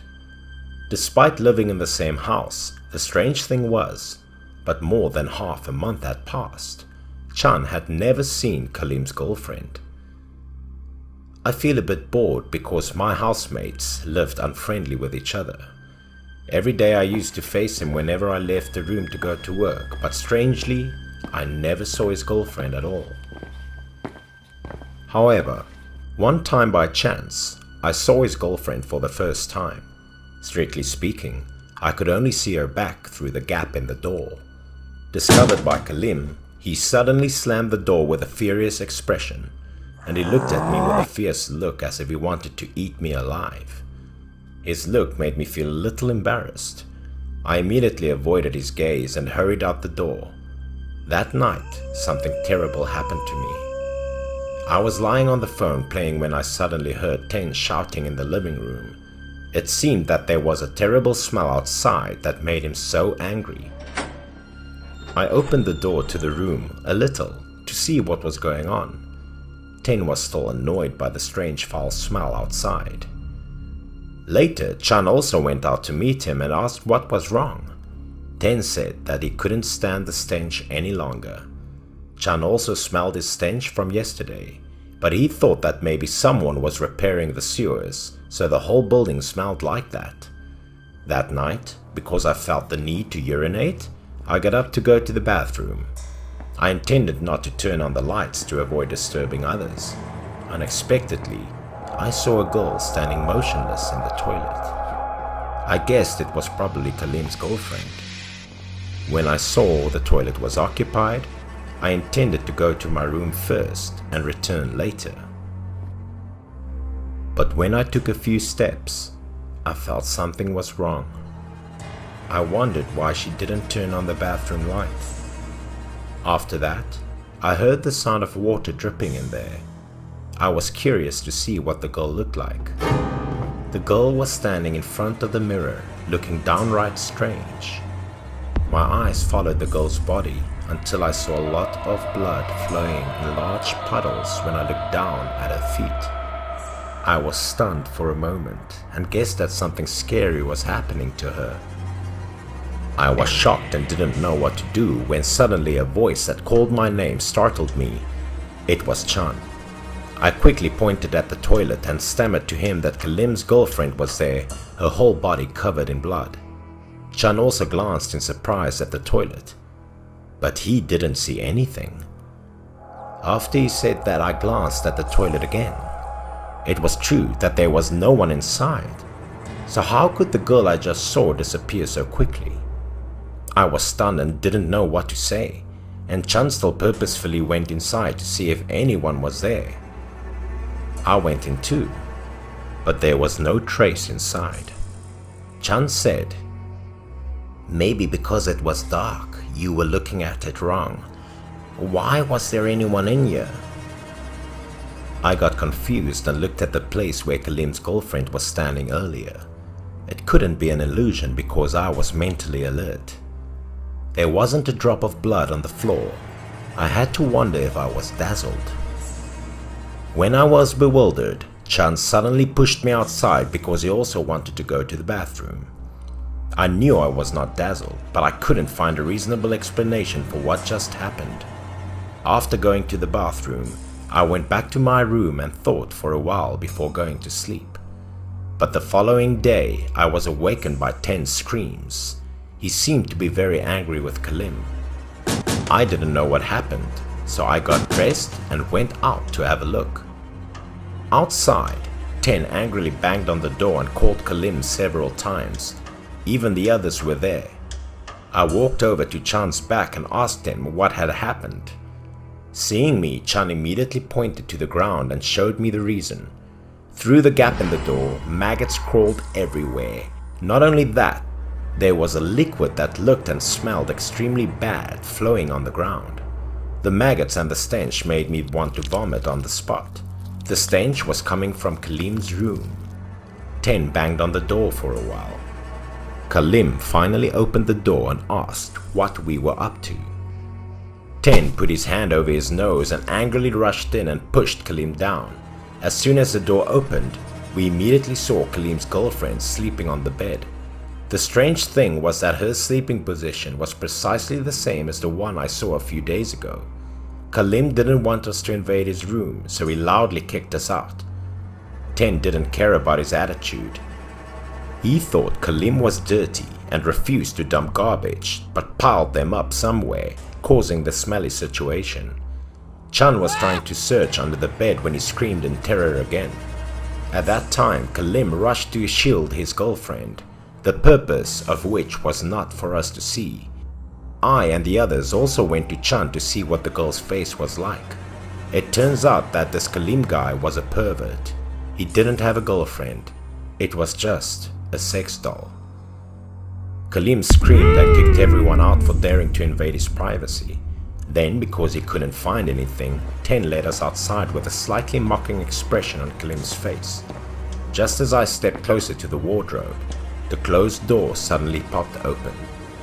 Suddenly something fell towards me, startling me. No one would have thought that what had just fallen out of the closet was the corpse of a girl. How horrible! Because I didn't take precautions, I was knocked to the ground by the girl's heavy body. The girl's body was on top of me. Maggots, dirty water from her body splashed all over me. Her body was in the process of rotting and smelling. Her eyes were still wide open. It felt like she was staring at me. I was so scared that my soul flew away. I cried and screamed and pushed her body aside. Seeing me like this, Mr. Ten and Chan quickly pulled me up. At that time, Kalim wanted to run away but was caught by Ten. Knowing that he had killed someone, we immediately called the police. Kalim killed his girlfriend when he heard that she wanted to break up. He purposely used a dummy to pretend to be his girlfriend to cover this up. After that, that story still haunted me, so I had to move to a new place. To this day, I still wondered, was the person I saw in the bathroom the ghost of Kalim's girlfriend?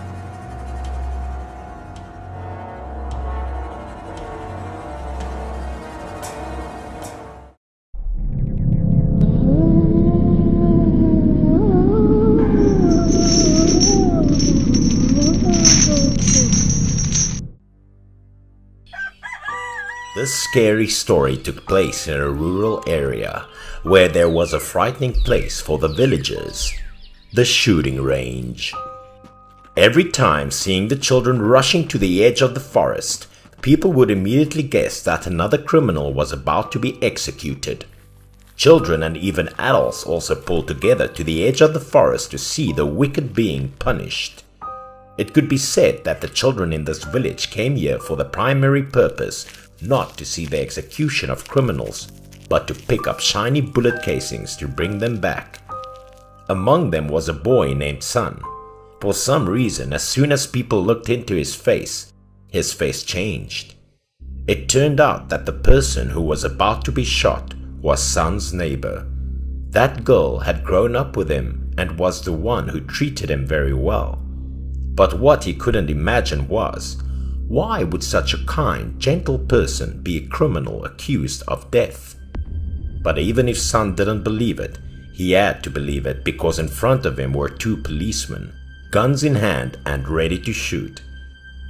Moreover, on the wooden plaque worn on the chest of prisoners with their names engraved, how could it be confused? The other sinner was worried, holding her breath, waiting for death as much as Sun was so nervous, his face was blank. He couldn't say a word. And whatever came would come. The gunfire resounded throughout the forest. The birds panicked and flew away, breaking the quiet atmosphere. While Sun stood still thinking, other children, after the gunshots rang out, hurriedly searched for precious bullet casings. One of them, just a few minutes later, was holding a bullet shell in his hand with a happy face, loudly boasting to his friends.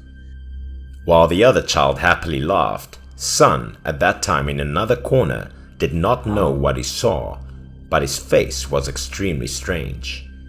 It turned out that in front of Sun's eyes was a pink hairpin, but there was no girl here who was brave enough to come and watch the execution. So whose hairpin was this? Out of curiosity, he bent down and carefully brought the clip up to eye level to observe. It looked quite old, like it had been used many times.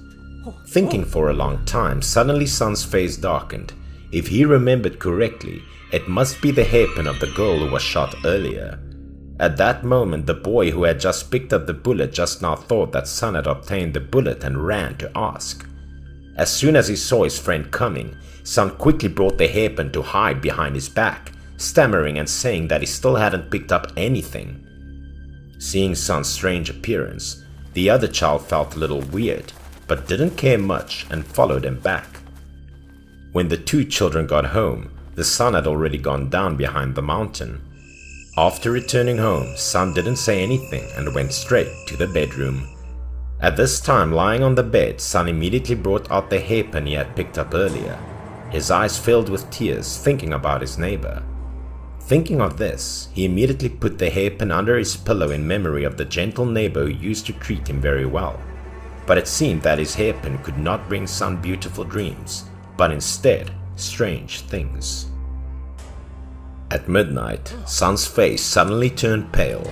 His breath was panting as if someone was pressing him. Immediately after that were the strange sounds. The more he listened, the more they sounded like a scary moaning, crying sound. Sun's face was getting worse every day. His eyebrows were frowning, he couldn't breathe. Sweat had been dripping all over his shirt ever since. In the distance appeared a figure of a woman approaching. She became more and more visible with a horrifying face, two sunken black eye sockets. Not only that, but she stood in front of Sun's bed constantly moaning. Her hand with sharp claws was frequently directed at him.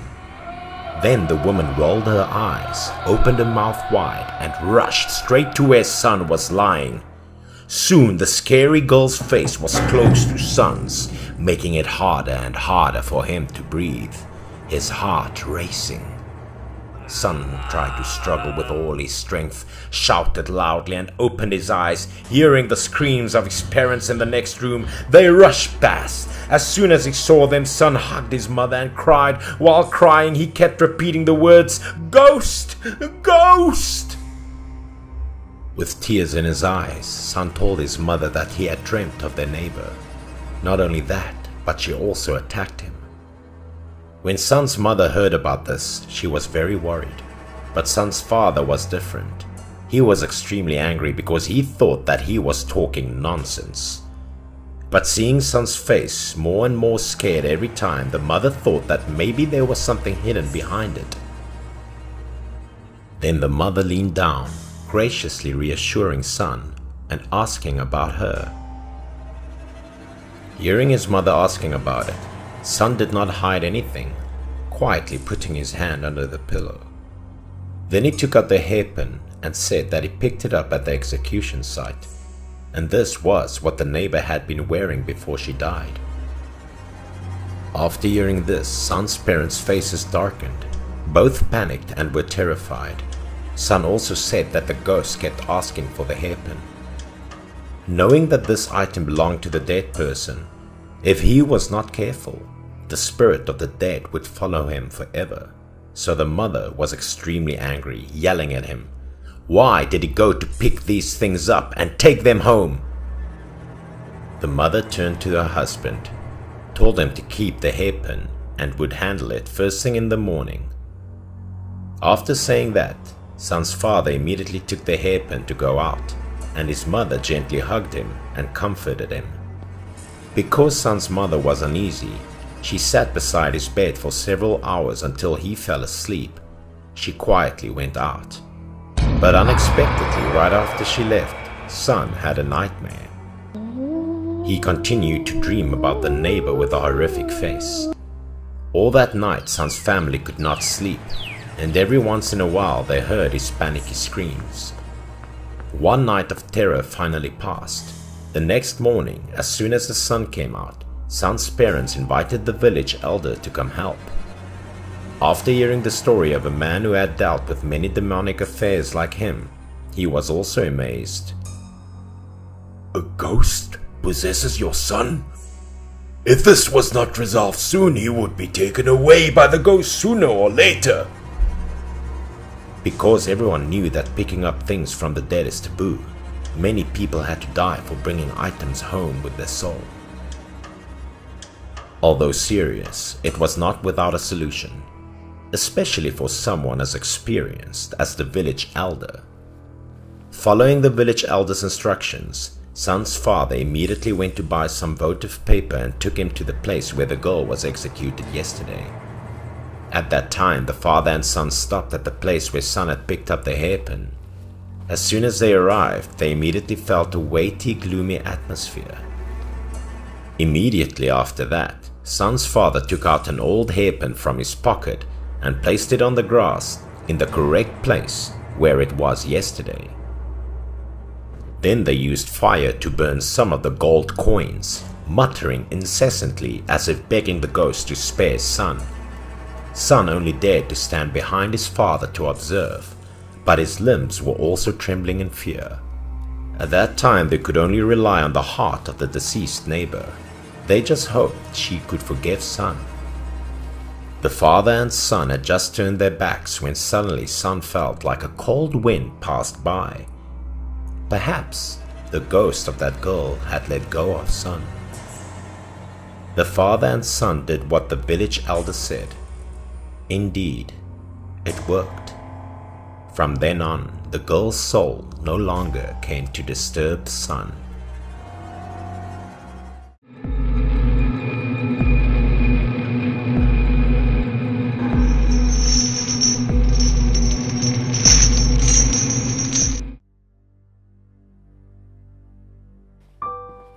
The story happened with a young couple.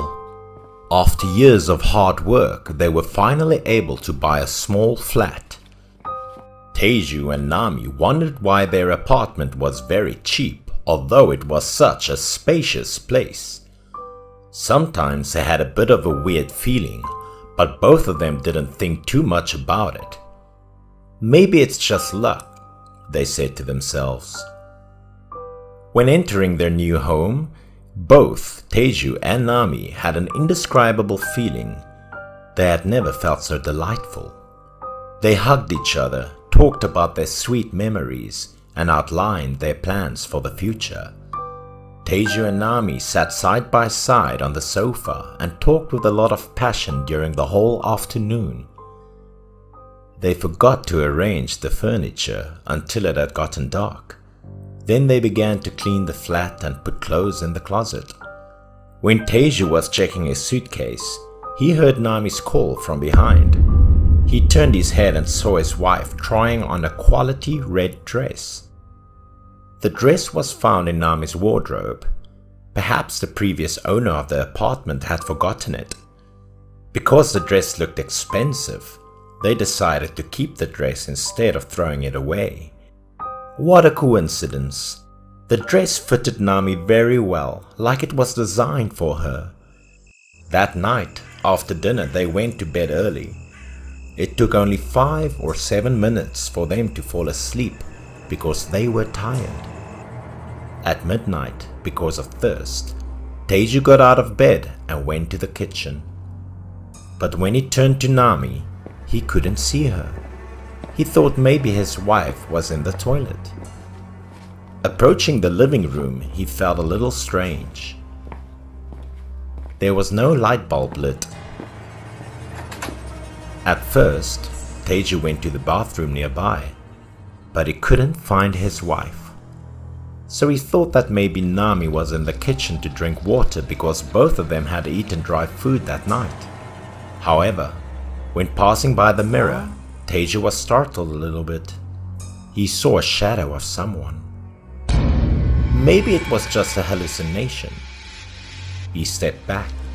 Then his heart beated so fast in his chest because he realized the hallucination was a woman in a red dress.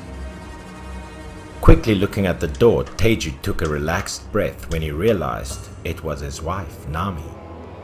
But her expression at that moment looked very strange. Seeing Nami, Teju moved to her and asked his wife, Why are you still wearing this red dress? It's midnight already. But Nami did not care at all. Her eyes were vague as one who has lost a soul. Therefore, Teju nervously approached his wife and asked her many times what was wrong. Despite what he was saying, Nami didn't open her mouth to say a word. Teju gripped his wife in panic while she suddenly started yelling crazily. After a few minutes, Nami returned to normal. However, her face was a bit bewildered. She didn't know what happened. She wasn't able to remember why she was there, how she did any of it. Even Nami didn't know when she put the red dress on. Teju could not answer Nami's questions either. He assumed that she had been sleepwalking. Hearing that, Nami became even more worried and scared than before. She had never experienced anything like this before. Teju moved closer to comfort his wife. He tried to be calm, but inside he thought there might be something wrong with the house. Because of believing the forgotten red dress was a piece of bad luck, Teju immediately told his wife to take it off and put it aside. Although being worried about the weird dress, they fell asleep very quickly because their bodies were exhausted after a hard day's work. An hour later, Teju woke up again because of a strange feeling in his spine. Teju turned around to embrace his wife to feel more secure, but suddenly his face immediately darkened. For some reason, in the dim lit room, Nami's face looked scary. Her eyes were wide open to the extreme that her husband could clearly see the blood vessels inside. Looking down at her body, he really panicked when he saw Nami wearing a red dress again. As he couldn't keep calm any longer, he stood up and shouted angrily, but Nami still didn't react at all. In a fit of anger, he lost his temper. He had called out to her many times and she didn't answer, so he patted Nami's head very hard. The pain immediately caused Nami to wake up from her daze. She covered her face with her hands and shouted loudly. At this time, Teju had calmed down. He softly asked his wife why she put the devil dress on again, but Nami herself could not answer his question. Her face could not hide the fear. Because thinking that all of the trouble was somehow caused by the red dress, the husband rushed to help his wife take it off. Then, Teju took the dress in silence and got out of their bed with the astonishment of Nami. He was intending to throw it away. If he did that, everything would hopefully go back to normal. In the dark of night, Teju walked alone to the recycle bin near their apartment and dumped the beautiful red dress inside. But Teju was wrong. After he threw away the item that brought bad luck, everything became even worse. After returning to their apartment, both Teju and his wife could not sleep. He sat up and smoked a few cigarettes. Although Teju didn't stop thinking about what had happened, he still tried to be calm to reassure his wife. Hearing the comforting words of her husband, Nami gradually felt more secure. She tried to close her eyes to calm her panic. After Nami fell asleep, Teju smoked a few more cigarettes. Although thinking carefully about what they had experienced, Teju still couldn't understand it. At the time Teju decided to take a rest, his wife suddenly jumped up from the bed. He turned to his wife and asked, Why don't you sleep? Is something wrong again? Unlike the previous time, Nami immediately replied to his question, but it was a completely unfamiliar voice. His whole body was frozen, his heart beat fast, and his mouth stammered a few harsh words. He was both scared and worried about his wife. Before Teju finished the sentence, the woman turned to him again. She growled and shouted angrily at him. Why did you throw my dress away? Teju thought this time might be the same as the previous times, so he shouted loudly to wake his wife up. But Nami didn't care at all. She paced about the bedroom and rummaged around to find the dress like a mad woman. After watching everything, Teju sneaked up to her and hugged her in his arms tightly. But without him doing anything fierce, she slapped him across the face very hard. Because of the unexpected blow, Teju couldn't dodge it. As a result, he lost a tooth for what he had done. While he was still struggling to get up, Nami opened the door and rushed out. From that moment, Teju could confirm that she was not his wife at all. A few seconds after she left, Teju also tried to get up and chase after her as he feared that something bad would happen. She was gliding across the floor like a water puppet, which was different from a human being. After walking about 10 meters, the woman suddenly stopped and looked up at the sky. She then fell to the ground. Her body seemed to lose all strength. Teju hurriedly ran to Nami, lifting her head up and held loudly. No matter how hard he tried, she still didn't wake up. Later that night, he called an ambulance for his wife. Nami was unconscious for the whole of the next day until that night when she finally woke up. After Teju's wife overcame the critical condition, he could not hide his happiness. He totally forgot about the incident on the previous day.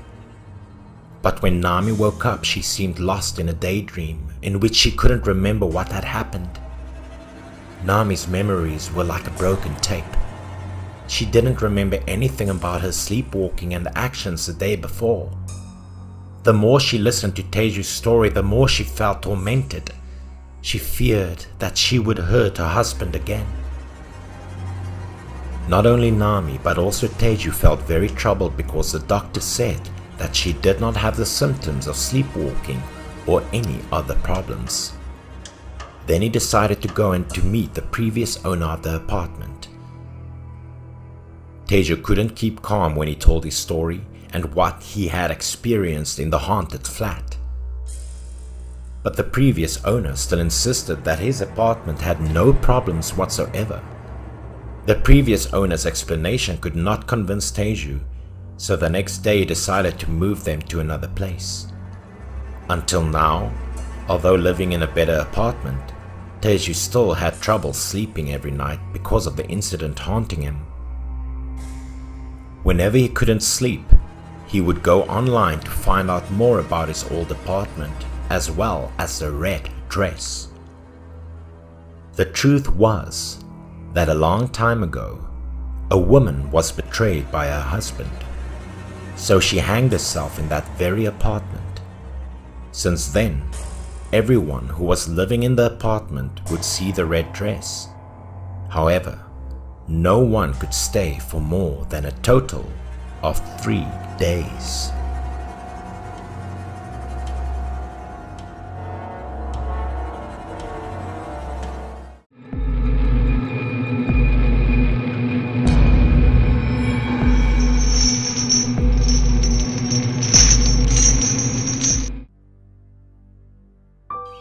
It began in a small northeastern mountainous village where old marriage practices were still in existence.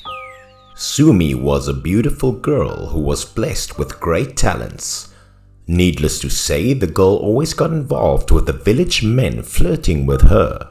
But they all shook their heads in boredom and quit as soon as they heard about the bride token. Those who wanted to marry the girl must be born from a wealthy and noble family. Only that way could they get the nod of approval. The bride token was up to 20 ounces of gold. Jiro, a young man who came from a deprived background, was told he'd never have the chance to marry the girl. In the village, there was also a young man named Kento who was head over heels in love with Sumi. This man was not poor at all. But since the bride price was so expensive, everybody told him to give up. Despite being advised by his friends, the man still became agitated and walked away as they didn't support him marrying Sumi. In order to have Sumi, Kento made a promise to himself that he would get rich. He did everything to build relationships and make friends in high places. Now, as Kento had made a fortune for himself, he utilized his relationships to blind the ones in power as he contracted the wild mountainous area which was located 30 kilometers away from his village. Ever since that day, large trucks were seen consecutively commuting to the area on a daily basis as they exploited the soil, stone and wood to depletion. After three years of being involved in illegal activities, the man eventually became affluent Kento couldn't be more confident upon the day he returned home. He quickly went to see his friends, asking about Sumi. Kento told them that he had become a billionaire. Since money was no longer an issue, he returned to propose to Sumi. His friends immediately said the bride token had been five times bigger compared to that three years ago. But the calm expression was still on his face as he showed them a thick cowhide bag while letting out a smirk. About Jiro, the poor guy. After a long period of time of hard work, the man ended up saving a great amount of money to marry Sumi. However, Sumi's mother bluntly refused, saying that it was the story of three years ago, and now as her daughter was in the age of getting married, considering how many families wanted to have her as their daughter-in-law, this amount of money Jiro had was inadequate the woman didn't even let him finish his third sentence as she kicked him out of the house and threw his money onto the ground. Not knowing what to do, Jiro picked up each and every precious coin then left. He couldn't hide the sorrow on his face. At that time, Jiro was still hoping that he would marry Sumi, but the thought instantly faded away when he saw Kento approaching Sumi's house. The man couldn't do anything under the circumstances, neither did he have any money nor power to get in Kento's way. And what goes around comes around. Kento paid the bride wealth to the family and finally had Sumi as his wife. A couple of days later, fireworks went off as a grand wedding took place. The whole village was prevailed with an uproarious atmosphere. Cars were placed bumper to bumper, while everyone was eager to witness the wedding of the rich. According to traditional conceptions, children must be completely obedient to their parents, thus Sumi had to obey them. She reluctantly married Kento. After the grand wedding to Sumi, marriage life was truly a hell on earth. Kento unexpectedly turned out to be a brute. Since Sumi was always in a gloomy mood, she often got beaten by Kento, but the woman couldn't do anything but held her tears and suffered. One day as Sumi returned home from the market, she encountered Jiro. At that moment she could only greet him from afar, then continued to go home. Unfortunately, her actions were seen by her husband, Kento. Being filled up with jealousy, the man intended to harm Jiro. That afternoon, Kento went to see Jiro and offered him a job at his quarry. Jiro immediately agreed and rejoiced as he was in need of earning money to pay his way. Two days into Jiro's work at the quarry, many police cars were seen passing through the village. According to the two workers who worked at the quarry, they coincidentally found out a corpse after their shift. The two were frightened, as occupational accidents often happened at this mine. The dead man was believed to fall from a mountain slope and had his body pierced with a sharp rock. One side of the face was completely deformed, but one could still recognize it and knew that it was Jiro. Having no relatives, Jiro had his funeral conducted poorly while his body was buried in the forest. That day after Jiro's funeral, Kento quickly returned home. The man panicked as soon as he opened the door. There was a figure of a man appearing before his eyes as it slowly walked into his house. The shadow also looked identical to that of Jiro. It suddenly vanished after Kento rubbed his eyes. He took a deep breath, then carefully walked into the house. Kento asked his wife if she saw anyone coming in, but she merely shook her head and said no. The man stayed up through the whole night as he was filled with great fear. As the night progressed, he could not sleep as he felt guilty with the horrific crimes he had done. The next morning, Kento brought a lot of money to a shaman in the village, asking for help. The shaman didn't care about anything but money. He taught Kento to use dog blood and spill it on Jiro's grave. Only after using it would the calamity be over.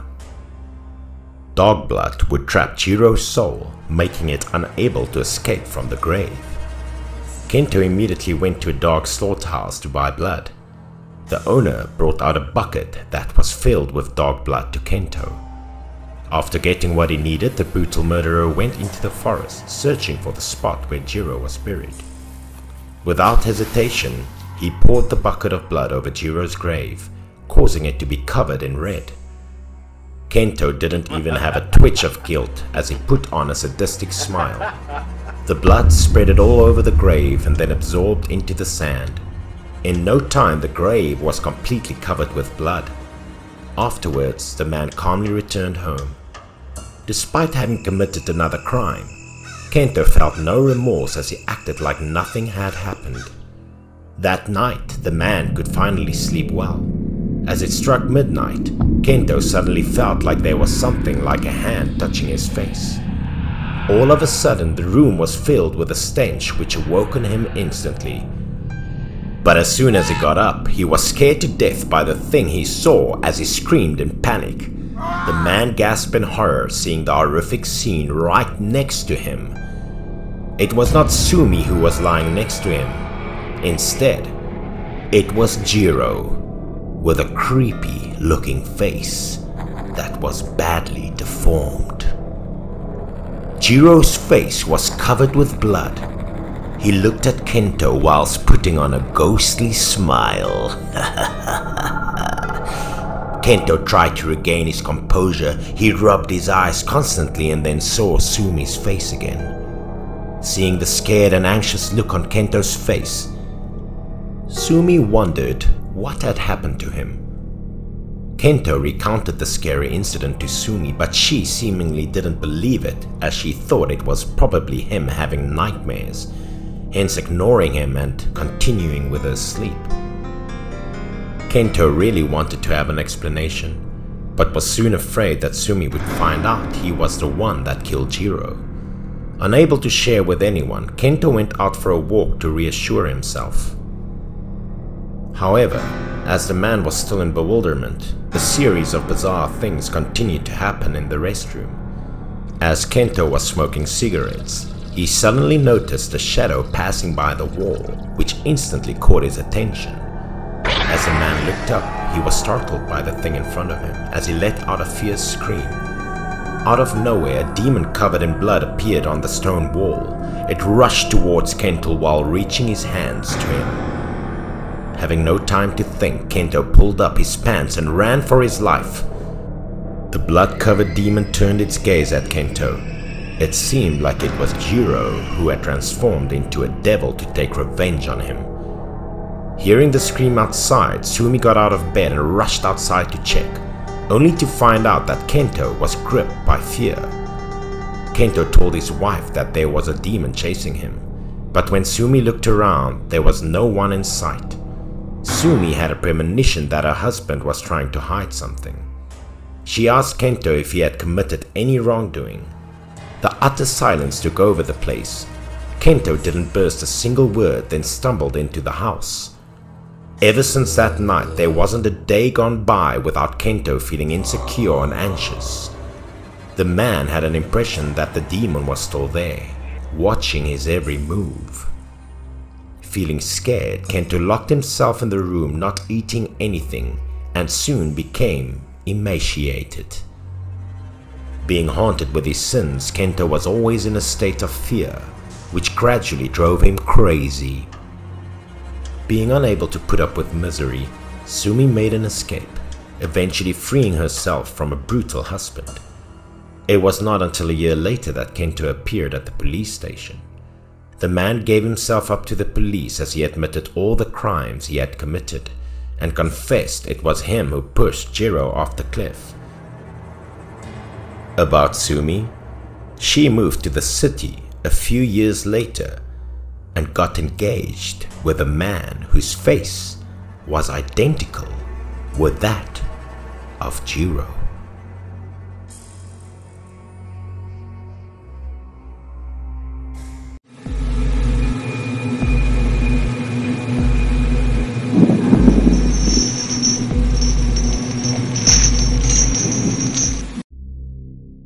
As I remember, this story began when I was only seven or eight years old. Back in my village, I used to play with Ben and Leo because not only were their houses next to mine, but we also got along very well. We often played by a pond, which was at the far end of the village, near the edge of the forest. One day, as soon as we got to the pond, we heard strange sounds coming from it, and we saw a lot of frogs. So we walked closer. Since we were young, we decided to throw stones at them. Watching the frightened frogs jump away, we laughed excitedly. Meanwhile, Ben was looking at something below the water. Maybe because he didn't want to play our boring game. When I tried to throw a stone again, Ben told me to stop. He thought he saw a big fish underneath the water. When we looked down into the pond, we saw a fish swimming around a big, strange rock. It was the first time we saw this fish, or any fish for that matter. So we decided to get into the pond to take a closer look. But while we were about to jump into the pond, it suddenly started to rain heavily. We were all surprised because the day had quickly turned from a nice sunny day into a dark stormy one. So we decided to run straight back home. That whole day, the rain kept falling. We stayed inside, for we couldn't do anything else in that weather. After the rain had passed, the air became cleaner. So we started our day as usual. Strangely, we felt uneasy, which seldom happened to us. The first person to get that feeling was Leo. He mentioned that he had a nightmare the previous night. Bin was next to comment about last night's dream. He made a serious and then awkward face. He'd also had a nightmare that night. Leo believed that these bad dreams were because of the rain soaking us by the pond. But Ben disagreed he stared into space with a blank expression. Then he said, I dreamt of ghosts. It felt very real. I turned to look at Bin to ask him more about his nightmare. He quickly narrated what he had experienced in his dream the previous night. While trying to sleep, he got the urge to go to the bathroom.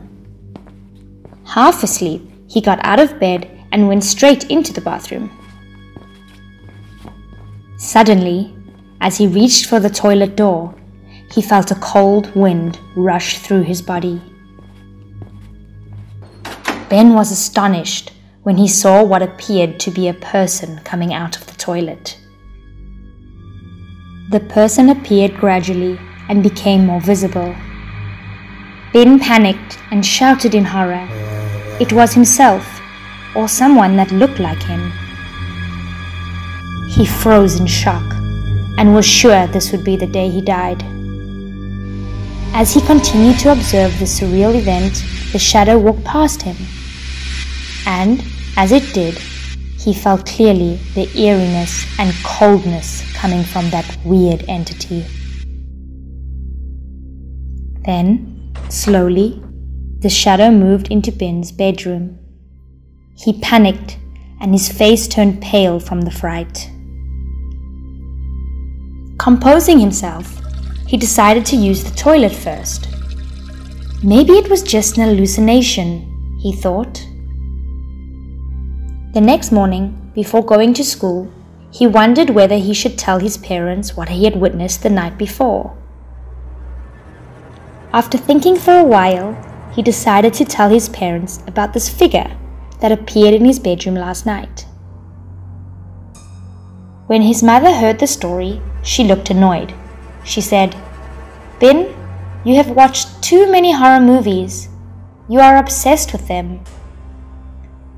Discouraged and unconvinced, he then said goodbye to his mother and went to school. After Ben had finished telling his story to us, I wondered why I didn't see anything strange like that. We were so caught up in our conversation that we didn't realize we had arrived at school already. That day at school was a tough one. I couldn't stop thinking about Ben's story. It was just so weird.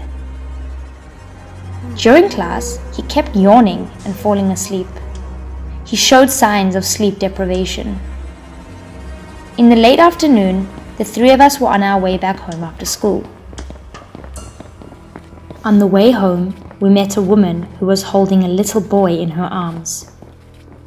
As soon as the boy saw us, he pointed at Bin and cried out loud. Startled, we looked at the little boy, then quickly looked at Bin in confusion. I wondered why the child had looked at my friend and screamed. But Leo chuckled and patted Bin's shoulder. He said that maybe Bin's face was too fierce and this had probably scared the child to tears. On the way home that day, we had to cross an alley that was quite empty. Suddenly, a dog jumped out and barked at us.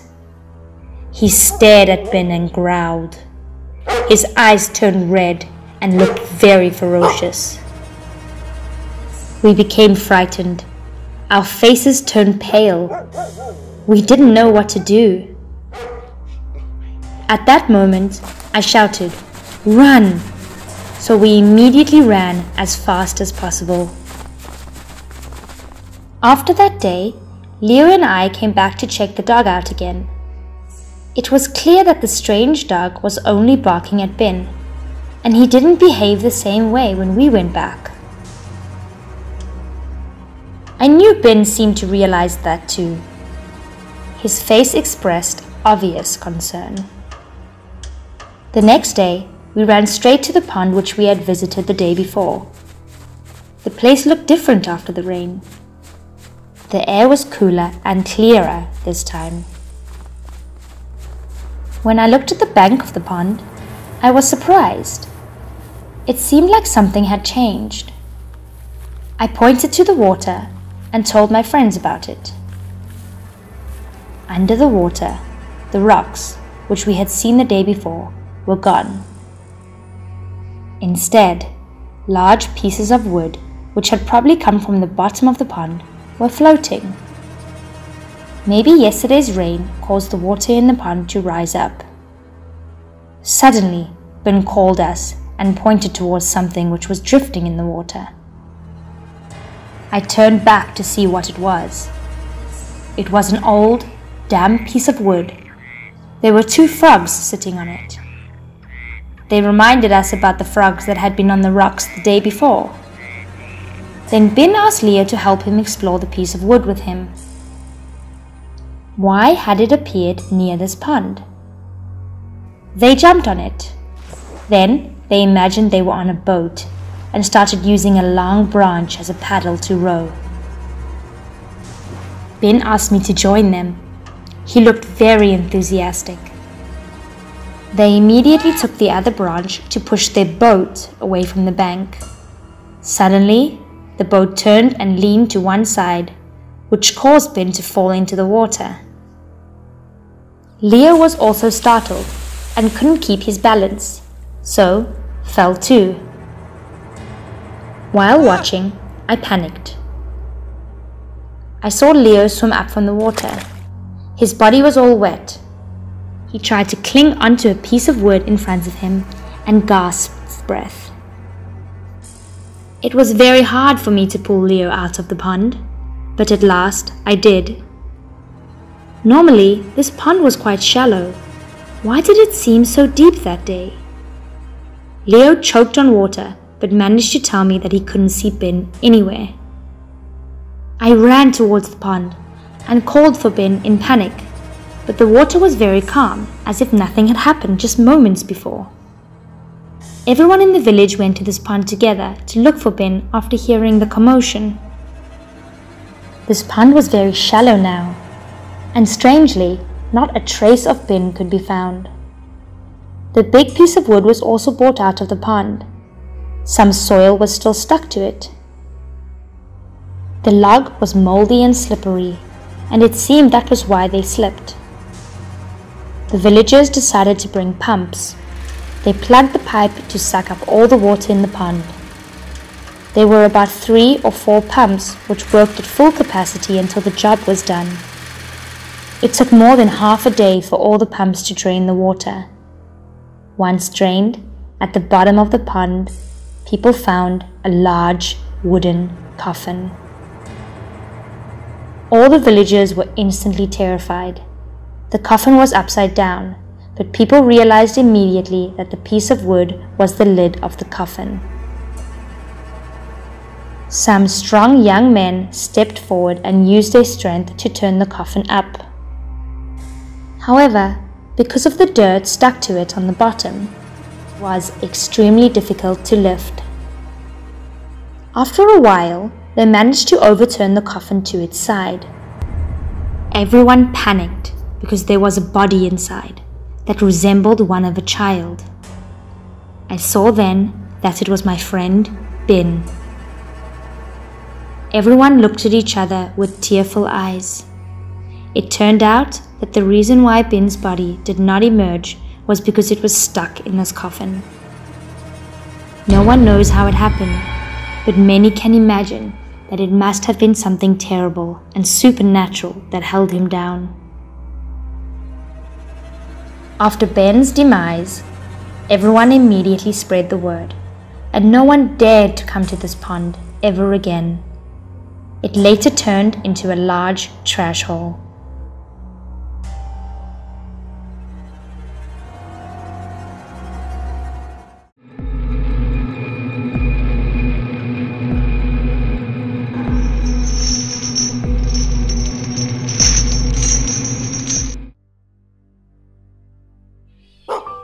This story happened 10 years ago when I was just a kid and lived with my parents in the countryside. At that time, my village had an old two story house. If it hadn't been abandoned, it would have been the biggest house there. Every time I was passing by that house, it always strangely motivated me, like someone inside was inviting me to enter. This house was always locked up with a big chain. The windows were covered fully with plywood boards. That summer, I had a long vacation. The other kids and I had the opportunity to cause all kinds of mischief. After doing some odd chores in the house, at noon I asked my paternal grandmother if I could go out to the field to play with my friends. At first, it seemed that she didn't want to let me go, so I persuaded her for a while. In the end, she agreed but I had to go home before sunset, and she also carefully told me that I must stay away from that abandoned two story house. At the center of the village, Chin and Sue were waiting for me. Seeing me, the two of them happily invited me to play hide and seek.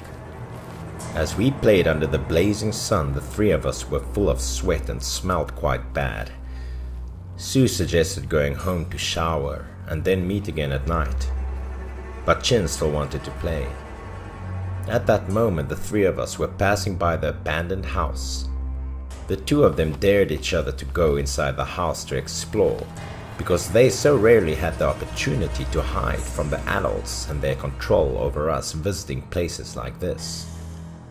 At first, I was a bit hesitant because I remembered my grandma's commands but I didn't want to be left alone, so I rushed in after them. They slowly approached the abandoned house, then peered through the gaps between the wooden boards.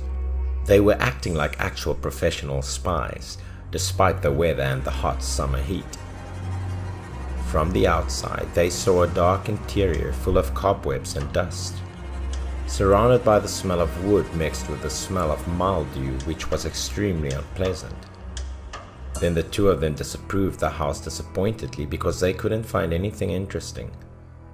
At that moment, the chain lock on the door for some reason suddenly broke off and fell to the ground. Sue reacted extremely excited and quickly approached the door, grabbing the chain and shouting, God helped us, guys! After that, Sue softly opened the door and slowly entered. I too slowly followed but my body couldn't stop trembling from fear and anticipation. The air in the house was quite cold and smelly. A stench, like a heavy smell of animal fat, made us all feel nauseous. In the middle of the room, a slimy patch of black water appeared. It was like animal fat mixed with kerosene or something. We tried to get our feet up high, step by step slowly and carefully avoiding the liquid clinging to us. Unexpectedly, a cold wind blew back from the inside of the house, causing the main door to slam shut. Sue and I dreadfully rushed to the wooden door using strong force, but unable to open it. Now, when we looked back down on the ground, the two of us were really shocked to see that the chain, which was broken, now was somehow whole again. Meanwhile, inside the house, a burning smell came from somewhere. I involuntarily turned around and saw a fire burning into what seemed like animal fat. We watched the fire grow larger and gradually we started feeling scared. Sue and Chin shouted and then banged on the door loudly, but the door did not move a bit. Then we tried to pry open the plywood at the door, but we did not get any good results until finally.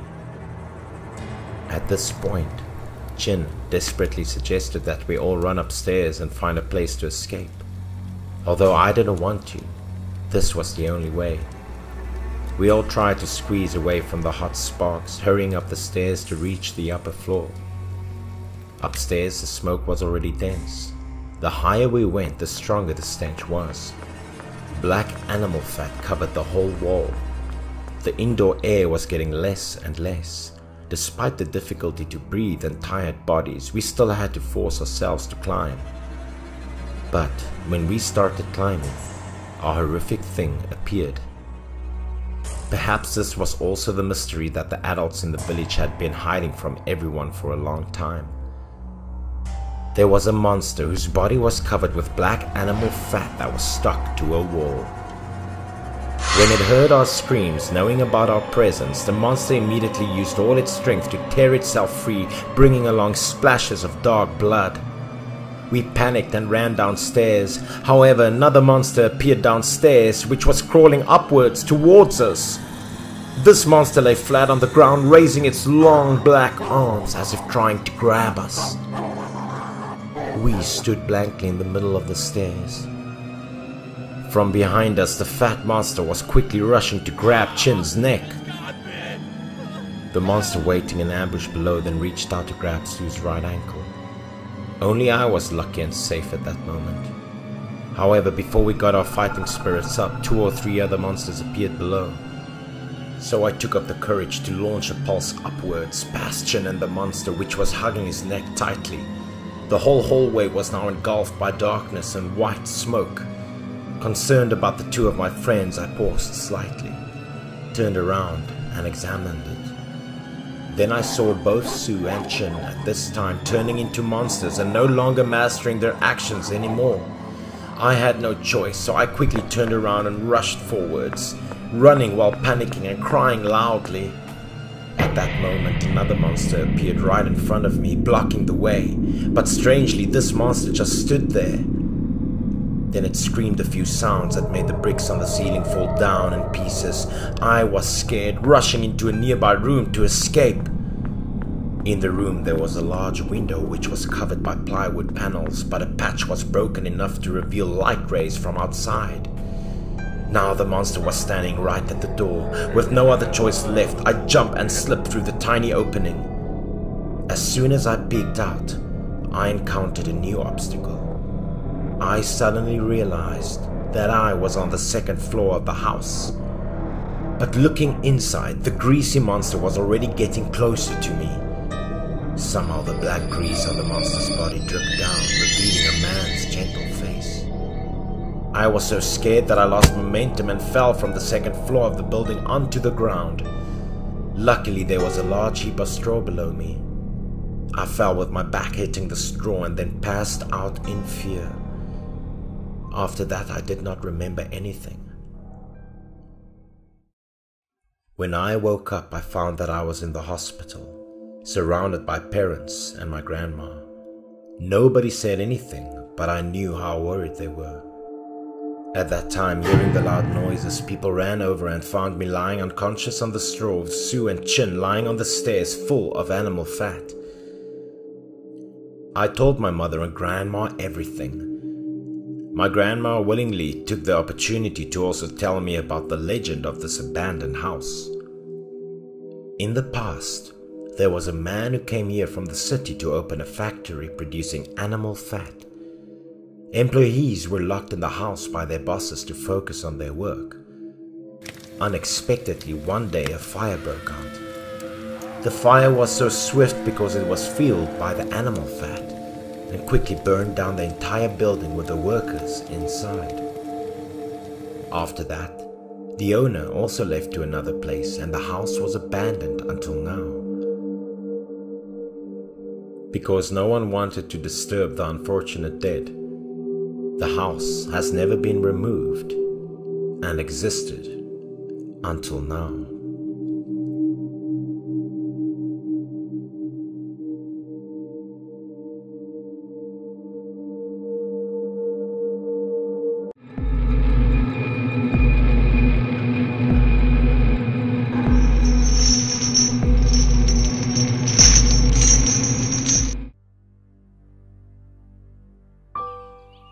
This horror story took place in a dormitory.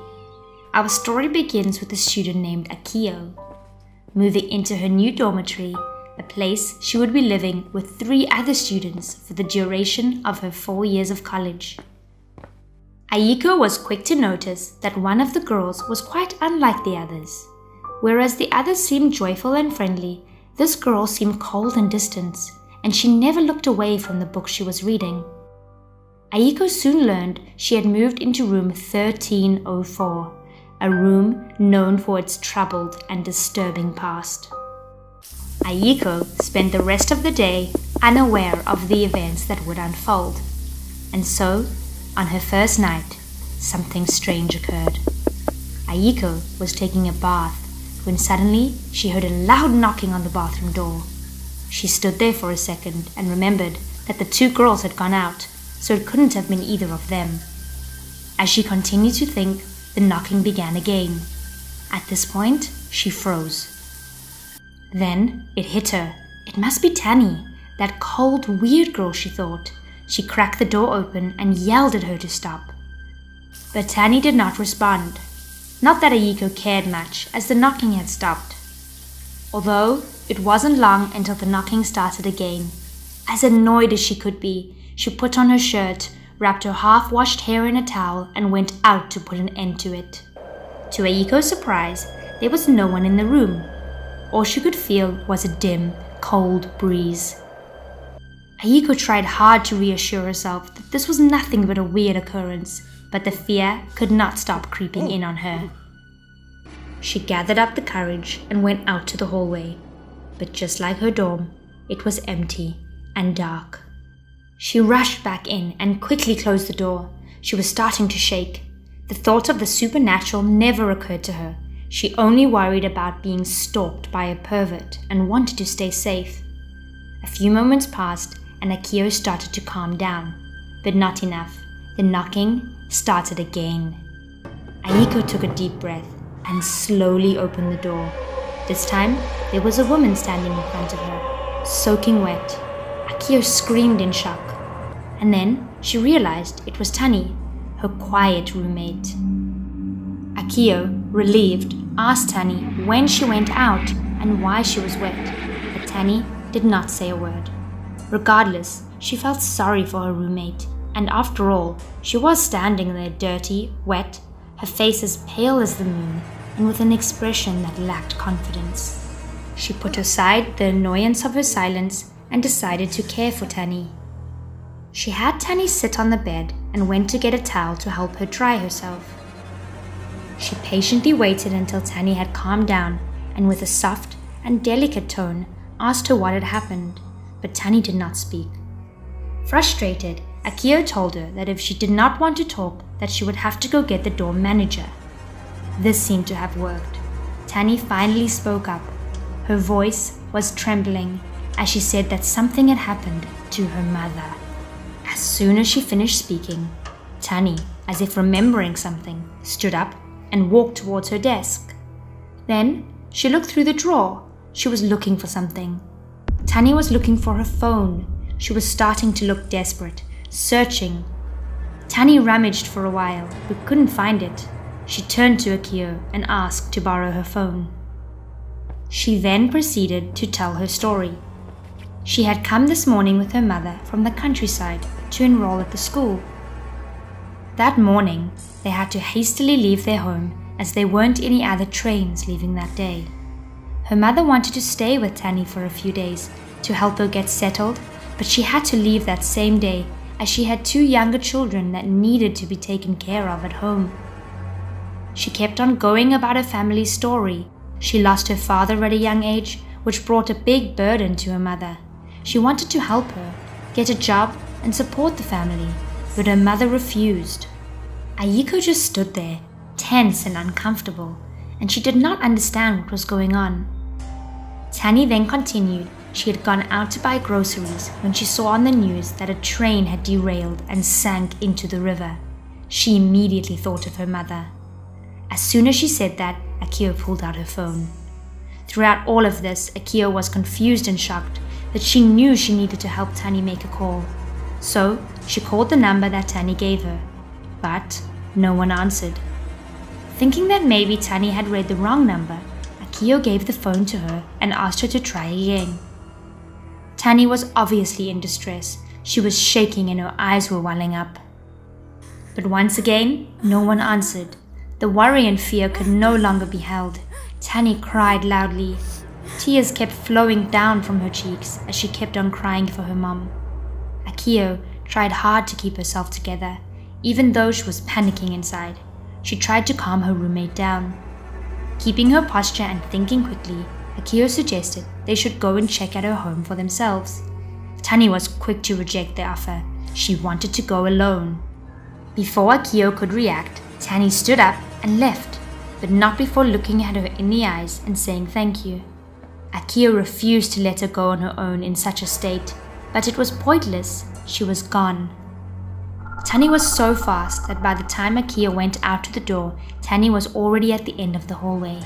She just stood there as her figure disappeared into the distance. Akio stood at the door for a moment, which felt like an eternity, observing everything, trying to make sense of things. She was shocked to the point of losing control of her limbs. She could barely stand in place. She was panicking and trying to tell herself that this must be a mistake or a bad dream. The next morning, Akio went rushing to see the manager.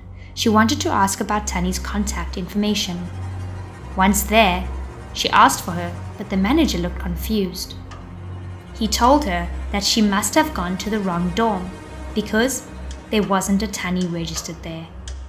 As soon as she heard that, her face went dark. The possibility of having met a ghost crossed her mind. As she was walking down the hall, lost in thought, she met one of her roommates. Akio wanted to leave no trace of doubt, so she asked her about Tani. The question, in turn, made her roommate almost faint.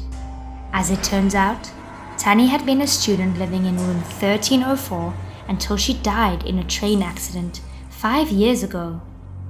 She told Akio that ever since that day, people have seen strange shadows in that dorm, and more than one had suggested it was Tani. By now, Akio could just not hold it together anymore. The pain, stress, and fear were just too much. She broke in tears. She was putting together all the pieces of the events from the last 24 hours. Everything pointed towards one explanation. Could it be that she had met a ghost the night before? The thoughts were too much. She broke down, shaking and crying, until she passed out of exhaustion. A few days passed, Akio had managed to assimilate what had happened and decided to take the train to Tani's home. She arrived at what was now an abandoned house. Inside of it, there was a photo of Tani's mum. As it turns out, Tani's mother had also passed away just a day after her daughter. She couldn't bear the mm. pain and sorrow of losing a child. Mm. On her way out, she stumbled upon a tomb. Engraved in it were the names of Tani and her mother. She thought how strange it was to have them both buried in the same tomb. Tani's two other siblings ended up being adopted by their uncle. On her way home, Akio could not stop thinking about the mother and the daughter. She felt an incredible sorrow for these two. Who knows, maybe your roommate will turn out to be a ghost as well. And if that's the case, make sure you tell us the story.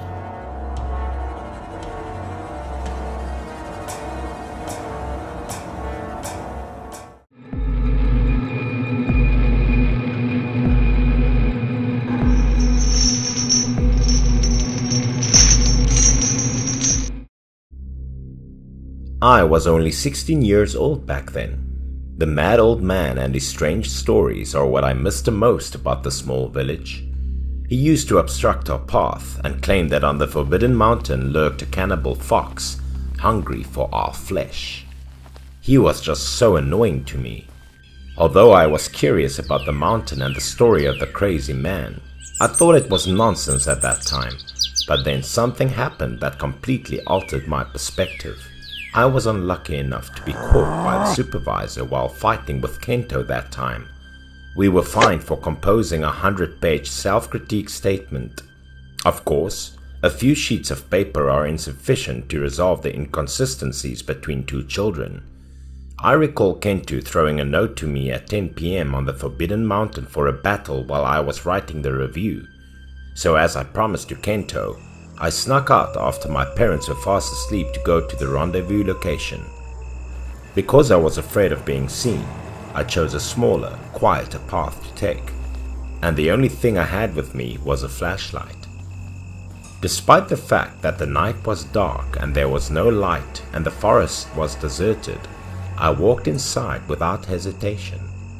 After walking for a while, I noticed a ray of light shining directly at me.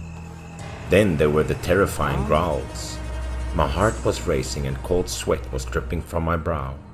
However, such a brave child as myself was able to regain his composure very quickly. After calming down, I began looking around with my flashlight. Then I discovered that ahead of me was a deep abyss that could not be traversed any further. At that moment, the growling resounded once more. I quickly flashed the light at the source of the noise, but my heart was racing with fear. That ray of light reappeared beneath the dense forest with a strange attraction.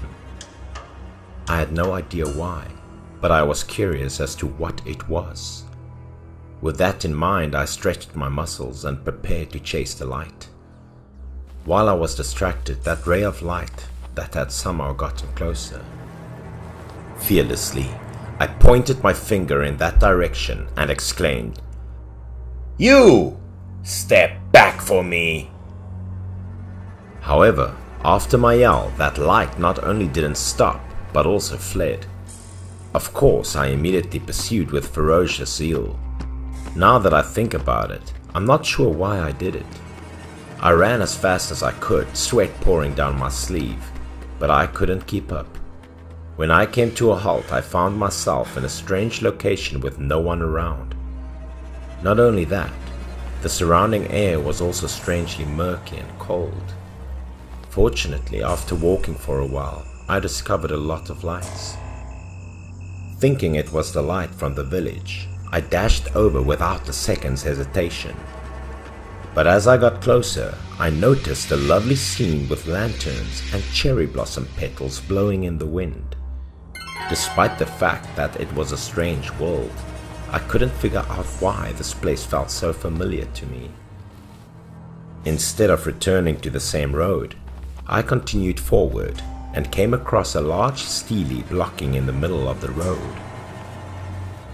There were strange words written on the stele, and even though I tried to read them, I couldn't figure out what they meant. I then walked around the stele, taking few more steps. I became enthralled by the scenery ahead. What was in front of me was like a peach blossom party from one of my grandmother's fairy tales, with fairies and elders dressed in traditional attire. Curiosity compelled me to go inside once more. But unexpectedly, the small sound of my footsteps drew the attention of everyone at the party.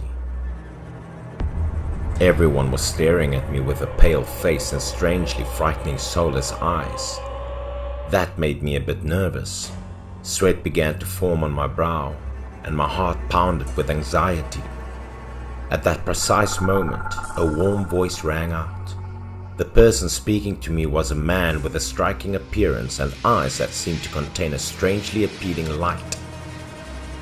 I didn't have time wow. to react when I found myself sitting at the banquet table with such a feast in front of me. Even though I hadn't fully recovered consciousness, the man sitting next to me put his arm around my shoulders and invited me to join him for a drink. I've never had an alcoholic beverage before. Right now, the situation was awkward. I couldn't drink, but couldn't refuse either. While I was hesitating, unsure what to do, the woman in front of me spoke up. She provoked me to drink. The woman's provocation instantly piqued the pride of a fearless adolescent like me, so I drained the entire glass of wine in my hand. However, the taste of this wine was strange, not as tasty as my father used to say. It had a particularly unpleasant odor Everyone burst out laughing when they saw my reaction. I stood up and left the table, embarrassed and angry. Despite the fact that the woman made me lose face, I had the impression she was very familiar. Instead of leaving, I returned to borrow the phone from that group in order to call my family. When I turned around, I noticed the woman sitting in her seat, happily chatting with the young man next to her. But it was the trekking backpack beside them that drew my attention, not the two of them. There were bloodstain-like red marks on the backpack. They must have encountered some difficulties along the way. As I stared at those red marks, a thought occurred to me. That's right. Her. Exactly that face. That woman was featured in the news a few days ago. According to the station's information, she died while climbing the mountain with a group of friends. So what's the deal? As I witnessed a terrifying scene in front of me, my face darkened and my lips pursed tightly, trying not to scream. The food on the table had turned to stone, insects, and even maggots, and it was disgusting and the two normal people had now transformed into two dry skeletons dressed in rags. I started vomiting after seeing the scene in front of me and recalling the glass of wine I had earlier. A hand with a towel and a warm voice appeared again at that moment. Are you alright, boy? Because I saw a human hand, I accepted the towel with ease, but when I looked up, I was so terrified that my face turned pale. There was now no delicate face in front of me with lovely eyes, but a fox in human form. Terrified, I pushed him aside immediately and ran away with all my strength. There also disappeared the beautiful scenery of the lamps and cherry blossoms, replaced by an odd and gloomy cold. I was afraid. My legs didn't stop running. I closed my eyes while running and prayed quietly. Unfortunately, I trickled over a big tree root because it was night and in the dense forest. I rushed forward disorientated and crashed my head into a nearby tree. I couldn't remember anything after that. I was lying in my own room when I opened my eyes. And next to me was my mother with a glass of warm milk. According to my mother, Kento found me unconscious under a tree in the forest. I hadn't woken up yet. No matter how he shaked or called, seeing that, he had no alternative but to carry me home. I breathed a sigh of relief when I heard this. It was a nightmare to think about everything that happened yesterday. It made me feel better that I didn't get scolded by my mum because I had snuck out that night and took a day off from school.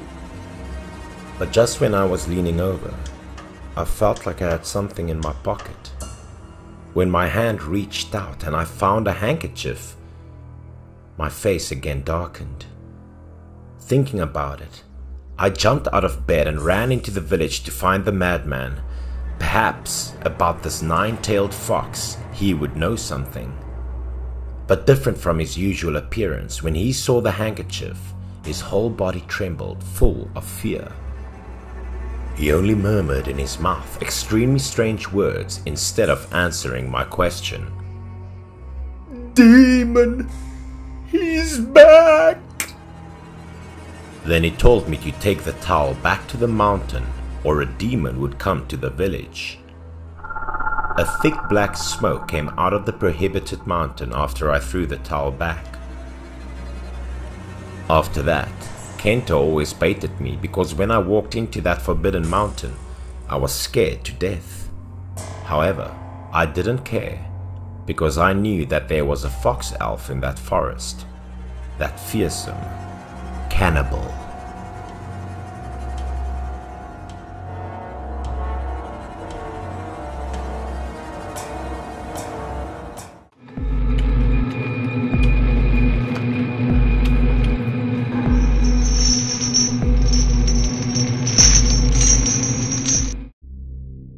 Today, Mr. San went to pick up his nephew from the countryside. He just got a job at a horror comic company. Knowing that, San immediately wanted to tell him a ghost story that happened 10 years ago with his two colleagues. Masa and Kosho were a young couple. Currently, they were both teachers at a high school. That day, they finished work later than usual because they had to attend an important school meeting. It was already dark when they left the office. Most of the people decided to stay in the school dormitory. Masa also asked her husband to stay. However, Kosho immediately disagreed. He said that they must go home to take care of their old mother. Masa really did not want to go home at night, but she had to follow her husband to the parking lot. There was a reason why Masa felt so wary about driving at night. Their home was not far away, but they also had to pass through a massive grave. This was the burial place for homeless people, so that was a terrifying thought. And there were also many mysterious rumors about this place. Riding through the streets in the suburbs, a cold feeling immediately came over them. Masa sat on the back of the bicycle, and the cold wind made her restless. Her heart started to beat faster and faster. The closer they got to the tombs, the more scared she felt. She thought about the rumors about the white shadows with bleeding eyes. Thinking about it, Masa suddenly shivered. She hugged Kosho unconsciously and this gave him a fright. Kosho did not pay much attention to evil things. He thought she was just being silly, so he teased her. Kosho's teasing still didn't help. In order to ease her fear, she then closed her eyes and prayed. But when she closed her eyes, the feeling of fear grew even stronger. Masa felt like someone was watching her. Unable to take it anymore, Masa quickly opened her eyes. Then she saw a white shadow flickering behind the bushes. Masa panicked. She closed her eyes again and then opened them again. But still, she saw this white figure standing there. Then the figure started running after them. But Masa stayed quiet, with no reaction. Still, staring in disbelief, the bike suddenly leaned to the side and crashed. They had hit something. Luckily, Masa quickly put both hands on the ground, so there was no serious injury. Then, Masa turned to look at her husband, but just from the shadow on his back, she could tell something was not right. Kosho lay motionless on the ground, as if nothing had happened. His face was dark. Worried for her husband, Masa stood up with both hands and went closer to observe even more panicked. She had never seen Kosho look so silly.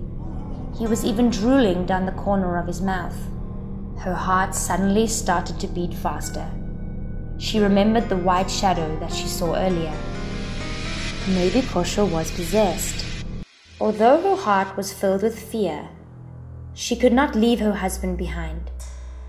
Then, Masa helped Kosho stand up and took him home.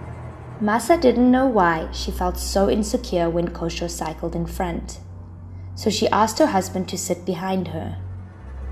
Unlike his usual personality, when Kosho heard that, he happily agreed and even urged his wife to quickly return home.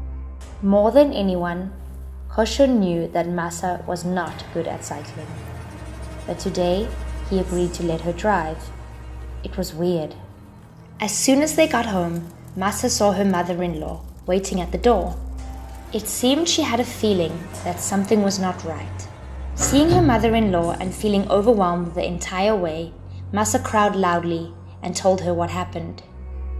After telling her she saw the white shadow and all about her husband's strange behavior, the mother's face immediately changed to a shade of pure white.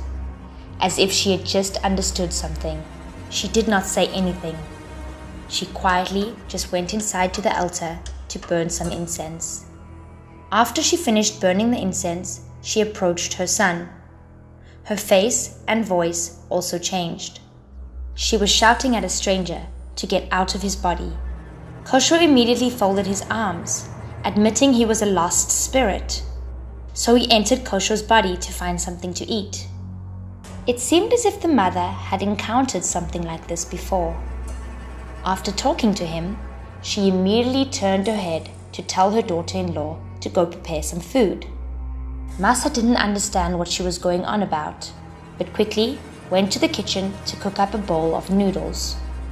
Just a few minutes later, the bowl of noodles was empty. It seemed that the soul had been starving for a long time. After eating one bowl, he asked for one more, promising after eating he would immediately leave. Seeing this, the old woman did not deny him another bowl of noodles and immediately sent her daughter in law to cook more. Just a few minutes later, the second bowl of noodles was brought out. The spirit quickly accepted it with a hungry face. Just like that, one, two, three, and six bowls of noodles were put away, but still couldn't fill his hungry stomach. Unable to take it any longer, the old woman shouted loudly. After she finished speaking, the spirit immediately sobbed, saying that he also wanted to go, but he could not. Seeing this, Masa approached and pleaded softly.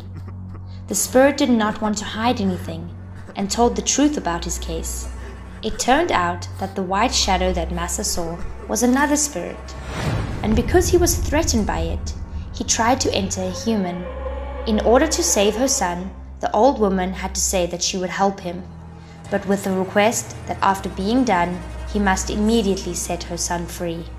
As the woman spoke those words, he had no reason to refuse.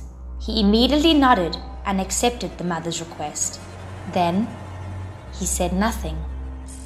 He silently turned his gaze towards the main gate, as if to signal something. Seeing the actions of the soul, the mother immediately understood. She hurried to tell the daughter in law to watch the house and went out. A moment later, she saw her coming back inside with an old man. This man, Zen, had an extraordinary ability to defeat demons. After listening to everything, he looked very serious, holding out an incense burner in the middle of the yard. Then he burned a large bunch of incense and clasped his hands together. Once done with that, he turned back and told the mother and daughter to follow behind him and not say anything. Although they didn't know what he was planning to do, they were worried about Kosho. They then kept quiet and followed. After a while, Masa suddenly stopped and stared at the wall next to the entrance. She shouted, calling for her mother in law and Mr. Zen to come. It turned out that there was a human face on the wall looking at them.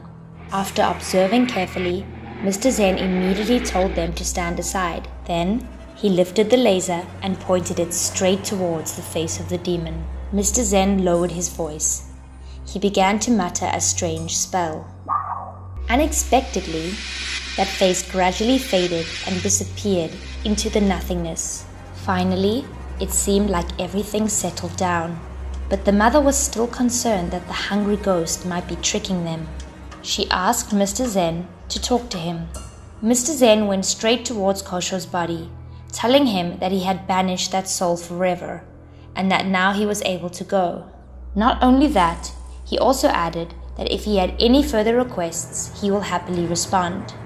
The soul immediately sighed and replied, He's always starving. He had no worshipper. He just wanted to be full. Hearing that, the mother interjected, promising to prepare delicious food and wine every day. The kindness of the old mother and that of Mr. Zen left no reason for the soul to stay anymore. After thanking them, he disappeared. Kosho violently convulsed, then passed out. Kosho had been unconscious for two days. When he woke up, he couldn't remember what had happened to him. He only felt severe pain through his head. His stomach was very uncomfortable, as if he had just eaten three days' worth of food.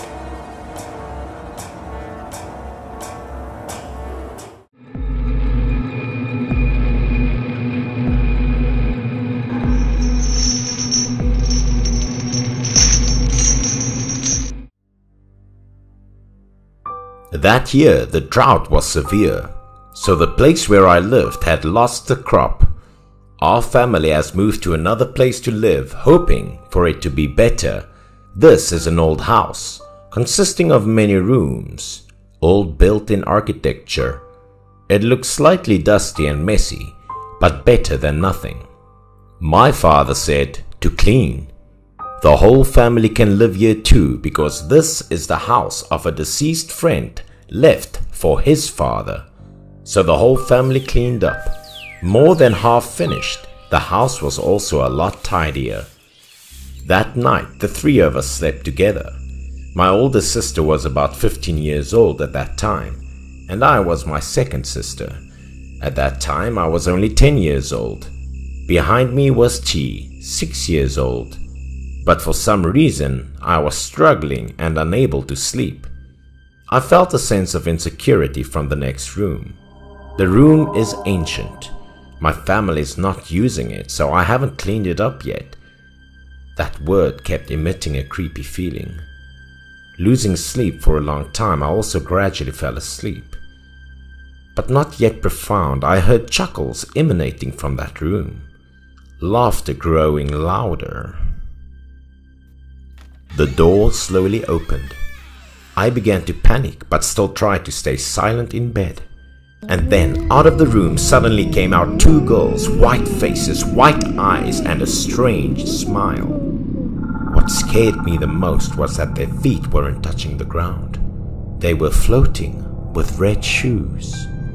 I panicked but still tried to close my eyes and pretend I was sleeping as they slowly approached my mirror. I felt cold and their gaze were on my three sisters. I don't know what they're going to do to us. I just laid there without moving. They kept whispering and smiling horribly. It seemed like they were choosing something. I was too young to notice the problem. In the end, it seemed like they chose me. I could feel a terrible cold hand touching my body. I tried to open my eyes slowly to look at the two sleeping next to me, hoping they would wake up to save me. But they were almost in a deep sleep, not knowing what I was facing. I glanced at them, but what I saw was genuinely awful. They're just two dry bones with old clothes. They were standing right behind me and seemingly tried to pull me somewhere. I was so scared. I hurriedly pulled the covers over my body and then fell asleep without realizing it. In the morning, everything was still as usual, but I still do not dare to open the blanket. After a while, little Lily woke me up when she saw that I wouldn't wake up. I quickly woke up, got out of my bed and blanket, and shouted about the two women who came out from that room last night. But my older sister may not believe what I said. She thought it was because I had a nightmare.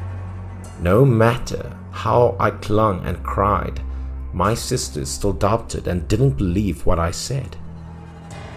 I recounted everything I experienced last night to her and hoped Nisan will come and take a look inside that room with a frightened expression. After hearing my mourning, Nisan reluctantly walked over to the room to examine the interior to reassure me that there was nothing inside.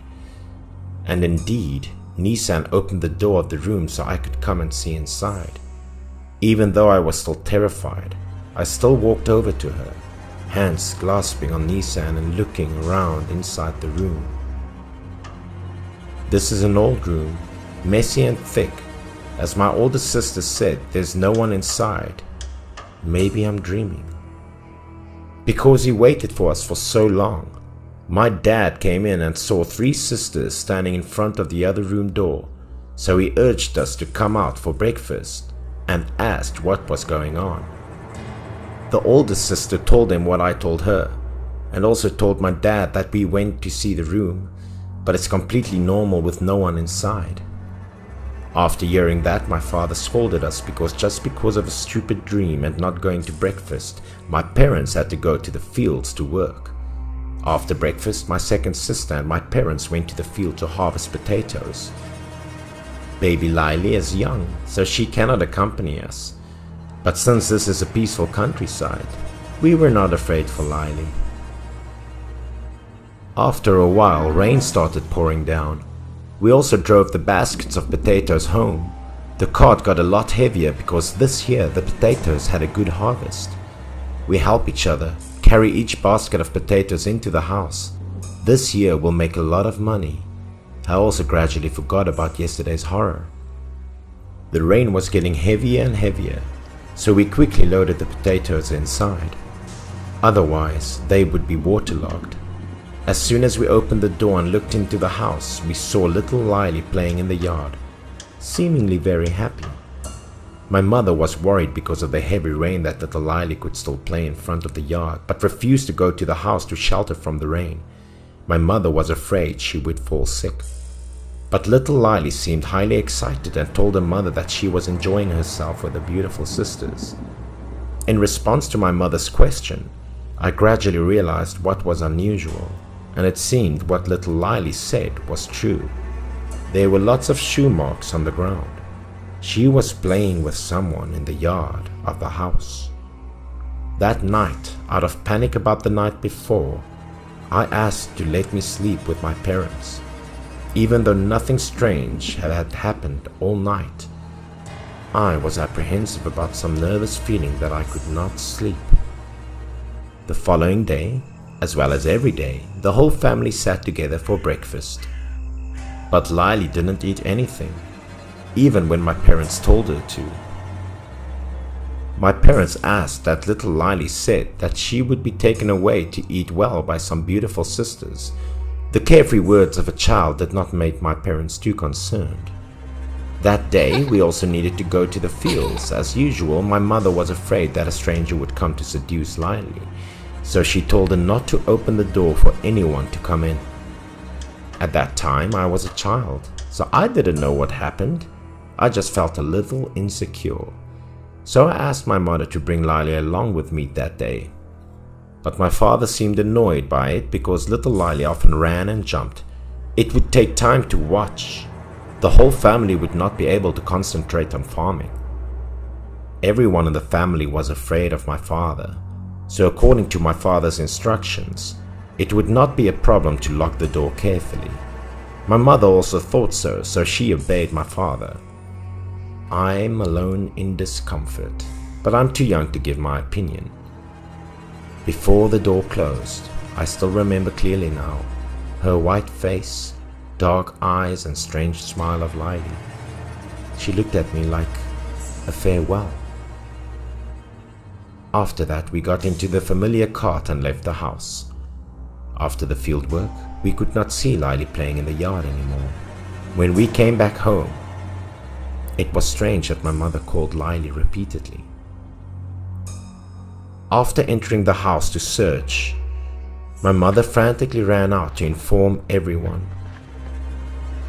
The whole family was shocked. We split up to look for Lily. The older sister and I were worried about her.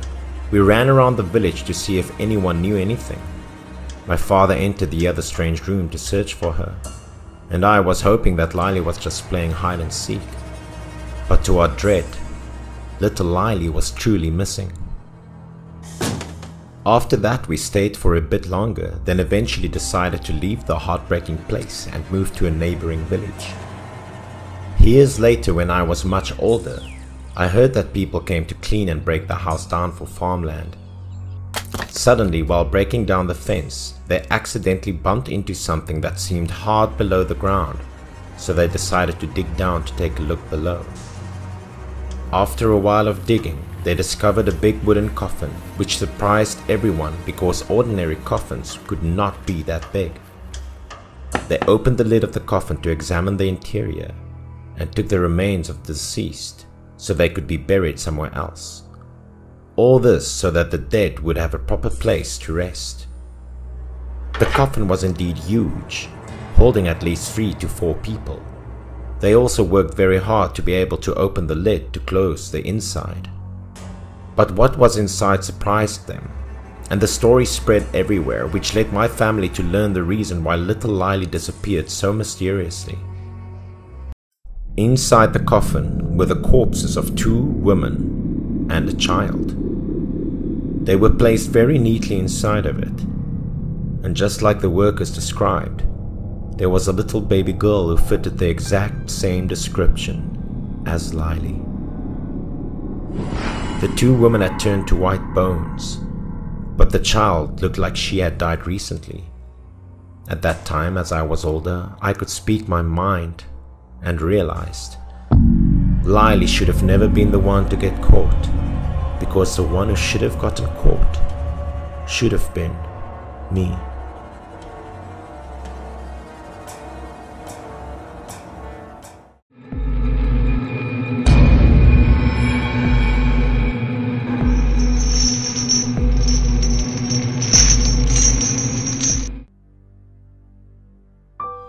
Two years ago, for the convenience of work, I moved to live in an apartment near my company. That afternoon, after coming home from work, I sat on the living room sofa and watched TV, as usual. Suddenly, there was a knock on the door. At that moment, I thought I heard wrong, or the people outside knocked on the wrong house, because I did not know anyone in this apartment complex. But then the knock on the door continued. The outsiders claimed they were the police. I was very confused. Why are the police looking for me? When I opened the door, it was true. There were two policemen standing in front of me. They said they wanted to get some information from me to assist with an investigation. Although I was surprised, I quickly regained my composure and agreed to the police's suggestion. Very quickly, the policeman pulled out a photo of this woman from his pocket. He asked if I had met this person. The woman in the photo also lived in this apartment and has been missing for many days. I told them I didn't know the woman. Then they told me the woman in the picture was missing. After that, they greeted me and continued to knock on each door to ask about the whereabouts of this woman. The police did not specify why she went missing and how long she had been missing for, but I didn't care much about this either. A few days later, I seemed to have forgotten this until one night. That night, with overtime, I came home late and was about to get into the shower. It was 11 pm. I know that taking a bath at night is not good, but if I don't take a bath, I can't sleep. This time of night is the most relaxing time for me. I let my hair down freely and bent over to wash it. The strands of hair flutter in front of my eyes, but enough for me to see the void ahead through my hair. And then suddenly I saw a pair of bare feet standing in front of me. I am sure my heart stopped beating for a moment. Feeling scared, I immediately raised my head.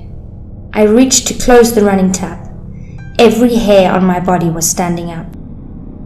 Looking around once more, I gradually calmed down. I thought maybe I was seeing things. It was just an illusion. But then a thought flashed in my mind. I gradually felt the surrounding air become dense and colder. To prove that what I was thinking was just bullshit, I decided to try it again. I slowly lowered my head and glanced over the hairs in front of me. This time, no longer barefoot, standing in front of me was a woman with shoulder length hair and her hands hanging down. I panicked and shouted, then fell on the floor. The woman disappeared once again. I reached out for the towel and hurried to cover myself, then ran out of the bathroom fast until I lay on the bed I was still trembling. That night, I couldn't sleep because I was still so scared. After that night, I no longer dared to bathe at home. I have a colleague who was single, and she was very happy to help me with this. The strange thing was that while at her house, nothing happened to me. My colleague assured me that it was just the new apartment that made me feel this way. I also hoped that everything would be fine. After spending a few days with my colleagues, settling down, and feeling my mood regain balance, I returned home.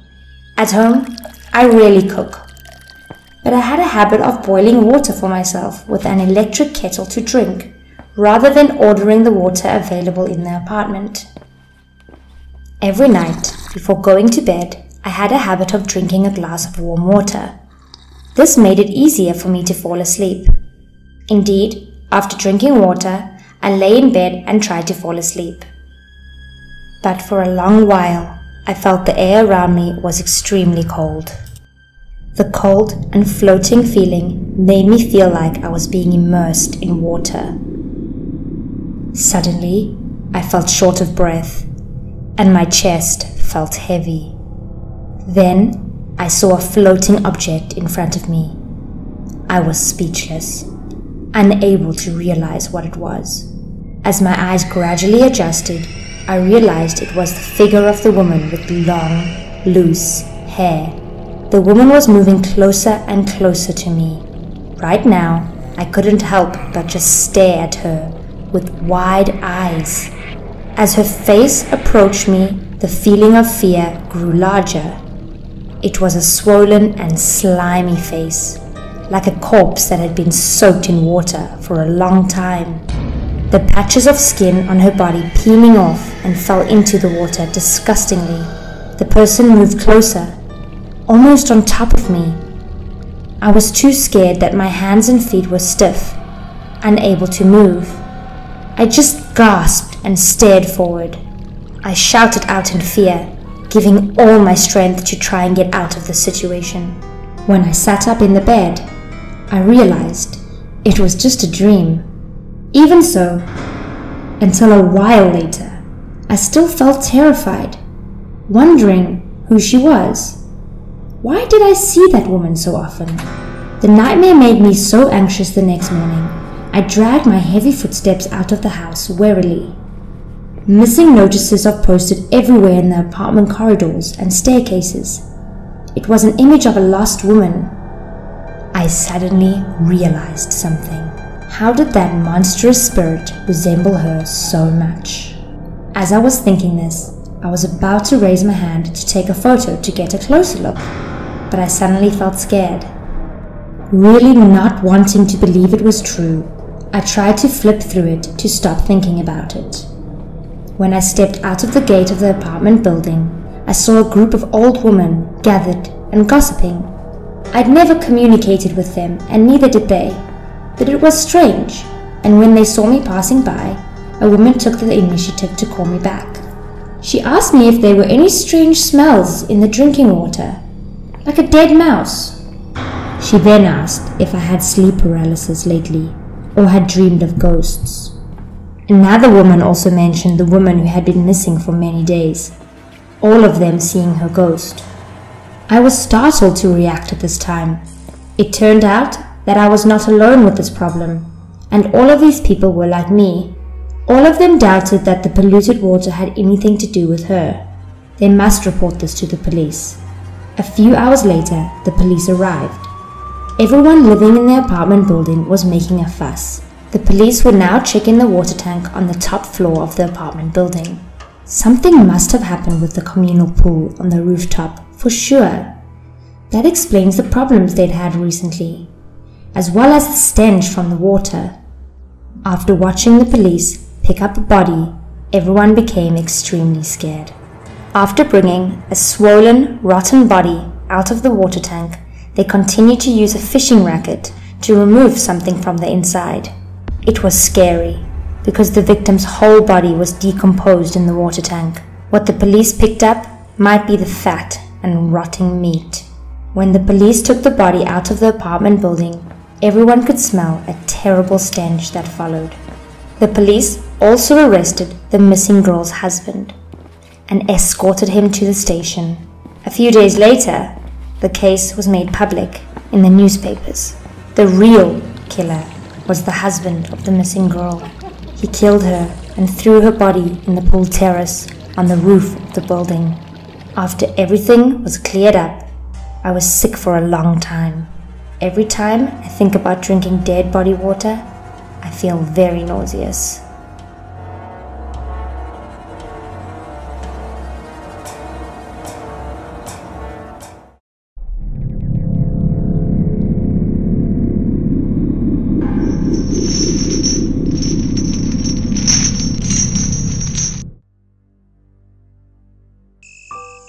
The story I'm about to tell happened to a young couple who had just moved into an old, cheap apartment in the city to start a new life. Ever since they moved into this new apartment, Umi was having the same nightmare every night. Higo was a hard-working man. He usually worked until 1 2 a.m. as he needed extra income to support his home. One night, as usual, Umi was having nightmares. She woke up in the middle of the night, screaming and panicking. Higo heard the screams and worried. He hurriedly left his work and ran to Umi. He could tell it must have been a terrible nightmare from the sweat rolling down her face. This happened a few more times until Umi decided to go to the hospital to get examined, but the doctors were unable to determine the cause of the nightmares.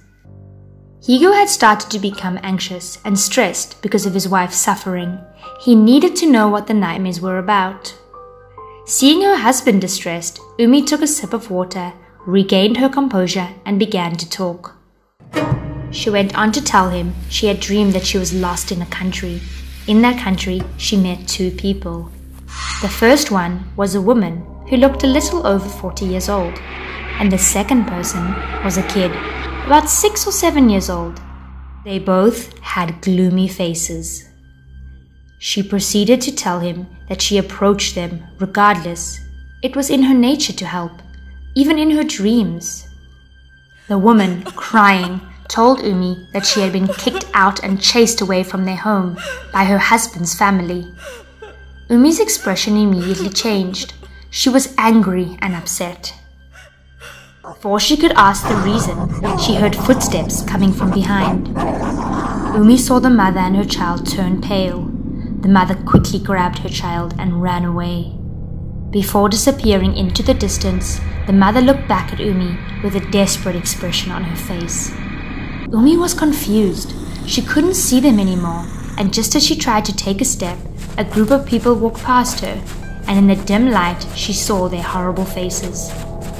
They were pale, with a skin filled with blisters and sores and maggots coming out of them, just like zombies. Her voice cracked and then stopped. Her husband stood there, feeling helpless and impotent. Umi had always been a delicate and sensitive person. Deep down inside, she knew this was not an ordinary nightmare. But because she had her husband to reassure her, she dismissed them and managed to find comfort. The next morning, Higo resigned from his job. He went out and bought some cakes, and then went to see a friend of his who was a psychiatrist. When he arrived, Higo told the whole story to his friend. His friend listened in silence. After he finished talking, his friend seemed surprised. He knew there was more to the story. Despite him being a doctor, he had a hunch that what was happening had a supernatural underlying. Perhaps an omen from the underworld. These were just speculations from the doctor, but Higo was desperate to believe anything, and so he asked his friend for a solution. The psychiatrist pushed his glasses back in place and suggested they should both go to the place she saw in her dream. And so they did. Higo and his wife booked the first train to the countryside, to the place she had seen in her dreams. After traveling for two hours, they arrived in the countryside. They were lucky enough to meet a couple of friendly farmers who pointed them in the direction of the house from Umi's dreams. Once they arrived, they noticed how old the house was. Most of the paint on the door had peeled off. It looked like it had been abandoned for a year or two. The door was locked, and the house seemed empty. Umi and Higo went back, disappointed for not having found anything helpful, but still determined to solve the mystery. Higo kept on reassuring his wife that everything would be okay and that they would eventually figure it out. They were both walking home along the pier when suddenly Umi's eyes lit up. She had an idea. Umi suggested they should go talk to the neighbors to see what they could find out. Fortunately, the people in this place were welcoming and friendly, so they took them into their home. Umi and Higo were offered some tea. They both sat down, a little more relaxed and glad to be around smiley faces. It did not take long until the neighbor told them to ask her what they had come there to ask. And so, Umi did not hesitate to ask about the mysterious house. As soon as the house was brought up, the neighbors' smiling faces suddenly changed. Noticing the change of expression, Umi and Higo guessed that it couldn't have been anything good. The kind neighbor hesitated at first, but after a moment of silence, she agreed to tell the whole story. She told them about the son from that family. Apparently, he was a womanizer who spent his days deceiving woman after woman. The son's name was Zen, and he, one day, broke up with a girl named Kara that he had been seeing when he found out she was pregnant. Desperate and heartbroken, Kara went to Zen's house, hoping that his parents would sympathize with her and talk some sense into their son. She was received with insults and curses. Zen's parents chased her away. Defeated and sad, she held her words back as tears poured down her eyes. But Zen's parents were unfazed. They pushed her and told her to leave. Thinking that there was just a misunderstanding, Kara tried to explain that the child in her womb was Zen's and asked them for support. But the more she talked, the angrier and more aggressive they became. They threatened her to leave, or else. Then, without a trace of shame, they pushed the pregnant woman out of the door. Despite receiving terrible curses and insults, Kara tried to stay strong. She had to be now. That night, Kara stood outside their house, banging and begging to Zen's parents for help. And yet, they did not care. To this day, the villagers remember vividly the cries of that woman. By midnight, the crying had stopped. Kara was exhausted. She left, walking disorientated. Kara walked for a while when it started to rain. The rain started to pour down hard. She had nowhere to stay, and mad from the disappointment, she just kept on walking. She cried and cursed at the man that brought her such misfortune, but not without taking on the blame herself as well. How could she have been so naive to trust someone that much? Some say they saw her walk into the forest. For what reason? One can only guess. The next morning, the people from the village had gathered at the bottom of the cliff, Zen's parents included. That morning, someone had brought the news of a pregnant woman that was found dead by the cliff. To no one's surprise, it was Kara. She lay there, dead, but with her eyes wide open and with an angry expression. The villagers didn't take long to come up with rumors about her death, and so Zen's family buried her body deep into the forest and then fled from the countryside. Higo and Umi listened perplexed. What they had heard confirmed to them the cause of her nightmares. They said their goodbyes and went on to search for Kara's burial place. After a while of wandering in the forest, they stumbled upon a rising mass of ground. They figured this was the place, even if there wasn't a tombstone. The next day, the couple brought some monks to chant and bless the place to allow Kara to transcend to the next realm. They also carefully cleaned up the area and set up a tombstone for Kara. Once the rituals were completed, Higo and Umi felt at ease. They lingered for a while longer there, taking their time to talk to Kara and her daughter, or at least what was left of them. After that day, Umi no longer had nightmares, but what transpired that one fine day never left her.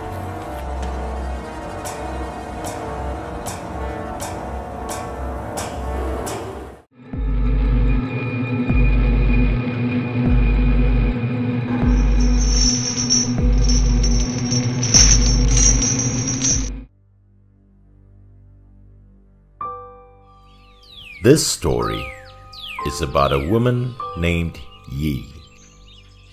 After a divorce, she gained custody of her daughter, whose name was Nana. To start a new life, Yi moved into an old apartment building. For them, this was a new beginning, a new turning point in life. The new house was very warm inside, but still good enough. Nana seemed to be quite interested in this place as well. Yi thought that Nana would gradually get used to her new life here. While Yi was rearranging the furniture in the room, Nana surprisingly bought a doll for Yi to see. Nana found the doll under the bed in the bedroom. Yi thought that the previous owner had intentionally left the doll there, so she did not object to her daughter wanting to keep it. Nana was overjoyed because now she had a friend to play with. Because on Mondays Nana had to go to school, Yi had to coax her to go to bed early.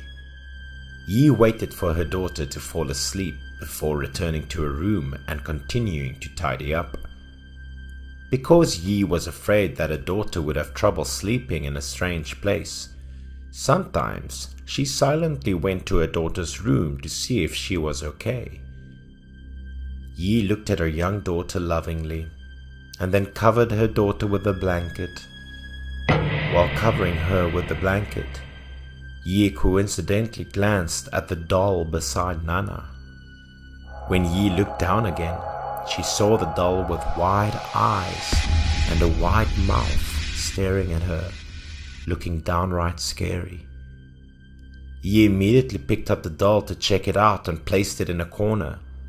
Now, she discovered the doll would close its eyes when it was sitting up and open its eyes when it was lying down.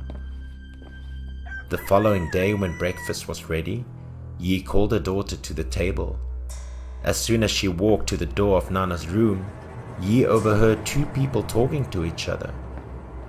Listening for a while, Yi clearly knew that one was her child Nana, but she didn't know who the other one was. There were only two of them in the house, which made Yi feel nervous.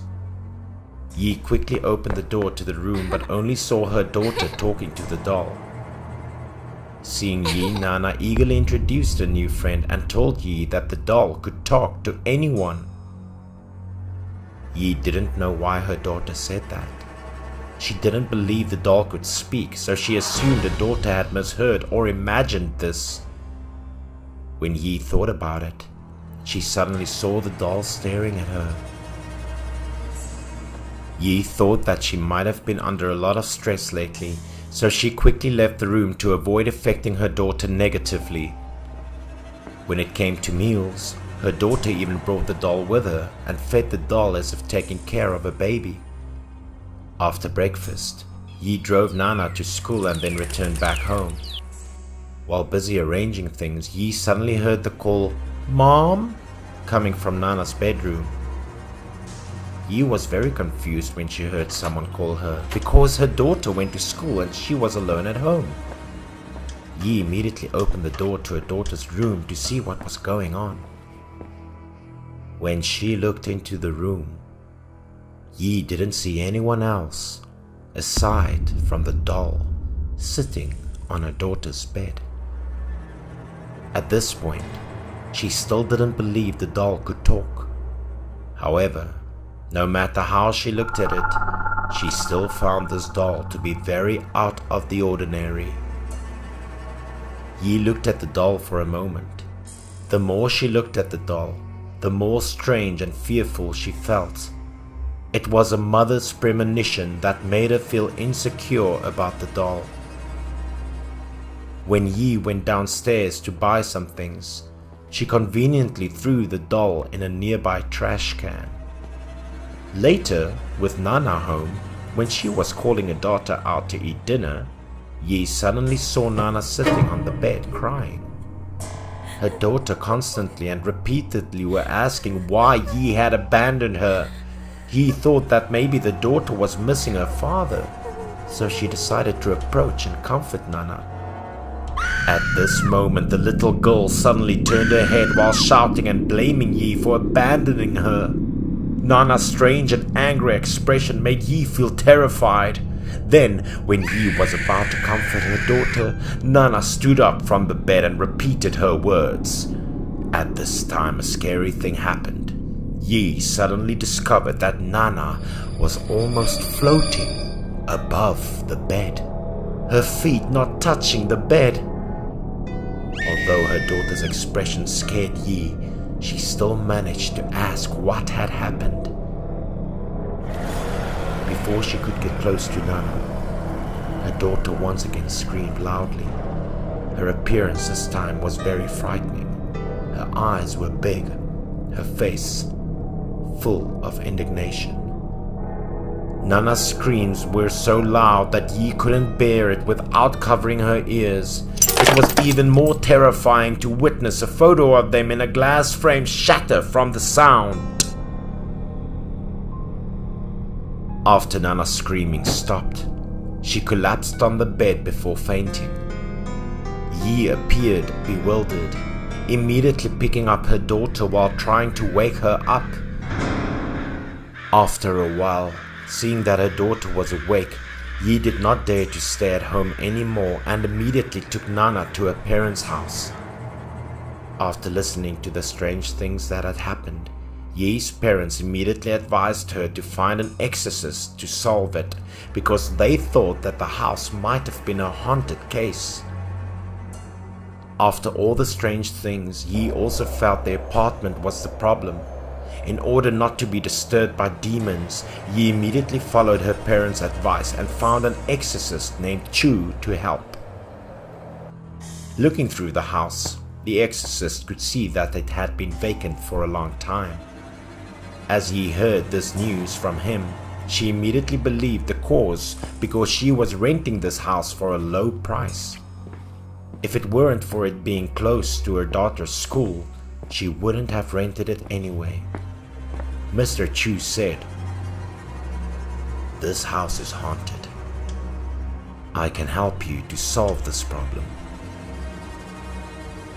Yi suddenly remembered the details of the doll and told the exorcist about it. However, he explained that the doll was just a vessel for the spirit or demon to live in. It was okay to throw it away, but the entity was still remaining within the house. Mr. Chu immediately showed Yi a solution about how to use firecrackers in every corner of the house.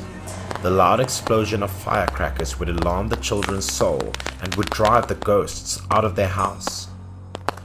Then, she should hang an extra Bagua mirror on the doorframe to prevent ghosts and demons from entering. With no other choice, Yi immediately did everything that Mr. Chu told her to do all of the mentioned methods worked surprisingly well. Nana finally returned to normal and stopped behaving strange, without even mentioning the doll anymore. The mother and daughter were able to go back to a normal life as before. Yi clearly felt the change in her daughter. Nana was much happier and even ate more food than before. Her happiest thought was seeing her daughter live safely. However, a scary truth still prevailed. After every meal, Nana would stealthily place food under the table. It seemed that this entity did not disappear. It was able to exist in the house without needing to be in the doll anymore. Nana happily told her mother that she had a new friend and she was no longer sad. The mother and daughter were not at all aware that for them, the real nightmare had just started.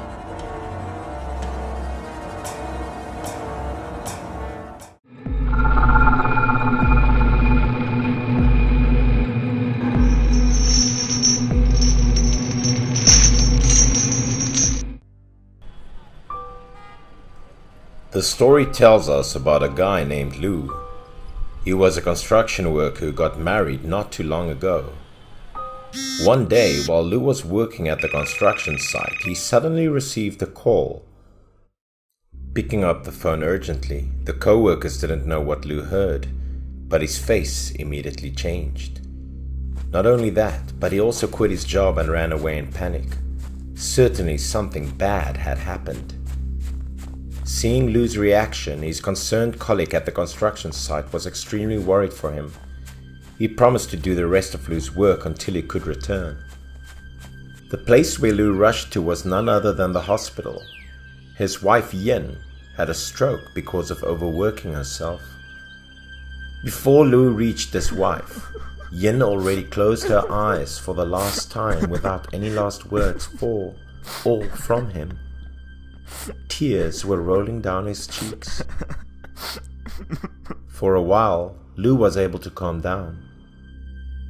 He stopped crying for a while in order to comfort his parents in law, who were just as heartbroken as he was. They then had to call the funeral service to take his wife's body home. It was the most painful trip of Lou's life. Yin's body, after returning home two days later, was buried and a funeral was held. This loss was too great for Lou. Loving Lou's kindness and honesty, many villagers came to burn incense and share his sadness at the funeral. Since the day of his wife's death, Lou hasn't been able to get over his deep depression. He was only working at the construction site and hanging around his house all the time in repetition. One day, while he was sweeping his backyard, suddenly the neighbor's boy ran in with a shocked face. He brought Lou shocking news. He said Yin's grave has been dug up and her body has also mysteriously disappeared. The boy had not finished all the news when Lou's face immediately turned white. He threw the broom aside and ran off to see for himself. What the boy said was totally true. The mass of the topsoil had been dug up by someone, while the lid of the coffin has also been removed. Witnessing the scene in front of him, Lou's entire body became limp. He fell to his knees hopelessly and without strength. In his mind, there was a mix of different emotions which were both painful and confusing. Seeing Lou's state, the boy just looked on silently without uttering a sound, but still silently stood beside him to express his sympathy with Lou's loss. Besides worrying about Lou's feelings, People were also concerned about where Yin's body mysteriously disappeared to. The strange story quickly spread throughout the small village as the police also came to investigate the scene. At this time, Lou seemed to have calmed down. The policemen also began to collect the testimonies of onlookers. Not only the police, but all the villagers also gathered at Yin's grave. They all gossiped noisily about it. Amongst them, there was a very strange old woman talking out loud. Perhaps Yin was revived to live again and climbed out of her grave herself. The old woman's words immediately received the attention of everyone around. Everyone knew and argued what she said was nonsense and insensitive. However, some people supported the old woman and said that what she said could be a possibility. Another young man also expressed his strange views. He thought that perhaps he had died without a reason, so her soul was left restless and couldn't enter heaven. Multiple people came with different points of views and quarreled and debated without end. But who was right and who was wrong, nobody knew as it was all one big mystery. The investigation didn't seem to have any unusual factors or helpful leads, and the testimonies of people didn't help too much either. So the case went into deadlock. As one day, two days, and a week have passed, Yin's body was not found yet, and Lou's mood had gotten worse. Thinking of his wife, he couldn't sleep, so he drank alcohol. He drank so much until he passed out. But his sleep only lasted a few minutes, since his body started making strange impulses and movements. Lou was dreaming of his wife. How strange! In this dream, she was wearing a white dress and wedding accessories. With a trembling voice, Yin kept calling for help. Without considering the reality of the matter, Lou rushed over to hug Yin without listening to the words she was saying. While he was running to her, Yin suddenly disappeared. Then, in a flash, she appeared behind him to Lou's surprise. When Louis even didn't understand what was going on, he heard a voice calling for help once again. After that, she turned away. Lou stood alone in the dark space to look for Yin. He called his wife's name hoarsely, but to no avail. When he woke up, Lou's mouth kept calling out his wife's name. He painfully realized that it was just a dream. Lou couldn't stop thinking about it though. He really couldn't remember what his wife said before leaving. With a confused mood, Lou went to the other village to visit a friend. This was his friend from the construction site. Lou didn't hide anything. He told his friend everything from the wife's missing body to the dream he had last night. Hearing Lou's story, his face immediately changed. He replied to Lou that maybe he developed mental health problems and thus started hallucinating. Lou felt his friend wasn't believing. The friend even concluded that Lou was not mentally healthy, and therefore Lou was quite upset and responded a bit aggressively towards his friend. With a serious face and a sharp voice, Lou confirmed that his wife was definitely trying to tell him something. But no matter how serious Lou appeared to be, his friend could not believe such devilish stories. To help his friend overcome his sadness, he took Lou to go around the market. But it seemed that the bustle of the countryside market could not improve Lou's mood. After walking for a while, his friend suddenly stopped. He looked so surprised. He saw a wedding clothing stall he couldn't imagine that wedding dresses could even be sold at this market. Because of the friend's interest, he asked Lou to take a look at the stall. Because of the enthusiasm of the friend, Lou agreed to have a look. Then, as soon as he took a glance at something, his face immediately changed. Inside the clothing stall, there was an outfit that looked exactly the same as the one Yin wore in his dream last night. Of course, Lou couldn't just leave. He rushed inside to ask the seller about it. He pointed at the outfit and asked her, Excuse me, has anyone bought this outfit in recent days? She answered that this was the newest outfit in the store, and the first one was sold on the same date that Yin's body disappeared. She added that the person who bought it was the man who had just left her stall. He also bought hair clips. Saying nothing, Lou immediately chased after the man despite the advice to stop from his friend. Although everything was still not really clear, Lou also had a hunch that he would find his wife's body. Because the friend couldn't leave Lou alone, he also followed shortly behind Lou. The longer they followed the man, the more they felt like there was something odd about him, as the man showed unusual behavior which made him seem psychopathic by nature. After a long time following the strange man, they stopped in front of a house. Despite being a bit hesitant, they finally decided to open the gate and go inside the house. It was a big house like no other normal ones. They took notice of the Chinese symbol word for happy on the door. Lou didn't want to leave. The friend kept trying to convince Lou to leave because it was very embarrassing and impolite to break in someone's house without permission. But no matter what the friend said, Lou insisted on his intentions and walked silently over to the window and looked inside.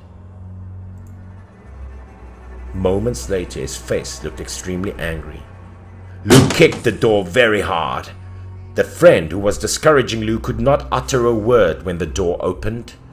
The scene in front of them was really terrible. The body in wedding clothes lying on the bed was Yin's, and the psychopath appearing to be a necrophiliac who was guilty of removing Yin's body was standing right there. After witnessing the scene, Lou immediately leaped towards the psychopath to beat him up, which he did. After all that transpired, the culprit was apprehended and arrested, all thanks to the strange dream Lou had. It would seem that Yin's soul indeed communicated with him in his dreams. Yin's body was returned to its resting place, but the pain in Lou's heart still wouldn't fade away easily.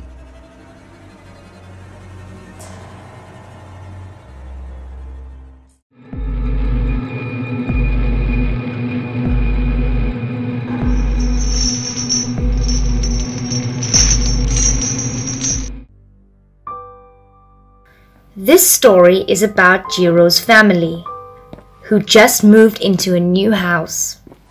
The couple also had a lovely and obedient little daughter named Anna. While her mother was busy moving stuff, little Anna enjoyed jumping and running around. Then she opened the window to see what was outside. It seemed that the scenery outside did not disappoint Anna. A cool and gentle breeze blew in. It excited her, so she called her mother.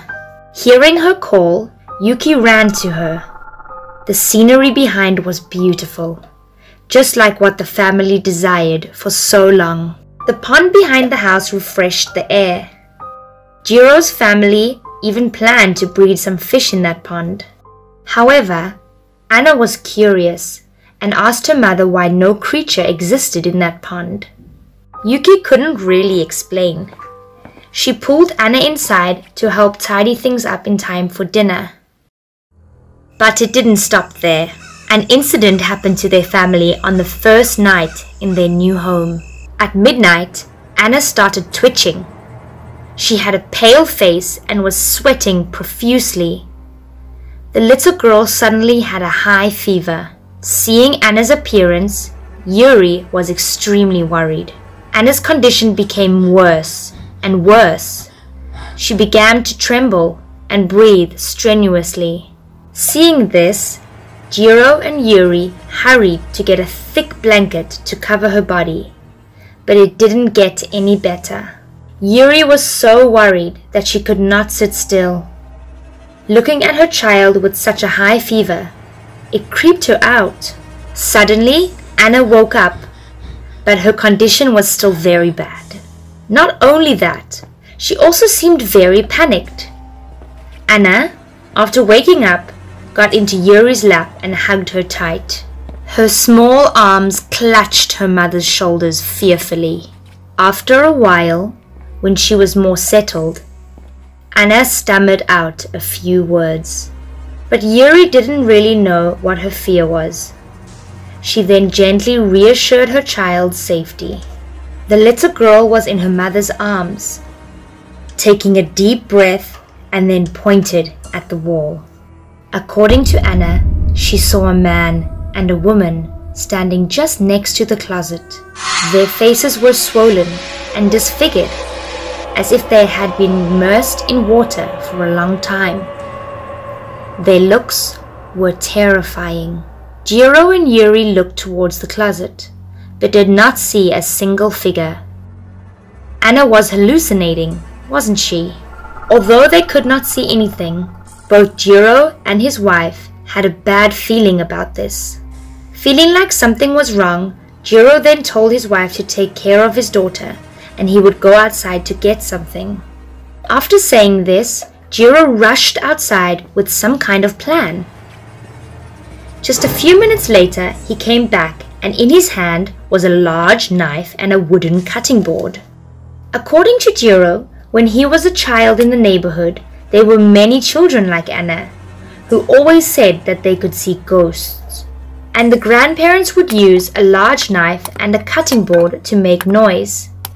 This would drive away those souls every time. While making noise, Jiro also shouted loudly, asking the ghosts to leave his house and let go of their daughter. Yuri watched her husband's actions, hoping everything would be fine. Thinking that this new house had a problem, the next morning Yuri called her mother to help. Anna's grandmother saw her current condition and was also very surprised. However, before coming here, she also invited a feng shui master to help. The feng shui master looked around the house. He said the house currently had a strong miasmatic atmosphere and that the lake behind the house was the most serious problem. Anna's grandmother also told him in more detail about the two ghosts that Anna saw last night. Listening to the appearance of the ghosts soaked in water, his gut told him to ask everyone to go to the back of the lake. Arriving at the lake, they did not see what the master was looking at, but his face immediately went sharp, frowning and looking panicked. It seemed like he saw what Anna saw last night. On the pond surface now floated two extremely scary ghosts. Because he was used to seeing ghosts, the feng shui master could still remain calm. He just slowly turned his back and walked like nothing happened. Anna's grandma and Yuri saw the expression of the master and were very curious. But when they tried to ask, he just kept silent and said nothing. After coming back in the house, the master still refused to say a word, only carefully inspecting the wall next to the closet. Even the mold on the wall was very carefully examined by him. Jiro and Yuri also saw these stains when they moved in. Finally, after a long silence, the master said that he saw a man and a woman above the lake earlier. After listening, Yuri and her mother-in-law immediately panicked. They did not expect that about the water pond in the backyard. Also, they did not expect their long-time dream home to have such a terrifying secret. Not only did the two souls still live there, but they also wanted a child. And Anna was the one that the other two spirits were aiming for. According to the master, the only way to now help Anna is to get out of their sight.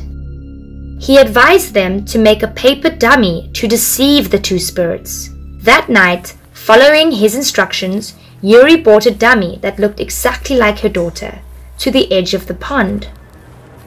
First, she burned some votive papers. She silently pleaded to beg the two souls to liberate and spare her family. When the flame got bigger, Yuri threw the prepared paper dummy in. Then she began to beg, hoping that the two spirits would accept the child she had sent to them and let go of Anna. Yuri's request just stopped.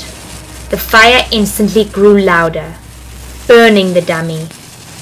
It seemed the devotion of the mother had been accepted by the two souls. After doing exactly what the feng shui master told her, Yuri got up and went back to the house. The fire was still burning, but it was getting smaller. Beside the fire was water, and it suddenly moved in a vortex that grew bigger and bigger. Yuri could hear the water, but she just glanced without daring to turn back. On the pond surface were the two spirits. They were holding the hand of a little girl and walking away. In front of the window where the pond can be seen, now stood a mirror. And because of the mirror, Anna had not seen the two spirits again. A few days later, after hearing the news about Yuri's family, all the neighbors came over to visit. Just like what the feng shui master said, the two souls were a couple, but their families forbade they be together. So they committed suicide. There were many people who moved in here, but all of them had to move out within three days because of their harassment. To be sure, Yuri sewed a curtain placed in the window where the pond could be seen. And since then, nothing weird happened to their family anymore.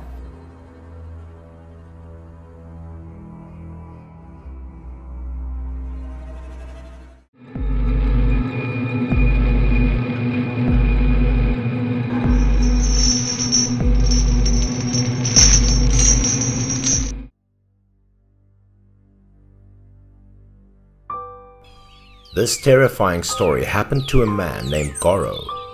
Goro hurriedly arranged work that day because he needed to get home quickly to take his mother to surgery for a tumor.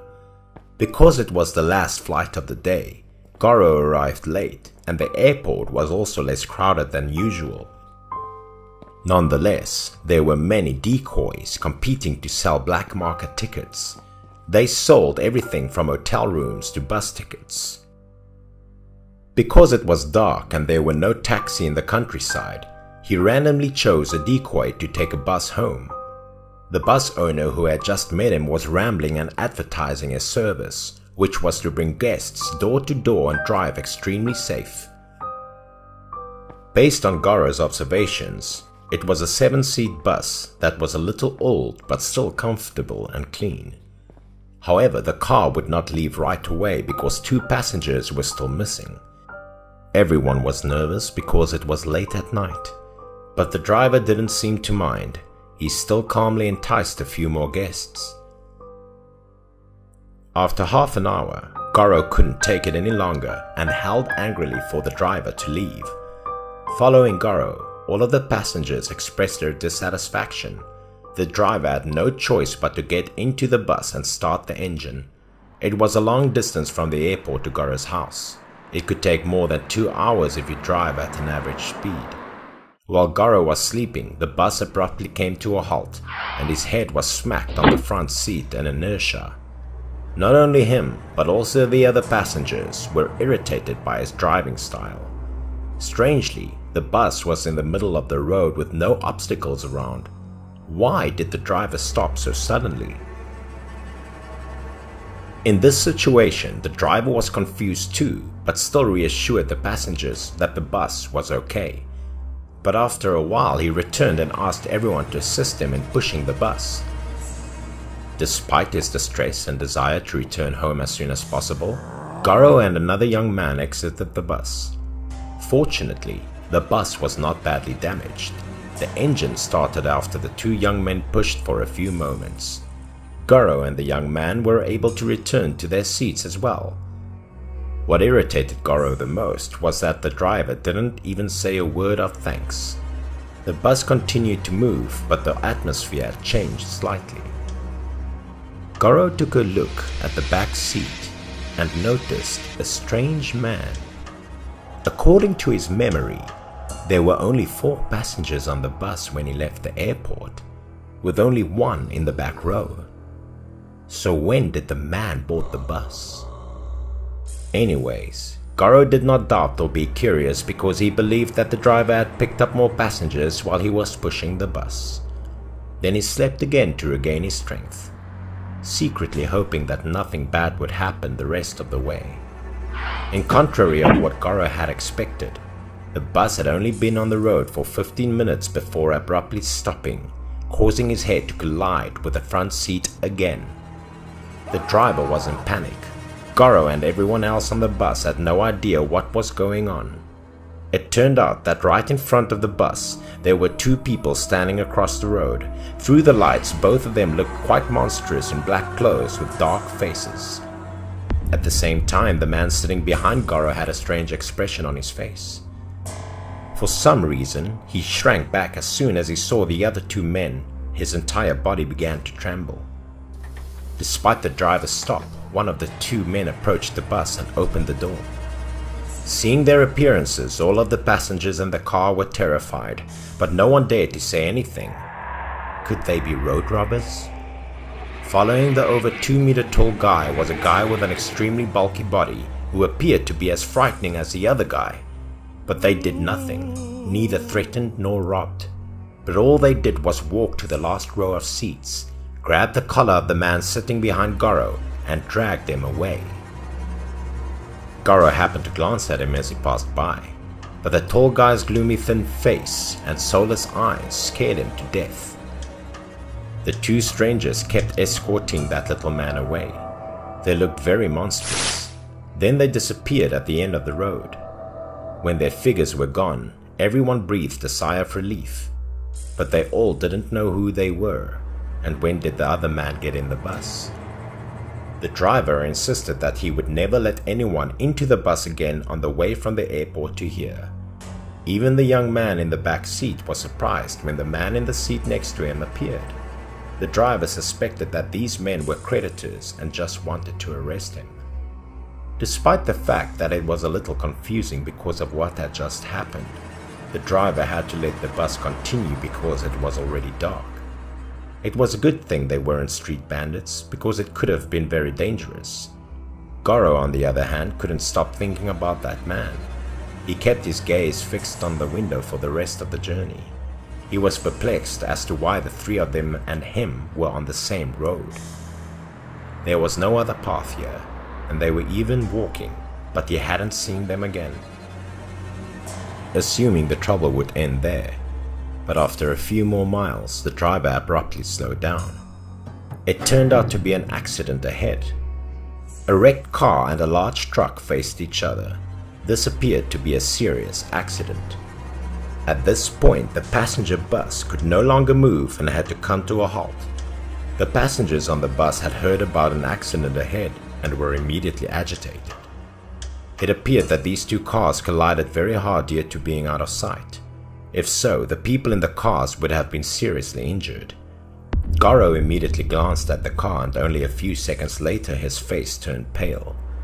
The person inside the car was none other than the man who had previously sat behind him. Despite being scratched and partially covered in bloodstains, the face was unmistakable. That was the man who was kidnapped by those two strange men. Goro's limbs seemed to soften as he sat on the chair without saying anything while everyone else was talking. It turned out that the person sitting behind Goro was a ghost who had recently died, and the other two were underworld henchmen who specialize in capturing souls and transporting them to hell. Goro had heard many stories about emissaries, one of which was white impermanent with a long tongue, and the other was black impermanent with a chain in his hands.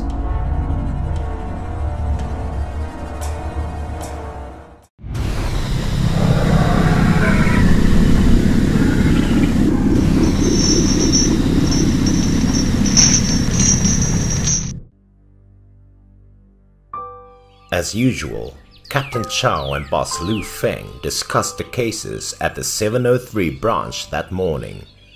Captain Chow was informed by Boss Lu Feng of the recent crop situation in the area, and the fruit was always stolen or damaged. Boss Lu Feng was concerned that there were specialized thieves in the city. Captain Chow had also heard the news and intended to investigate on his own. Boss Lu Feng and Captain Chow were still discussing which case should be handled first, as there have been a number of strange incidents in the city recently. However, before they could have a long discussion, they heard from afar that their subordinates were rushing to report. The boss, Lu Feng, inquired what had occurred and why the subordinates were so concerned. However, the subordinate just stated that it was preferable for Boss Lu Feng to hear from the victim because this was a strange story. Boss Lu Feng directed that the victim was allowed into his room, that hot tea was prepared to calm the victim, and that he would be present. The victim was a middle-aged man who appeared terrified and panicked. The man was now calm and told his boss Lu Feng everything that had happened the day before. The man said that he and his two friends went to the forest on the mountain yesterday morning to gather medicine because it was rumored that deep within the mountain was a very rare medicinal herb. The three departed early in the morning with great enthusiasm. The man believed that with their many years of jungle experience, they would quickly find valuable medicinal plants. They went to the forest for a moment but the large and dense forest ahead piqued their interest. As they stood on the cliff, looked down at the forest, they all thought that this trip would require them to spend the night in the forest. One of the group members appeared concerned, claiming that there were rumors of wild animals in the forest. But the man remained adamant, claiming that he had experience with the jungle and would lead everyone. So they kept walking, and after many hours of walking through the deep forest, they had to climb over steep rocky cliffs. The road was extremely difficult. As you climb higher, the fog became denser. They eventually arrived at the forest which was rumored to precious medicinal plants. In front of them was a large forest with very large trees that appeared to have lived for many years. As they walked through the overgrown grass, luck smiled on them rare medicinal plants appeared in front of them. They were overjoyed and were discussing how to bring it home to grow so that they could have more trees. A strange sound was heard in the distance deep within the forest. All three people were thinking, not knowing if it was a wild animal or what, but they were also calm because of their experience in the jungle. But all their calm and fortitude vanished in an instant when they realized the creature in front of them was not what they thought.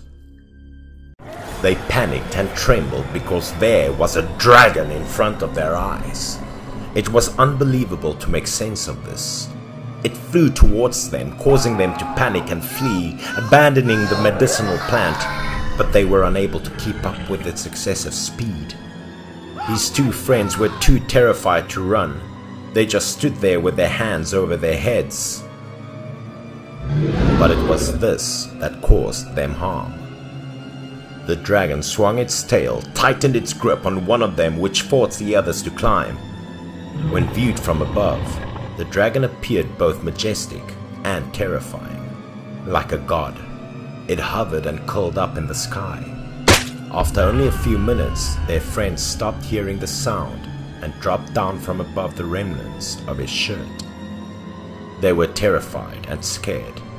It was as if it was a warning to them that if they bothered it, they would die. The shirt was torn, bitten, and stained with the friend's blood and flesh. They immediately ran away from the forest to the side of the cliff. But it did not give them a chance to survive. With just one kick, they fell off the cliff. Another friend died after hitting his head on a rock and dying on the spot. Only the last man escaped death and came to the investigation team to report. He cried because he was still terrified. After hearing the victim's story clearly, Captain Chow was immediately ordered by boss Lu Feng to accompany him to the mountain area to investigate everything. In a short time, the squad led by boss Lu Feng left near the murder scene. Along the way, Captain Chow wondered whether dragons existed or not, and why there was such a strange case. Boss Lu Feng was a person with a lot of experience. He didn't confirm the existence of dragons in this world, but strange things happened every day in this world. According to the victim's story, the investigation team arrived at the scene quickly with modern facilities and specialized equipment. Boss Lu Feng ordered everyone to take a few steps forward in the review, but with extreme caution. After looking around for a while, the team found no unusual clues. Captain Chow and his boss also readied their guns and entered the murky forest. A shrill hiss rang out from the deep forest, getting closer and louder. They took a defensive stance and prepared to fight because they didn't know what kind of animal it was. From a distance, suddenly something strange beyond imagination appeared, surprising the team as they immediately attacked it with guns. Both Captain Chow and Boss Lu Feng were so surprised they couldn't believe their eyes. In front of them was indeed a dragon. It was large, hovering in the sky and extremely ferocious. The whole squad joined forces to attack, firing many shots at it continuously, but it was not injured at all. It began to swoop low, move towards the ambush team. Its body was made of sharp iron blades, and it only needed to fly past the police officers' bodies. Before it could react, the flesh was shattered and the blood began to flow uncontrollably. Boss Lu Feng directed the injured policeman to move back in order to stop the bleeding. He appeared to have discovered something strange for a brief moment. There were numerous grasshoppers with large sizes and unusual colors on the ground. Finally, he almost discovered the mystery of this ferocious dragon. He shouted loudly to get everyone prepared to fight it. He quickly ordered Captain Chow to change his fighting style because he realized why guns couldn't hurt it. He quickly pulled out a flamethrower, seemed very certain of his thoughts.